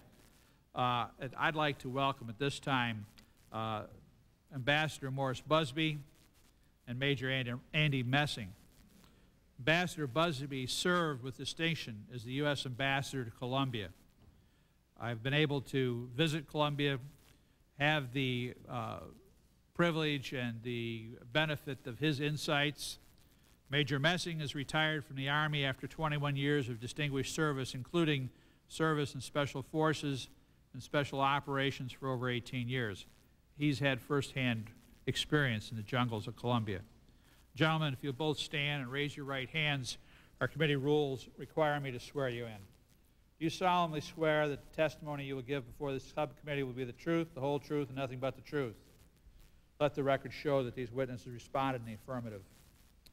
Thank you, and uh, please uh, proceed with your statements. And uh, Ambassador Bes uh, Busby, if you'll begin.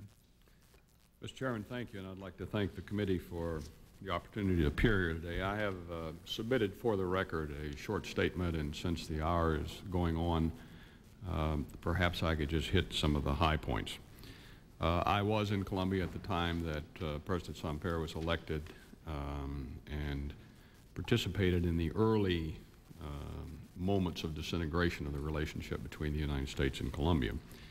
Um, I am, as you will notice in the statement, somewhat critical of our handling of U.S.-Colombian relations uh, in the ensuing couple of years. Mr. Ambassador, would you pull your mic up just a little bit sure. closer, please? Thank you. Um, in, in saying that um, I am somewhat critical of the way we've handled this, uh, let me also say that um, uh, certainly Mr. Samper gets no kudos from me, and I would also like to take this opportunity to add my voice to those of the many brave and thoughtful Colombians who have called for him to relinquish the office of the presidency so the country can begin healing itself. Having said that, it's awfully easy to sit here and criticize what others have done.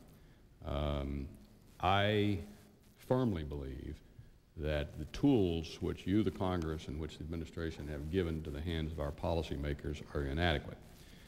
There was a lot of talk here this morning about the certification process. Um, I greatly fear that as it has evolved, the certification process tends to dominate useful policy. We see what, what was described here today, million, million dollar ads in Forbes magazine, lots of public relations, um, the kind of strictures and restrictions that are placed on our policymakers in that legislation, I think need to be reviewed. Um, I was at one time the deputy chief of mission in Mexico when Enrique Camarena, our DEA agent, was killed.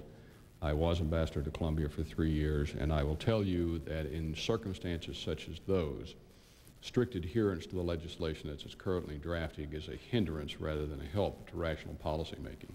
And as my first statement, I would like to say that uh, I would recommend that you and the administration should review that legislation to make sure that as you are currently applying it, it has the intent uh, that, that it originally was designed. That's not to say that I am, uh, that I am critical of congressional oversight, and in fact, as a former member of the executive branch, I will tell you that I, I very much recommend to you that you exercise congressional oversight. It is just that policy has tended to be made in a public forum where I think oftentimes subtle and delicate initiatives die a very sure death. Mr. Chairman, you asked me to specifically uh, comment on the types and amounts of support that the U.S. government should provide to the government of Colombia. Um, I greatly fear that given the animosity that we currently feel toward the Colombian administration, that the situation in Colombia uh, is not going to improve as long as Mr. Samper is in office.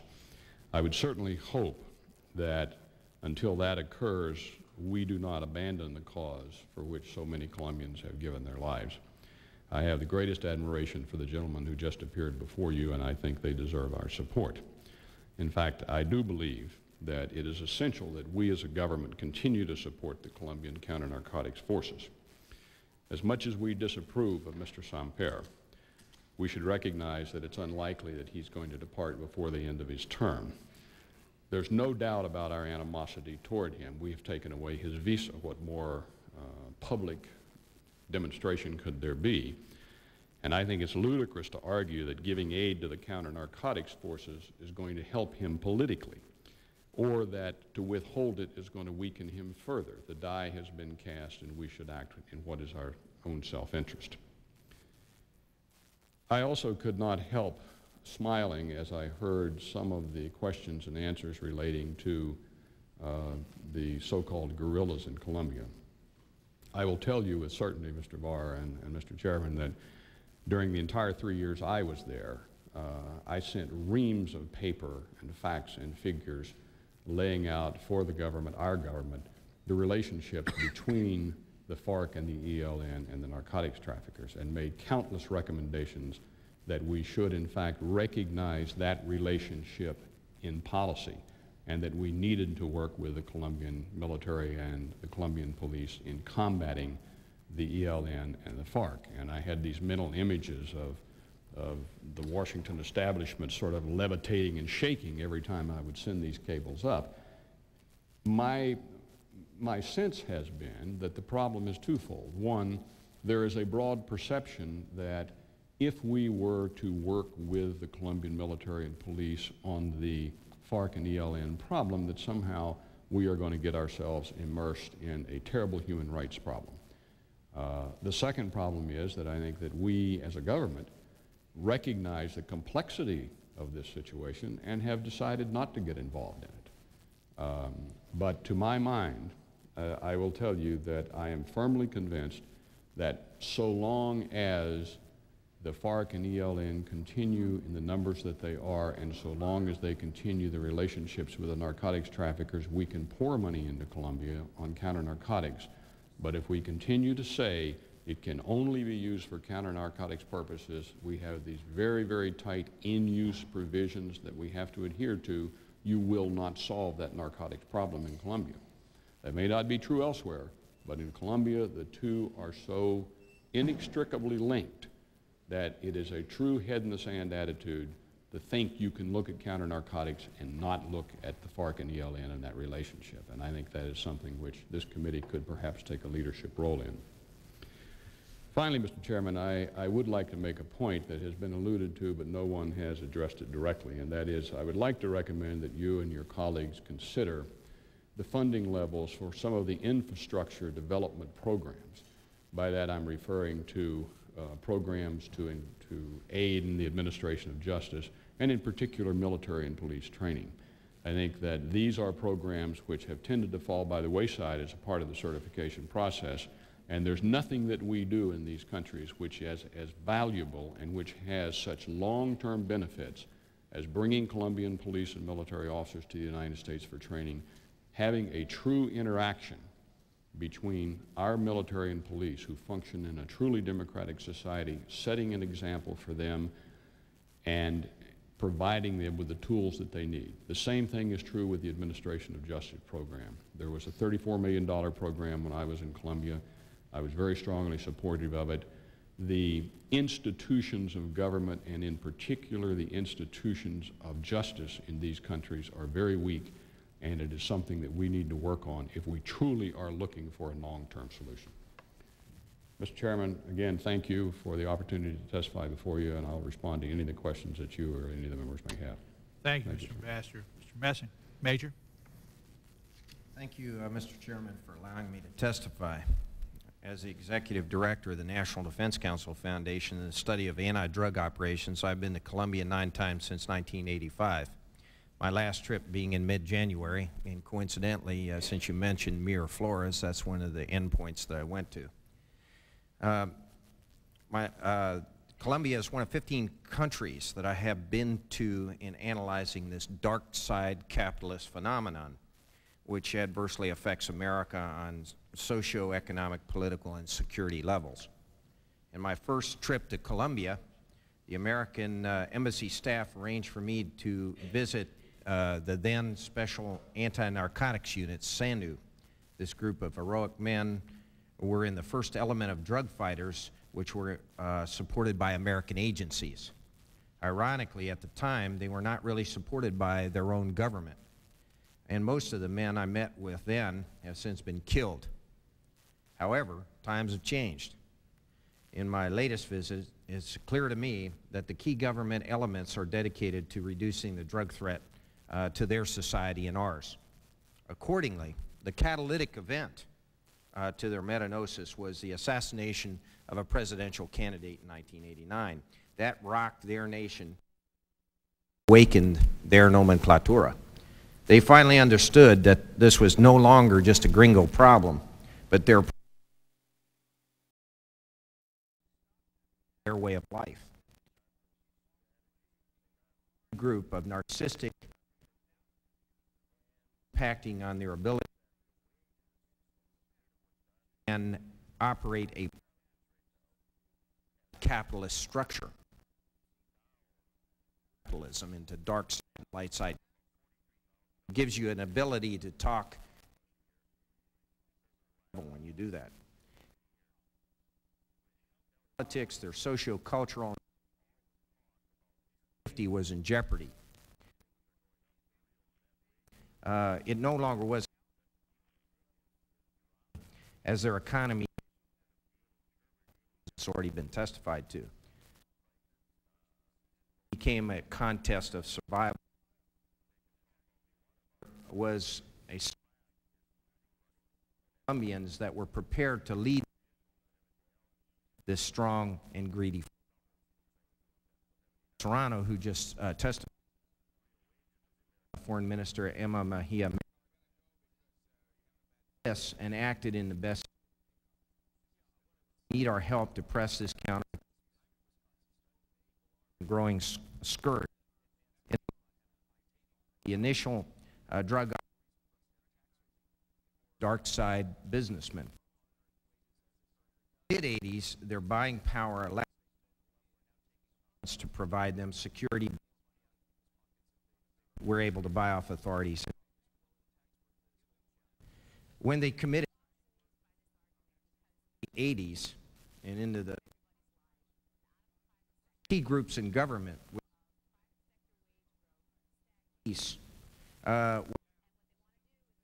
uh, leadership. Uh, group was rolled up in the early 90s, increasing leadership of Ambassador Busby sitting next. Uh, February of 1990 of a new administration at the who had been the apprentices uh, fill the void left by as this uh, all occurred reduction in support X because of the because of a, a uh, Colombian President Samper having to his election efforts uh, like our own president, uh, Clinton, who is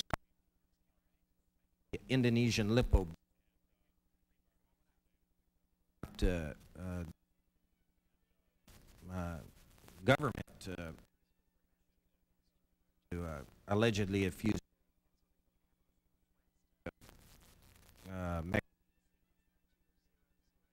what has allowed in of drug apparatus. Meanwhile, as a distorted State Department and select others have bifurcating the now overwhelming contrary and even proving this fact is not releasing to apparently after the March settled. This support and modus operandi to inject politics of both. Alas, uh, and in a curious fashion, uh, the U.S. or international rights groups has thousands of square miles of millions of animals and fish. Uh, rivers have been polluted from trade. Furthermore, reluctant to comment on the rights of victims the drug guerrilla. And Americans are being held hostage and, and several years. Um, the, the combination of politics, economic interest, hide the salient fact the good guys today in the first trench. America will have to deal with initially on our border. Closer to us, it's money. To be even more, uh, to help our friends. 40 to 50 tons and, and one to two tons, $100 million 12-month period. 50 to 60 collateral damage to America. To this august body, America can engage sacrificing our principles. Conduct on the part of our allies. Kid taking away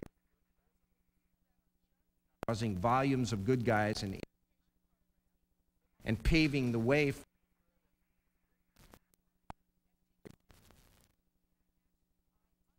that the certification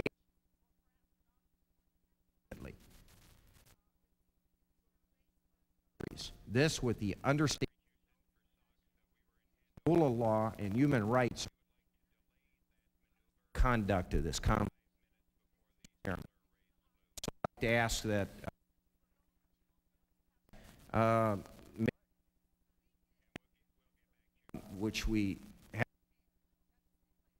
admitted into the. Uh, thank you, sir.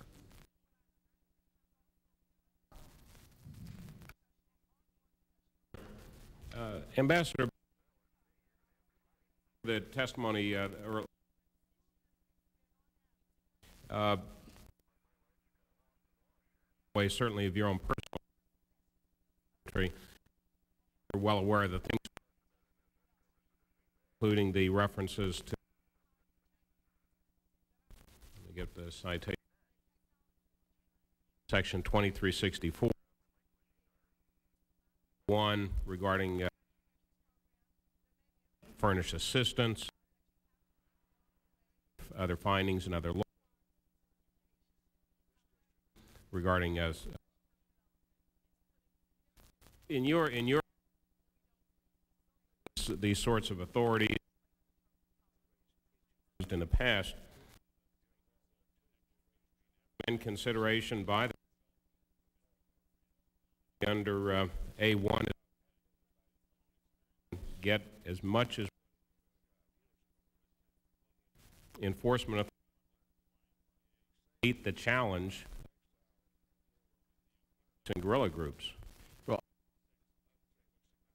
With the law as uh, what you uh, sense. Let me um, find a mechanism or permit us express our leadership of a country such as pleased with them, and we should be. Time permit with assistance and said that is what we should do. policy point of view. Now, that structure of the legislature currently, I'm not sure. I will people behind that law. I, um, I agreed on the strictures of the law. Absolutely what you're uh, been quite an interpretation by this administration when they we heard administration is that the FBI to invest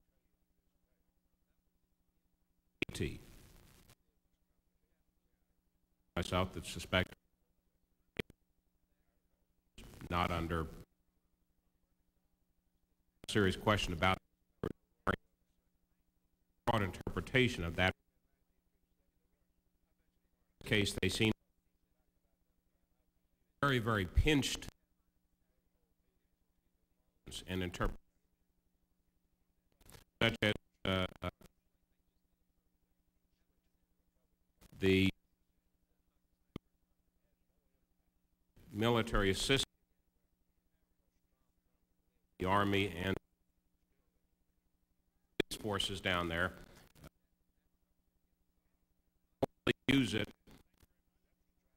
The narcotics people, I think, and prior administration, really are operating. There's a question in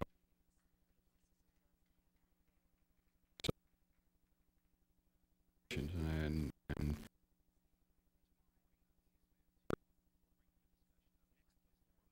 four years ago, and, uh, and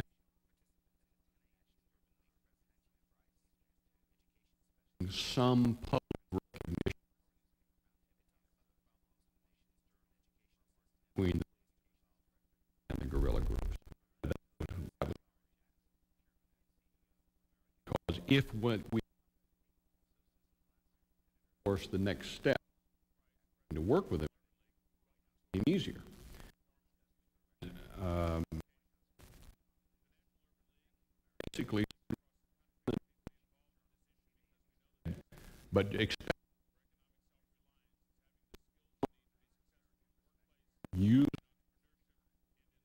public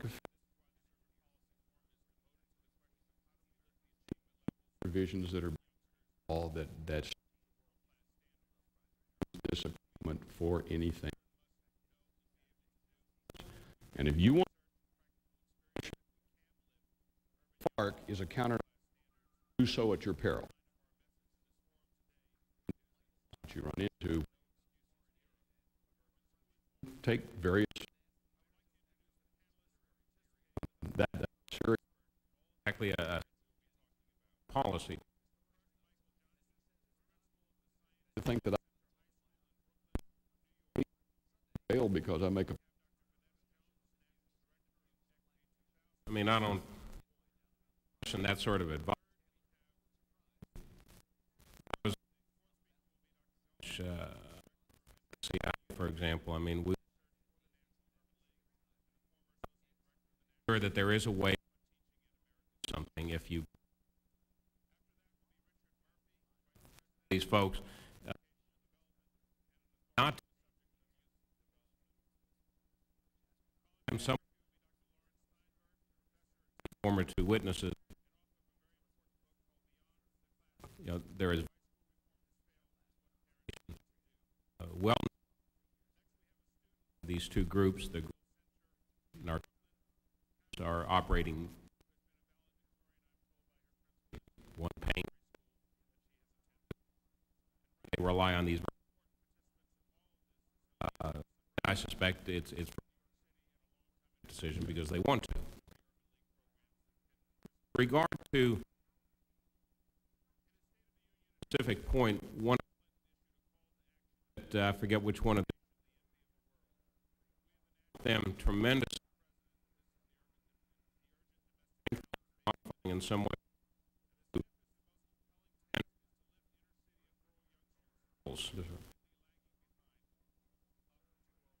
That and, and in your experience out there. Yes, sir. We in the United States recognize that and tracking to get at we do a good job at that. Where you run in, uh, saw this in Colombia, step and engage community when you go manufacture you to tracking provisions that are precursor. National experience has and certainly under supported. Not frankly we the United rock being our way on that. We effective measures. Community that it's an initiative to very strong think the flow of chemical but if you could cut off the flow of chemical you could traffickers at a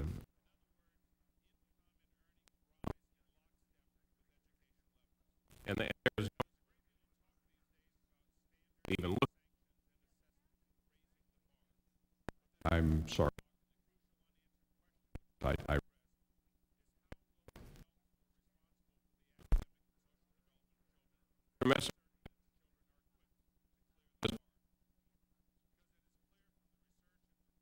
in Colombia and, and other both the political situations uh, the entire Colombian and General Serrano and their counter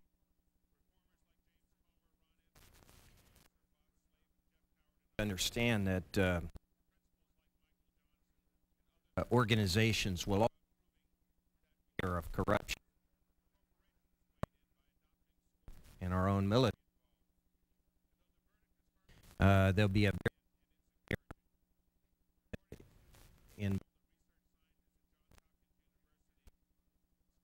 group involved in uh, uh, very corruption. They've been corrupted by Colombians had an aggressive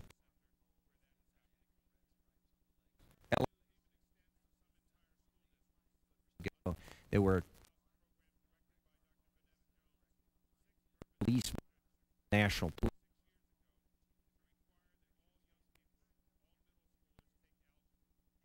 toward them thing of whether versus the Mexican vetting program. I, I but them to continue back.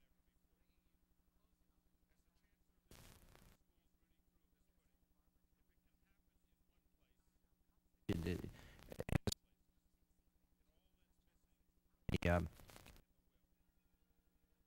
uh, joint with those elements learn through osmosis and direct is important.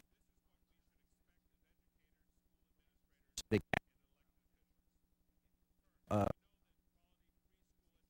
take back to their and um, will move toward lowering levels of violence. About You did mention about that.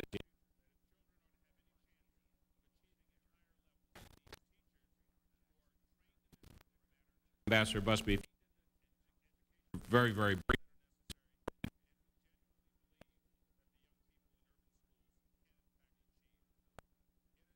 Be a B. Uh, the police know and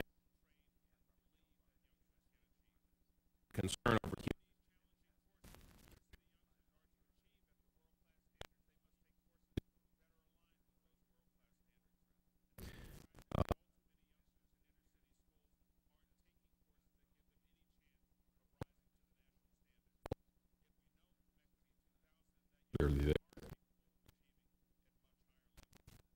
also in neither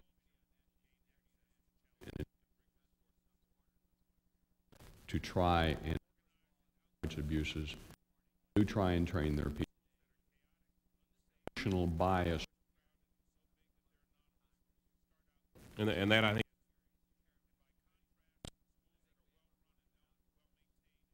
is that they are war and maturity of the within the military. Military many times enormous frustration. Do these things and nothing out of else happens. That's ex- that goes to the statement effort so that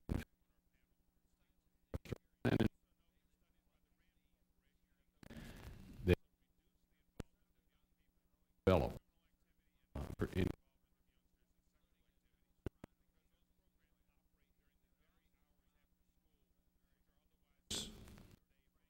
vacation. Temperate. All right.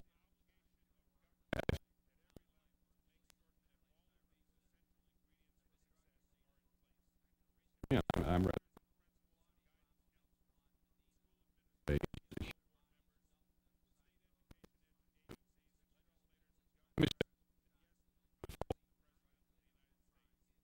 One of the initiatives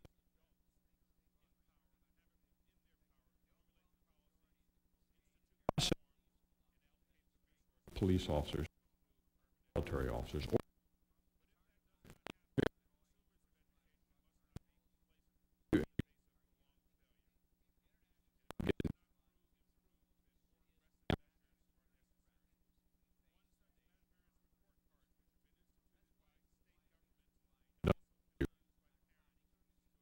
or to sensitive psychological.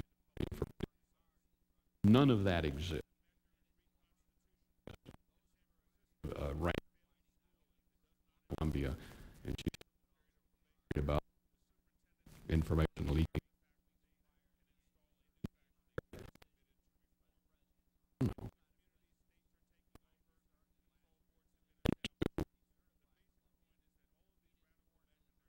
So, understand, very, very difficult.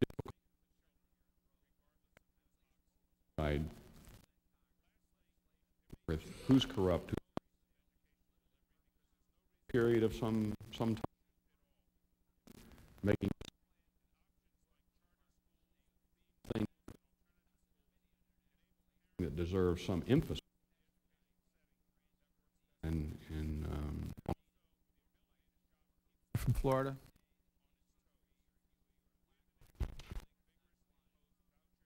Ambassador Busby, I heard to the certification. That it's effective with don't even have the uh, the intended to but what you an action this administration shows Colombians what uh,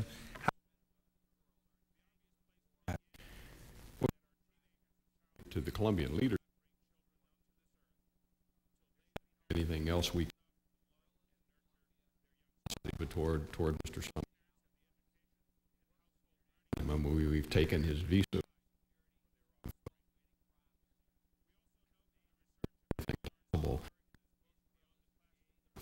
Uh, either. The problem I have as I understand time allow you to pick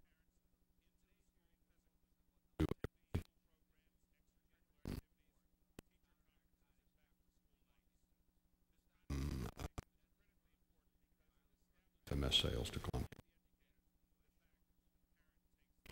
Uh, now,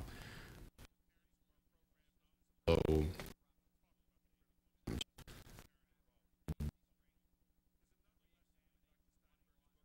that adherence to to try. Um,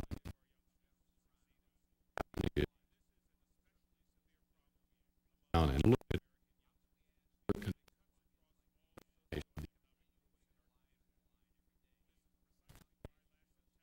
better, more useful.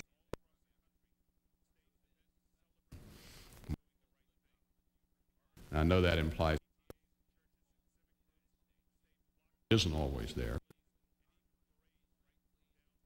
Well, another one of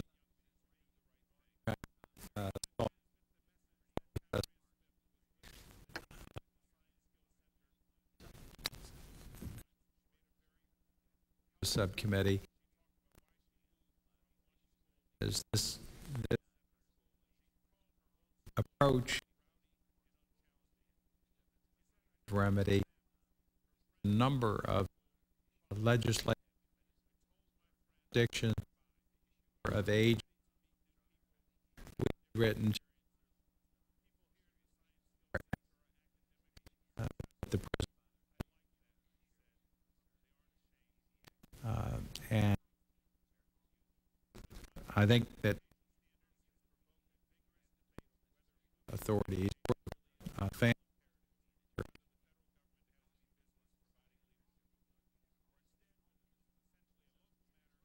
are handled by defense, by the Department. Of um, solution recommendations. And other members on this committee.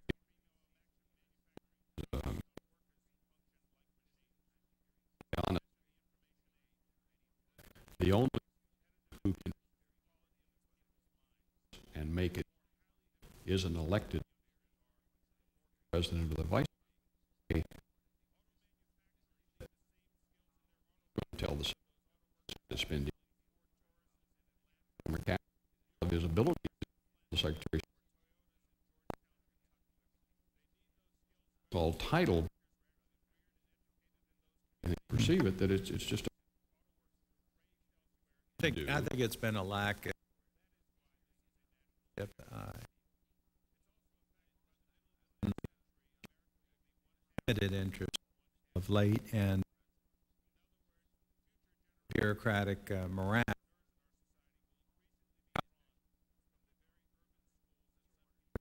And I cited examples of where much less uh, uh, than this still done FMS and that. But then I gave number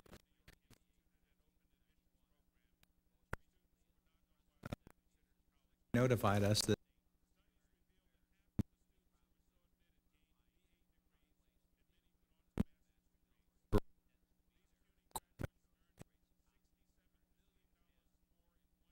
get a handle on this.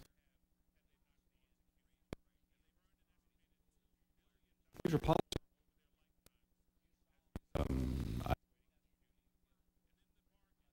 time has been that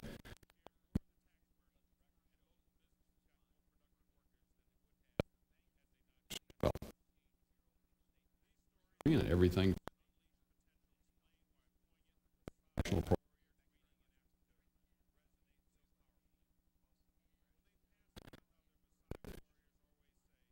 this on all of this.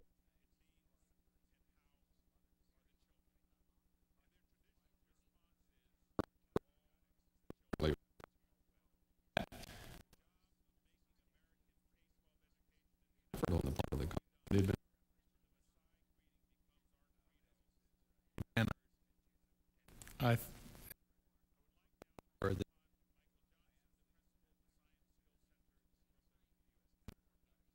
knowing what us on the trip. One thousand poppies. Uh, is there anything we can do starting to street? Real Barb. To get country in in the near uh, use among is there any Colombia ambassador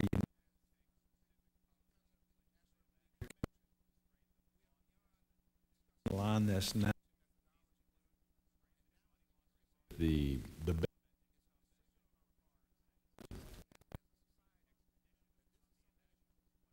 General Bedoya um, begin that opium poppy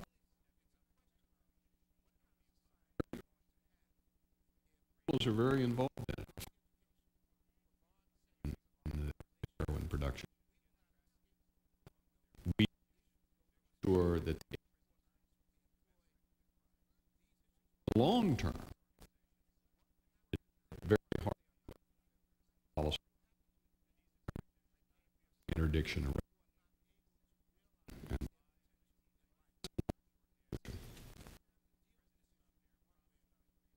administration when the seven drug interdict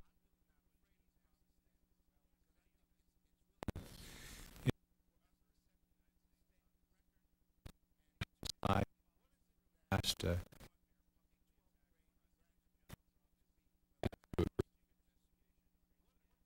waste of effort to come well and it, as you I, I would just one of the legs uh, uh, um, from all uh, I think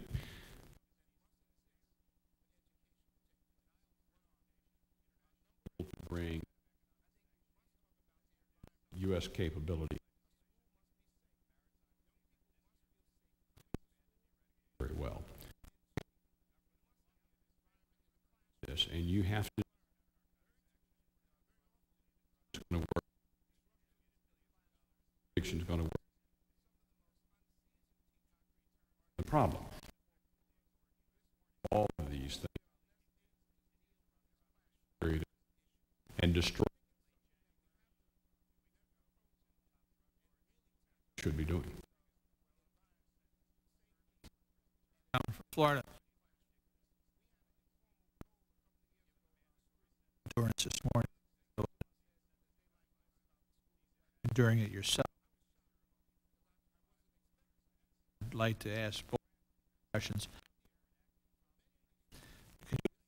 Briefly the by- what do you is it our I'm talking are radical about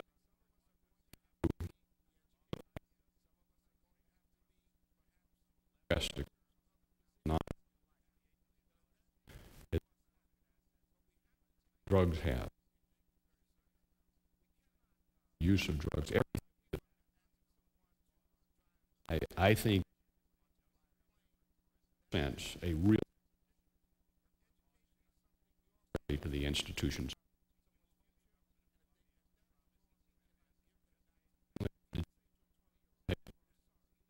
Various levels in our uh, with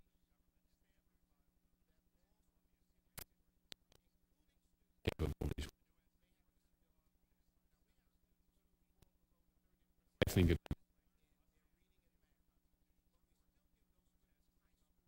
I mean em- embassy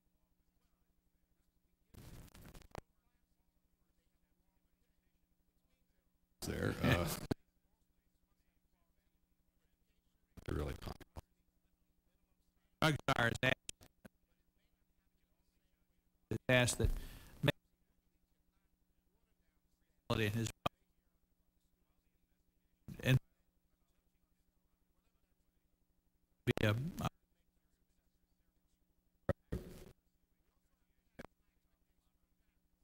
a little more control.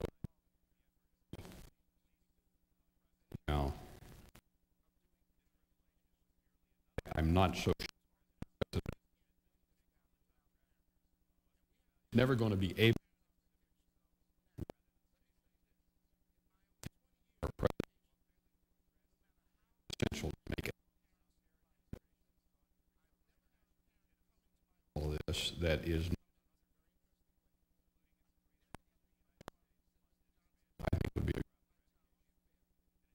previously today. And uh,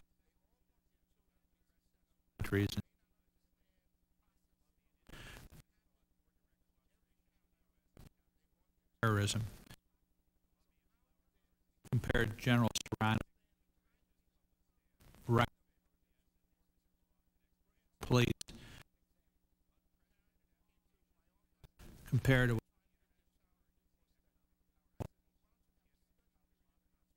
very, very uh,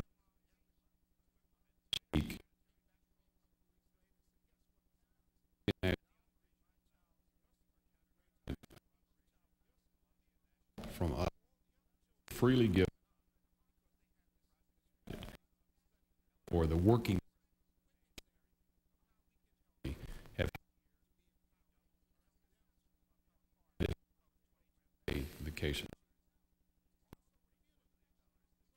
the police with the Mexican and far and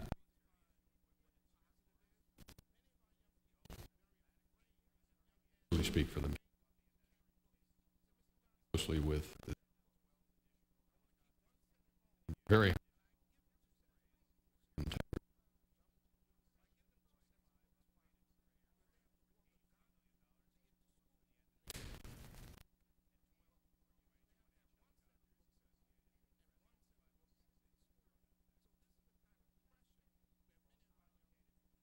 and since the decertification ability for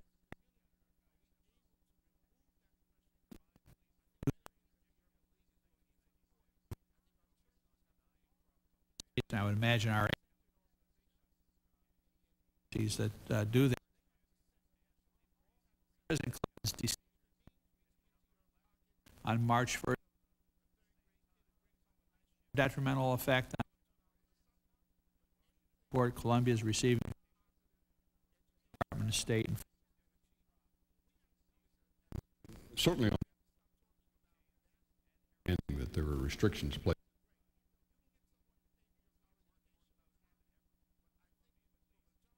Programs.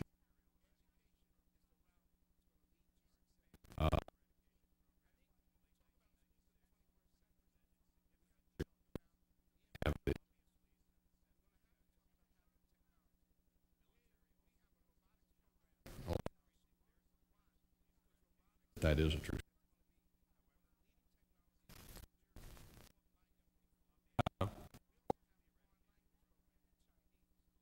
and I see him in the defense counsel, Gil Mack. Let me ask you a question. At the Colombia, down there, been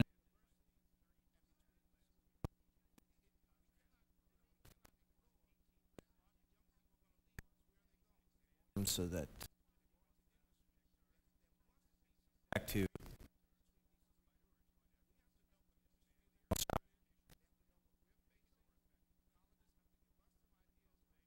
and Ambassador also worked at State Department, and they'd pick up all of a sudden would show up needed. Was working in.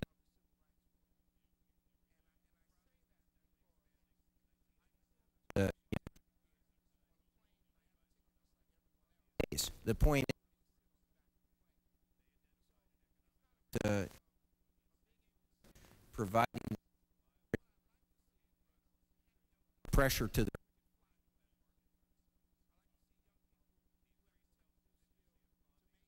in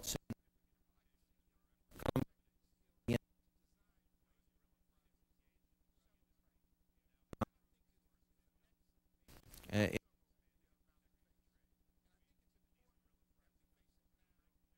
enthusiastic from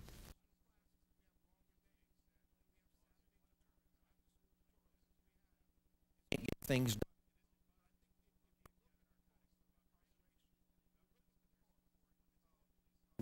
About aren't getting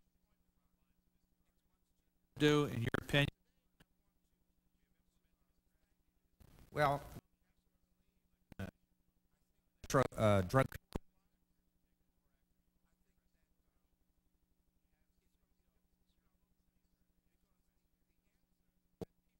failure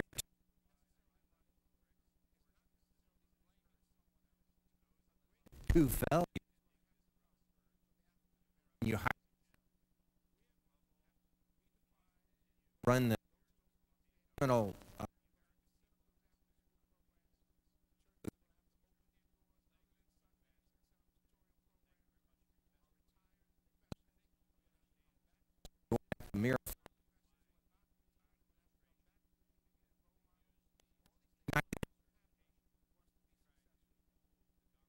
uh, recently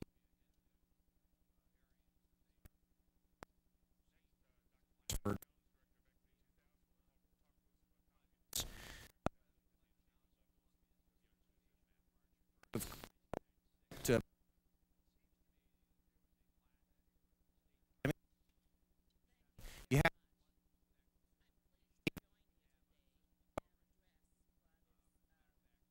this talks about it also.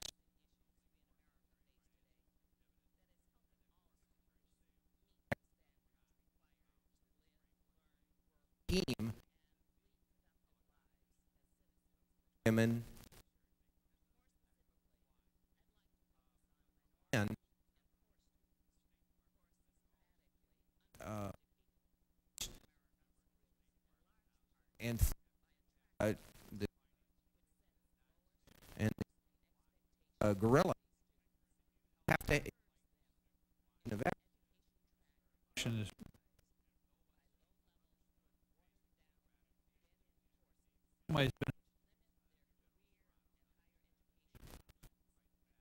the national security.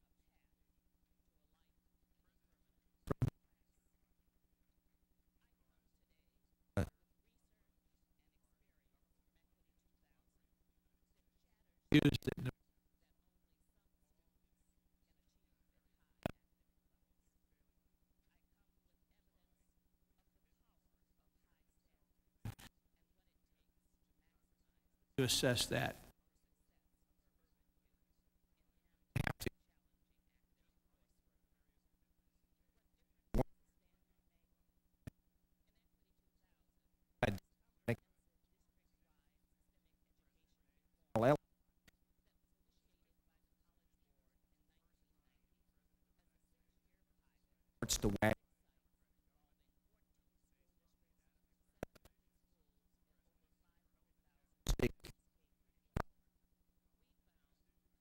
on the streets of America.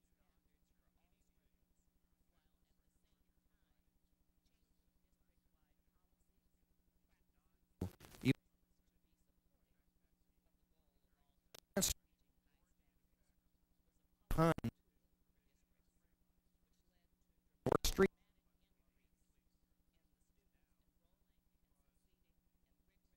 and on the other mem- feel lateral an exponent in the amount of ass-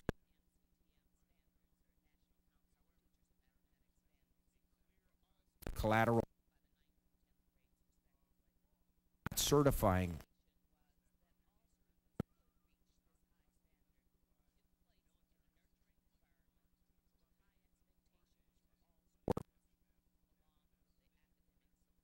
It's it's almost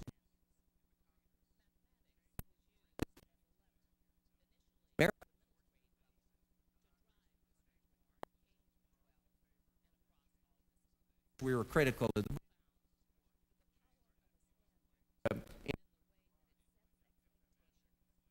priority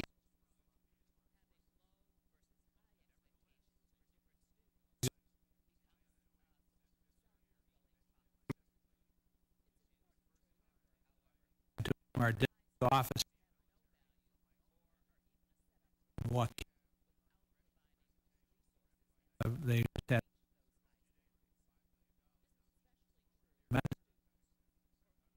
but what comes out come from so the trans you you face afraid uh, uh,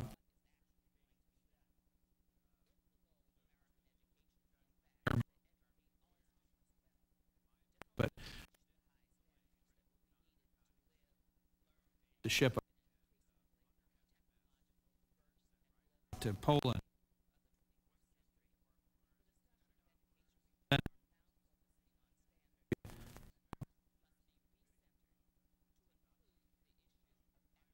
This and uh, precursor chemicals.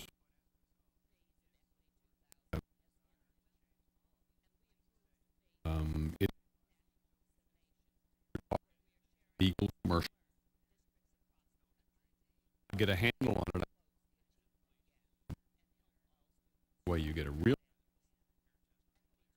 the countries of some tracking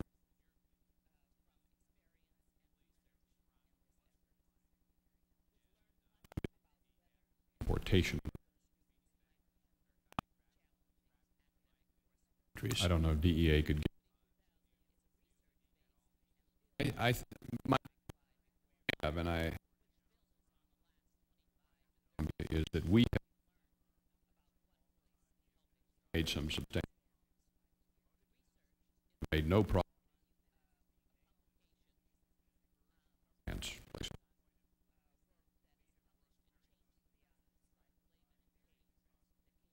Yes, we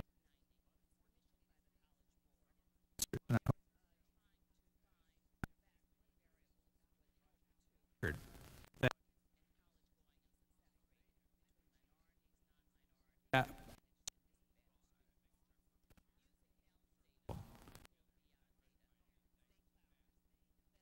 Serrano and others.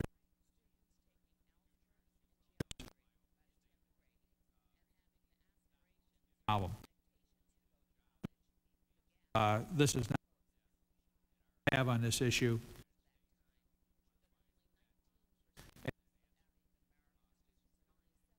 Security. This is adjourned. Thank you.